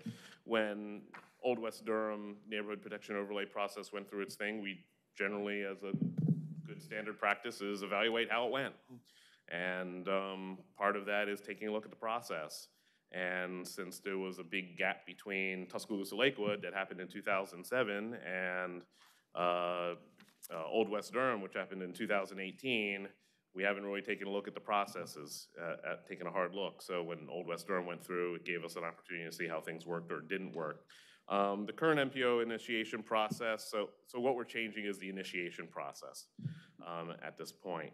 Um, currently, a, a neighborhood would submit an application, for lack of a better term, or you can just call it a petition to do an NPO. Um, and one thing, I left it in there because this is what we talked about at JCCPC. Uh, there are, there are persons in there concerned about having hundred percent or a majority percent, uh, support for, uh, or some specific number percent support for an NPO. Was that none of them ever had hundred percent property owner signature. Um, uh, So those applications get submitted with the department, we forward them on to JCCPC for their review, and then they prioritize them, and prioritize is kind of a wonky term. If there's one, um, it's either, yeah, we kind of like you to move forward with it, prioritizing it, or some other uh, thing, or, or we don't like it and, and we're not gonna prioritize it. Um, Then after that, it kind of gets worked in with the, the work program that the department works with through JCCPC and then ultimately approved by uh, the governing body. So that's how it gets kind of initiated by the city, city council or board of commissioners, if it happens to be in the county, is that they, they assign the work program item as a priority, like, do this now kind of thing, versus it kind of being down on the list of things to do. Um, Right now, the proposed revisions are just to clearly indicate that the governing body has the final authority to initiate the rezoning. Um, And that's in line with actually historic districts, where we take someone's wants to do an historic, lo- local historic district, and it ultimately goes through a process, gets a recommendation from the HPC, and um, gets a recommendation from the HPC, and then it goes to uh, the governing body, city council, and they say, yes, go and do it, we initiate this, this rezoning. Um, We're keeping JCCPC in the loop, and they'll make the, they'll make a recommendation, so they'll review the rec, uh, review the applications um, before it gets to the governing body. And there will be notifications that go out for both of those meetings. They're not public hearings, but we, one of the things that we heard through the process was that, you know, this whole initiation process kind of happened without anybody really knowing about it or very few people knowing about it, such as just the applicants and such. So we will do notifications uh, consistent with what you would do for a rezoning um, to make sure people are aware that people are talking about it and seeking, uh, seeking an ini- initiation on it. If there is a fee, we will charge a fee for just a notification. There is no proposed uh, adjustment to the fee schedule at this time that I'm aware of, but it leaves op- the open, the option open to charge a fee for at least just the notification requirements. Um, we're also clarifying, it's, it's required, but it's not, um, uh, intuitively into that section that pre-submittal meeting before you submit an initiation request. Uh, you have that with staff, um, that you have a neighborhood meeting before you submit the initiation request. Um, we have taken a lot of the guideline, guidelines that have been reviewed by JCCPC and just codified them. Um, There are minimum guidelines. Um, There is still some information that need, documents that need to be provided that demonstrate neighborhood support, so a petition can be submitted, but we're not putting a, a hard number on that petition. Um, We heard pretty loud and clear from JCCPC that they did not want to hear, they wanted to take it on a case-by-case basis, depending upon the neighborhood. Um, detail the regulatory aspects that current, couldn't currently be addressed through the base zoning. Um, any suggested modified list of standards. That stuff changes as you go through the process, but at least get the neighborhood thinking about what they want to do. Um, and then maintaining mass and scale, uh, possible design guidelines, but other aesthetic guidelines, because generally with single family, uh, unless you're in a historic district, you can't do aesthetic controls, um, even with an NPO. And then cluster box units, if you did not know, uh, the United States Postal Service will not do house-to-house uh, mailboxes for new subdivisions anymore. So you'll go into, if you drive into a friend's uh, very brand-new, spanking-new house, and you see, wow, they have some cluster boxes, kind of like you'd see at townhomes or something, it's because the United States Postal Service mandates that now. So we've uh, proposed some minimum standards. We've taken a look at what other jurisdictions have done, and uh, they're pretty nominal. Um, There there had to be some uh, handicap accessible parking spaces that go along with these. Um, We've added in man- mandating pedestrian connectivity to them, incorporating them within the development, so you can actually walk to them and not have to walk along a road um, or a large driveway. Um, And also not be punitive in terms of, since this is mandated, these are nominal things, and they're usually clustered around, and a lot of times even put at a community center, if there's gonna be a community center there, um, but not count against our open space requirements. We're not looking to be punitive that way. They're gonna get hit with some stormwater impervious surface standards no matter what, but not to be, uh, hit them with, hit the developers with counting against our open space requirements. And that's all I have. Be happy to answer any questions or take down notes for any suggested suggestions. Great, thank you. Why don't, we actually have two individuals signed up for the public hearing, so why don't we open the public hearing? We can, we can hear the testimony, and then we may, I'm sure we have questions for you afterwards. Thank you very much. We have one individual in favor, one individual against. Uh, So we'll start with the, the individual in favor, Robert Shunk, and then Ellen Pless against. Each, each side has 10 minutes if you so. Will not take them. Uh, I'll admit to staff, I'm bad about keeping up with these text amendment changes and sometimes see them late. And Uh, But uh, I was making a comment about uh, increasing the percentage of the uh, two-unit townhomes a little bit higher than a 20%, at least in the urban tier and the uh, compact neighborhoods to a lot more flexibility within like a project like, like Pinecrest or, you know, other similar tight sites. That was the only comment I had. Great, thank you. Ms. Pless? You get to be the final public speaker this evening. Thank you for waiting this long to share your thoughts. No. I'm impressed that all of you have the stamina to do this. Um, I don't know if this is your normal running time, but if it is, I'm very impressed as a taxpayer. Uh, My name is Ellen Pless. I live at 706 East Forest Hills Boulevard in the Forest Hills neighborhood in Durham. Um, As you know, we currently have an NPO, which is in process and was prioritized by JCCPC back on August 1st. At that time, I had the opportunity to read quite a bit of the language that was being proposed under Omnibus Changes 12 as it was going before the JCCPC. And I'm, I guess I, I don't know if I'm allowed to ask a question, but I might be looking for a bit of clarification uh, because a great deal of the language that I'm seeing in this version of Omnibus Changes 12 appears to be rather different from that which I was viewing prior to the JCCPC. I noticed um, at that point there was talk about, pro- you know, retroactive dating uh, going back to the uh, 1st of January 2018. I no longer see that language in here. Right, that was based upon the discussion at JCCPC, we took that language out. That language was removed. Okay, very good. Um, I also, basically just appearing, in front of you all, I'm not a very good public speaker. I do apologize. Um, I wish to try and drive home, though, that the NPO as it exists is really the only citizen-led tool that is currently written into our UDO.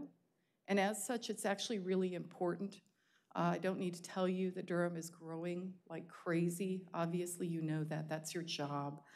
Um, we citizens oftentimes do not feel empowered with the kind of growth that's happening in our community. The NPO is an incredibly important tool made available to us. And I would ask that any changes that are made or written into the uh, rules for NPOs carefully consider that that tool needs to remain easily accessible to our neighborhoods. My neighborhood was able to organize and pull together and try to put forward a good NPO application. I can tell you it was an immense amount of work. It did not happen quickly, it did not happen easily. We held many of the meetings that were recommended in the slides that you saw just a moment ago. Um, It is not easy to try and protect your neighborhood.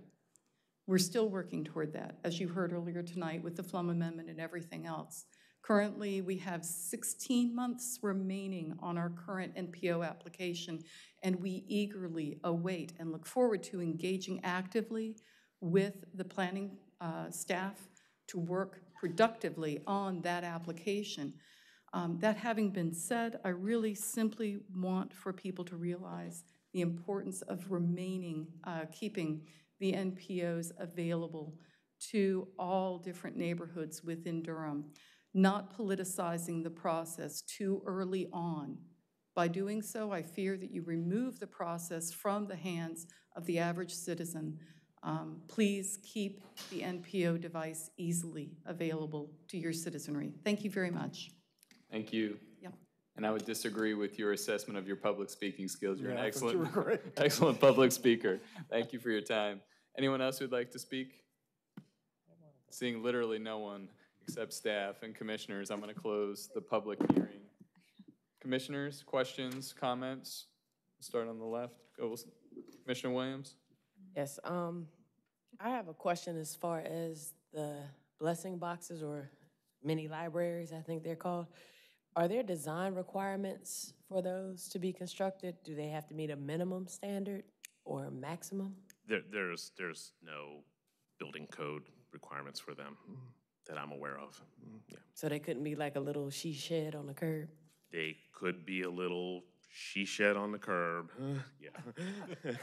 There, there, there are some minimum, there's maximum size. Gotcha. So it, and I went online just to kind of check out what some standard sizes are and, and, uh, They're not bad. yeah, they're pretty consistent with what you see in, in different neighborhoods. There's one in my neighborhood now. And my other, yeah. they're not happening, yeah.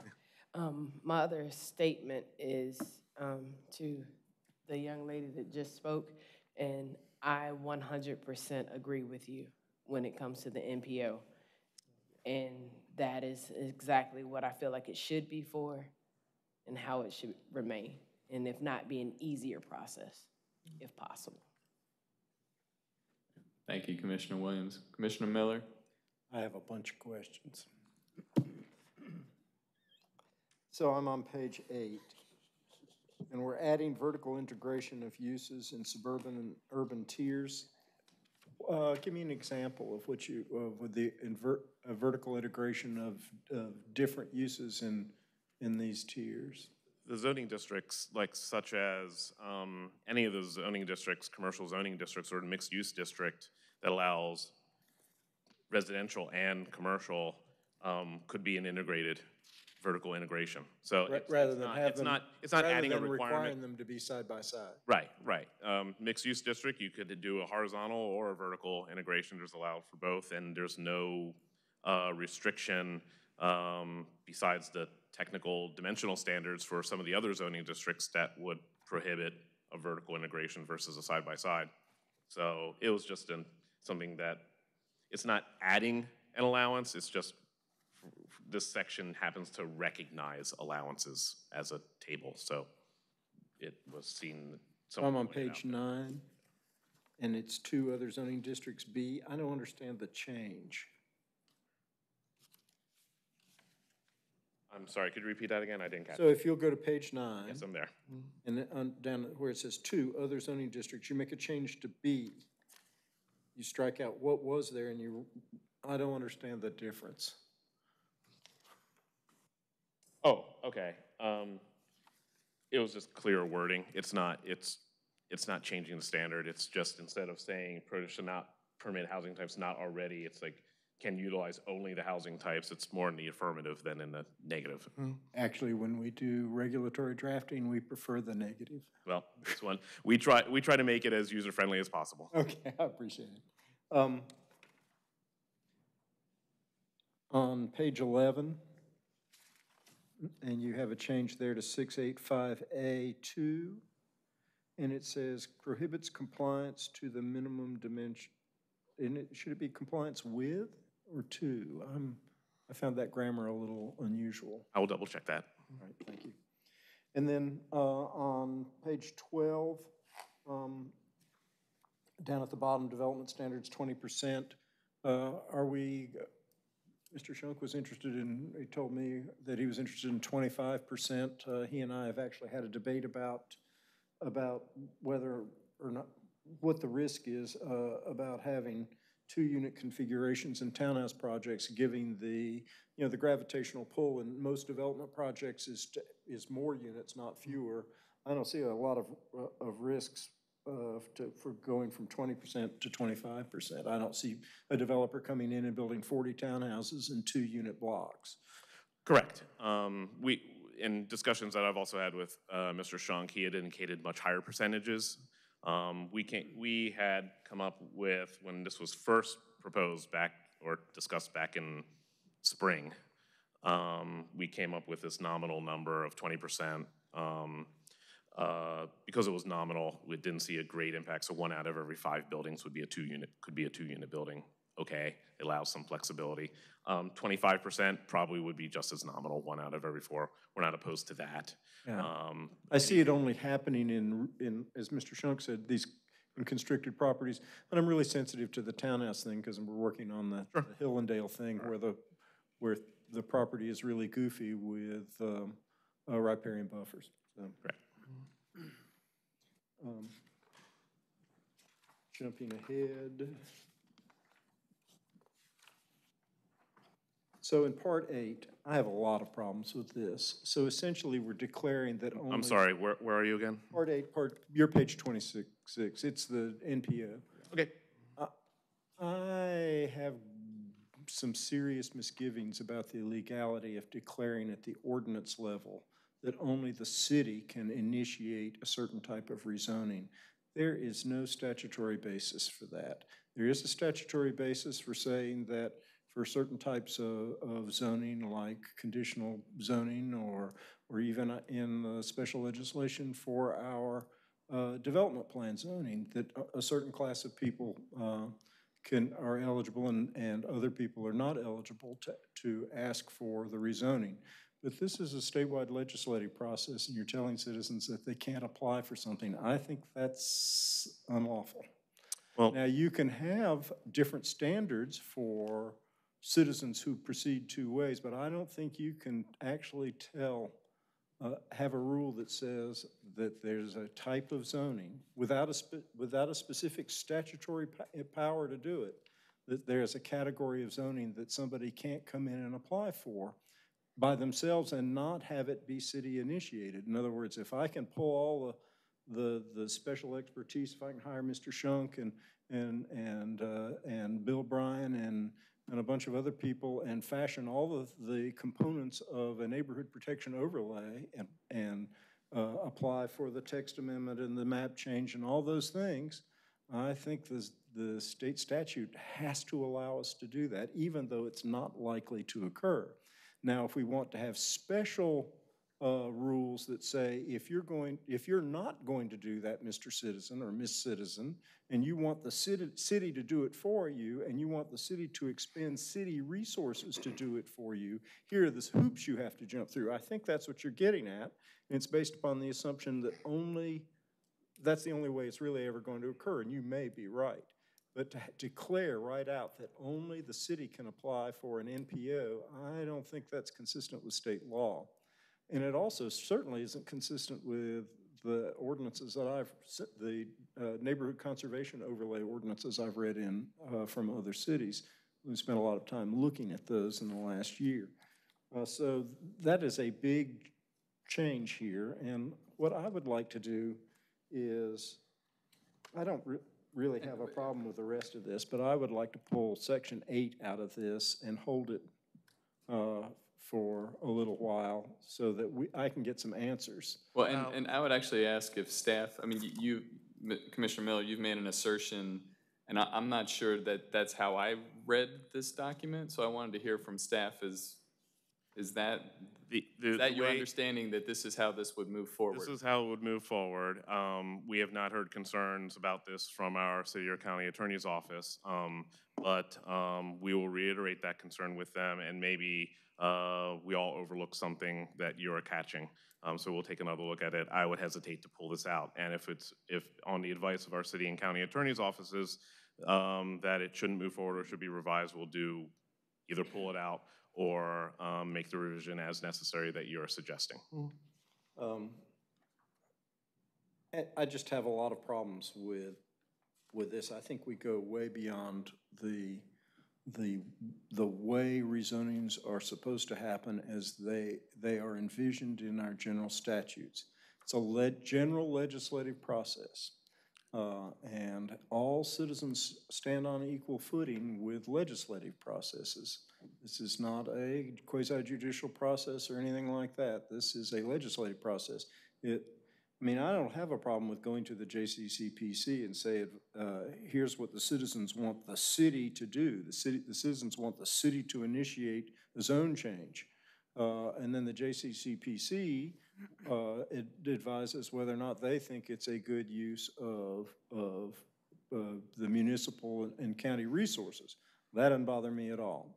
Uh, and even establishing standards, uh, for making that request. I do have a thing that, that to the point that it becomes exclusive. Um, I just think it's a problem.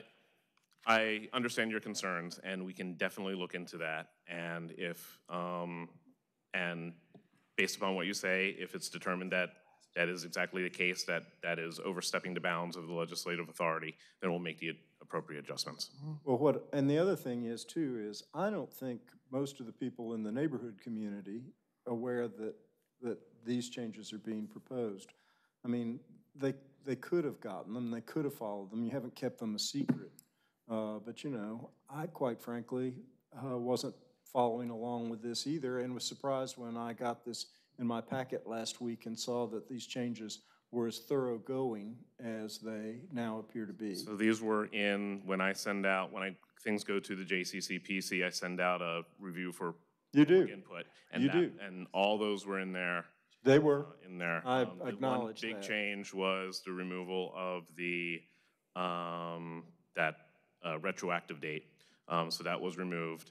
Um, And we did adjust some language about fees, so it's not mandatory. The way it was wording, it was kind of being read that it was going to mandate a fee, which was not the intent. So uh, a- as I reiterate, um, we will definitely, uh, Well, ask the city attorney and the county yeah, attorney yeah, I- we will not move forward with it. One oth, one other point, though, ask them also, you talk about guidelines. um, y-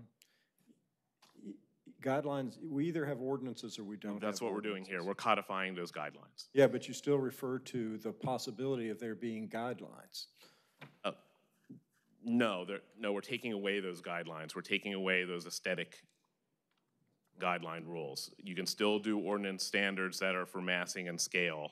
We're not taking that away, but we're taking away language that talks about design guidelines. Well, no, it says the JCCPC will- shall be responsible for review and recommendation of the administrative guidelines. If the guidelines are mandatory, then the, then. And that was an oversight of my not, what section are you reading that in? I'm in, on page twenty-six, Mhm. two point two point three C. The JCCPC shall be responsible for review and recommendation, you've added and recommendation, for administrative guidelines. We either, we either have rules or we don't have rules, but guidelines that can be changed outside uh, the ordinance-making process, in my opinion, are outside the authority of the city. I mean, and one of the problems that we have All- All, all this says is a re- review and recommendation of guidelines. It's not giving them an approval authority. It doesn't make any difference. The fact is, is that it, it says that there will be guidelines that are not ordinances. Okay.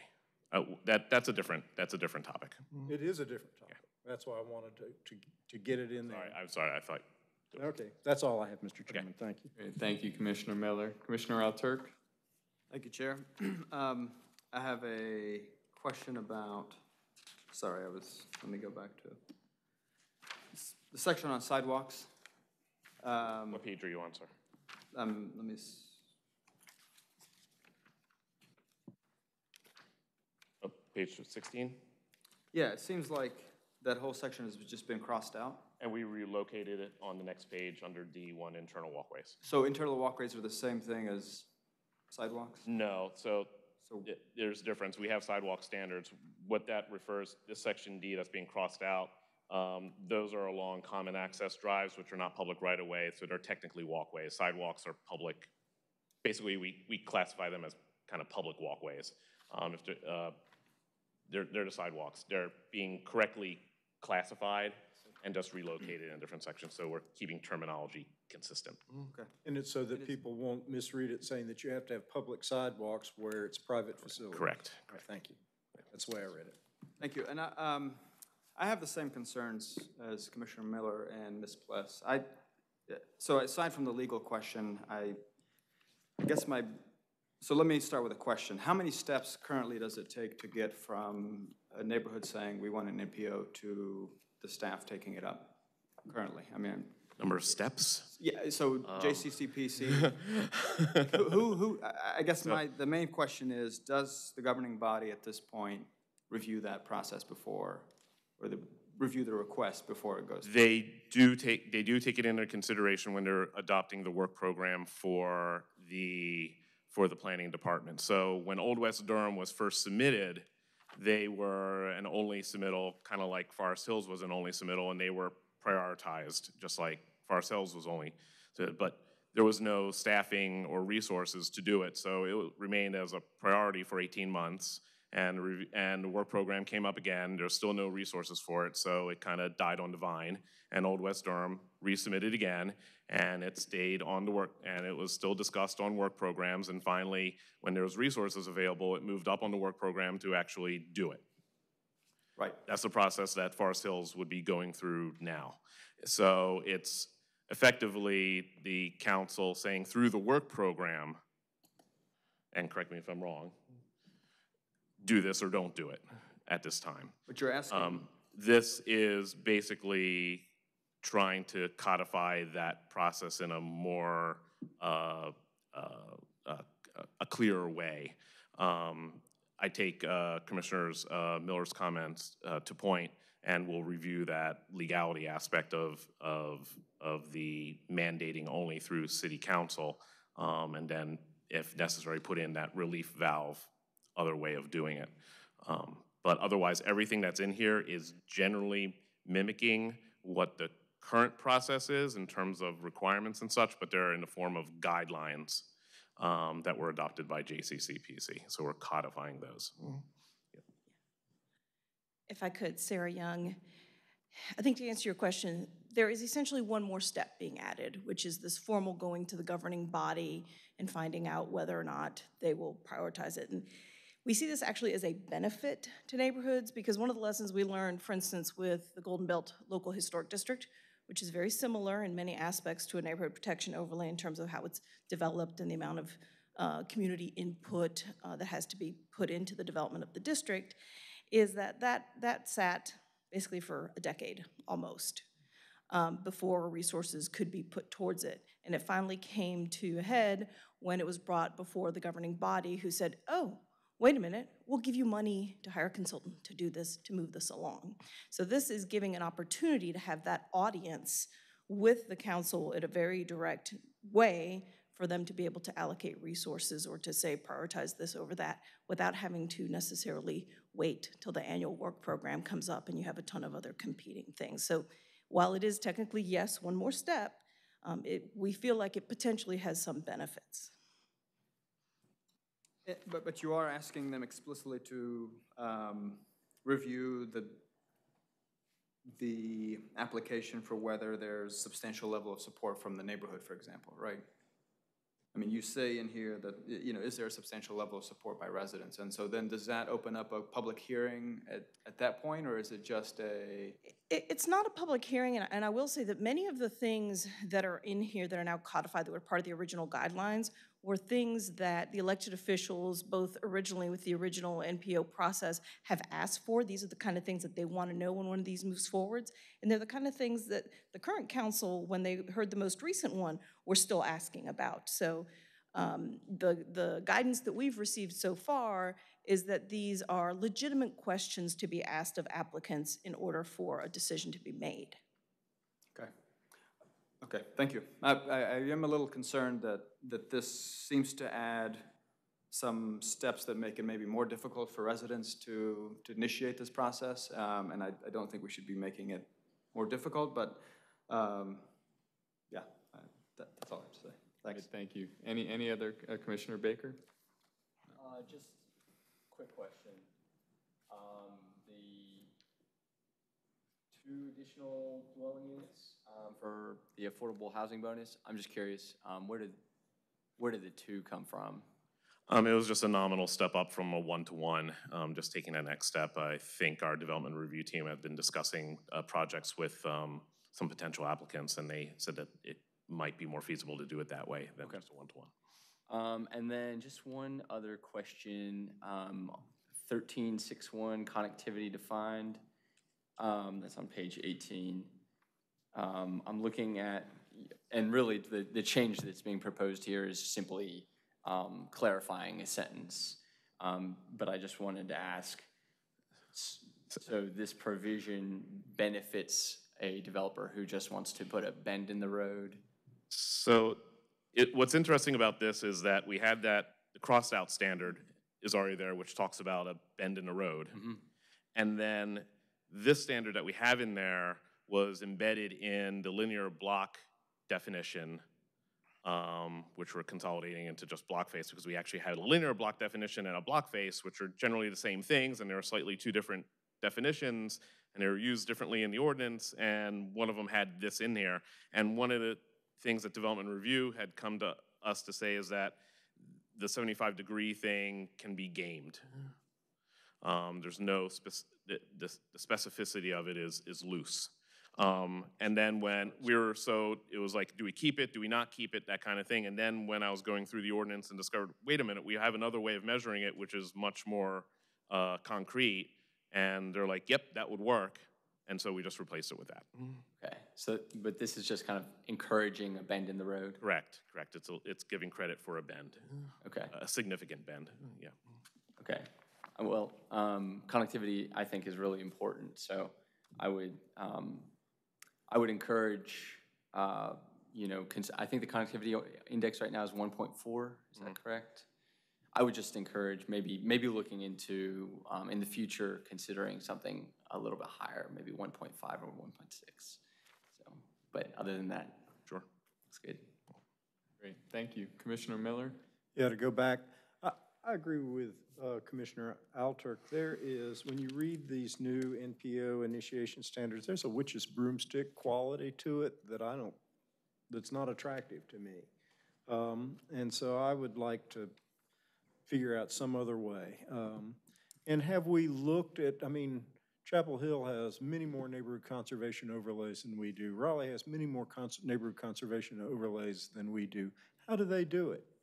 They have set numbers, and they all turn out to be protection suburban things, except for one in Chapel Hill. No, but the initiation process. The initiation process, I don't remember the exact initiation process, but I have a feeling it goes through the governing body at some point. Well, yeah, I don't have a problem with it going through the governing body. It's just the, it's the, the daunting nature of this, of gathering information and what have you. It seems to me that we have moved to the front end, uh, a- whole bunch of, of standards considerations that actually are, are part of the final decision-making process, not the front end.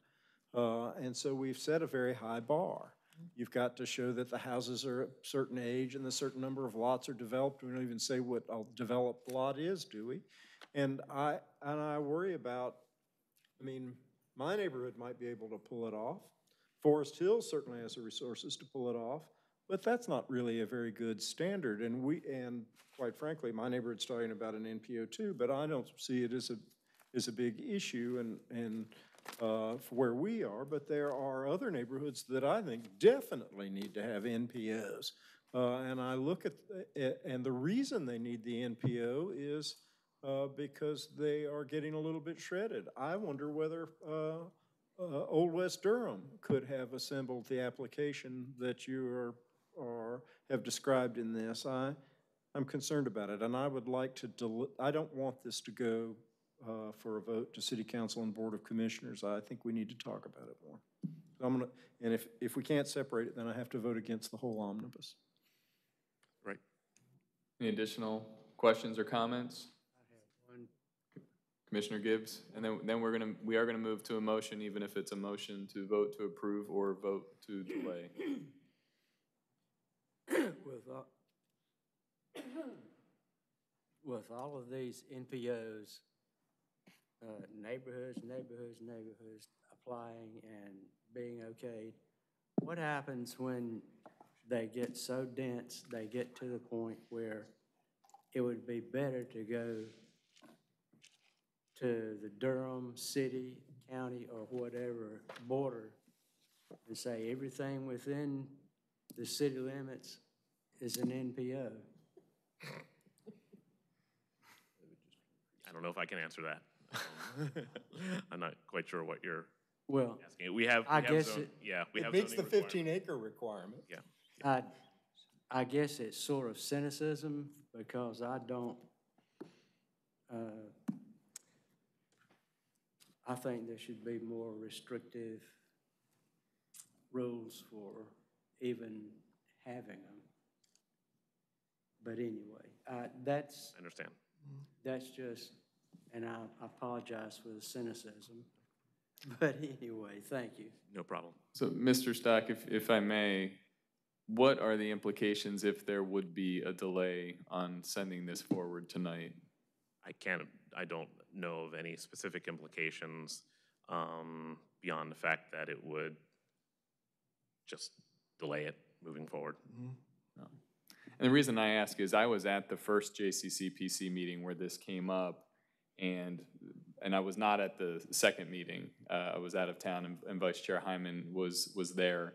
But my recollection of the discussion was this combination of, let's make sure this is a tool that does work for neighborhoods, And let's try to build in some level of certainty, because what we did here in Old West Durham was, and we all heard it at that, the, the hearing here, and were people saying, I didn't know about this. Uh, some people complained about it took forever, and some people said, this thing was already baked in before I even knew about it. So I see this as putting in some of the guardrails to help deal with that later concern, and I think that's important. But I do understand Ms. Plus's comments and my fellow commissioners' concerns that we don't want to set the bar too high either. The, the whole point is that this is the one citizen tool available. And so it does strike me that if we can pause this for a month or two to get it right, if that is helpful, that seems like it would be valuable. If, if I could get some clarification as to the specific things you would like to see reconsidered, besides the legality question that Commissioner Miller has already raised, because one month, I, I'm not quite sure what we're looking to change. Um, we looked at, we kept this, the current standards in terms of the 15% and, and that. We didn't really change that. We didn't hear that those were a concern.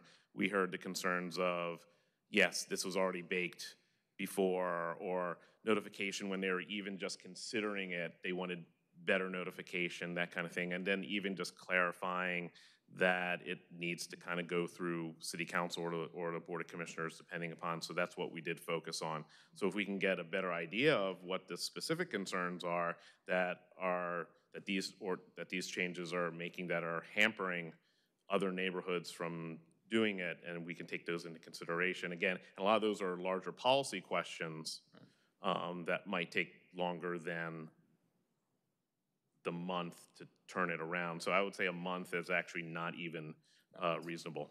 I, I think that's right. So it, I guess the question would be if we did have a two-cycle delay on having this come back to us specifically to, to spend time on part eight to make sure that we are not setting up too high of a barrier for the various neighborhoods in Durham to be able to actually use this as a tool. It sounds like you're saying that may be annoying and frustrating maybe for you personally and for the staff, but it does not set us back as a community in terms of some significant deadline that we need to meet. I'm not aware of that, and I will just say, do we want to, if we're, are we talking about pulling the NPO out, portion out entirely and moving the omnibus forward? If, if, if we That- can. That might be the better thing at that point. If you're looking to really hold back on it, then let's just move the, the omnibus forward without that section, and then we'll just have it as a separate standalone text amendment. I see a lot of heads nodding, and I, I think we all appreciate your willingness to, to take that step. I have learned and been reminded that I, as chair, cannot make that motion, but I will happily accept that motion from someone else. Mr. Chairman, I move that Um, before- Michael, can I just give you one nit on page thirty-one? Sure. Sorry. You're just missing the extra, the second S in states in seventeen point three. I was wondering when a typo was gonna be. Sorry. Where- Where, where was it on thirty-one? I'm sorry? Seventeen point three in the definition of cluster box unit, you're just missing the second S in states. Okay, thank you. All right, and with that, back to our motion. Mr. Chairman, I move that we send case TC eighteen quadruple zero two forward to the City Council and Board of County Commissioners um, with a favorable recommendation, except for uh, the several uh, questions and corrections that we uh, identified for staff, and except for section eight concerning the uh, process related to the neighborhood protection overlay ordinance, and that our recommendation be that with regard to that section, that we uh, bring it back to the planning commission at the commission's December 11th meeting? We would just, I would just suggest that, we'll, we'll just pull it Send it out. back It'll to be a staff. separate text amendment. We'll refer it back to staff, and we'll bring it to you when. I recommend that with regard to section eight, we refer that back to staff and send all the rest forward. There's a motion, do we have a second? Second. Seconded by Commissioner Alturk. Any discussion? We will have a roll call vote, please. Commissioner Alturk, Yes. Commissioner Baker, Yes. Commissioner Durkin, Yes. Commissioner Hyman, Yes. Commissioner Busby, Yes. Commissioner Miller, Yes. Commissioner Kinchin, Yes. Commissioner Gibbs, Yes. Commissioner Williams? Yes. No. The um, motion with the um, exceptions passes nine zero. Thank you all very much. Thank you. Mr. Stack. Uh, Anything for next month that we need to know of? Yeah, don't go. You have the list in front of you. If you have any questions, let me or the case planner know, and I believe um, the assistant director may have an announcement real quick. So real briefly, I wanted to follow up with you all. You've made um, several requests about long-range planning, comprehensive projects coming to you earlier, having more kind of advance notice, getting to hear a little more about it uh, before, even before the informational item that we traditionally do before the public hearing. And I have talked with uh, the staff this week, and something new that we would like to roll out to you is, and I can't promise it'll be every single month, we will watch your agenda and do what makes sense, but um, maybe at least every other month, have a brief summary, at least, of kind of pending projects and where they are that gives you, at the very minimum, a chance to ask us questions and we can kind of delve a little deeper um, on anything. Not necessarily formal presentations, mind you, but the opportunity for discussion and conversations. And that will also kind of give us a heads up of things that you may may be more or less interested in that we can then do kind of deeper dives in subsequent meetings. So I hope that you all, that that will kind of meet your needs um, and we'll give that a try. Thank you for being responsive. We really appreciate it. That's great. All right, we are adjourned.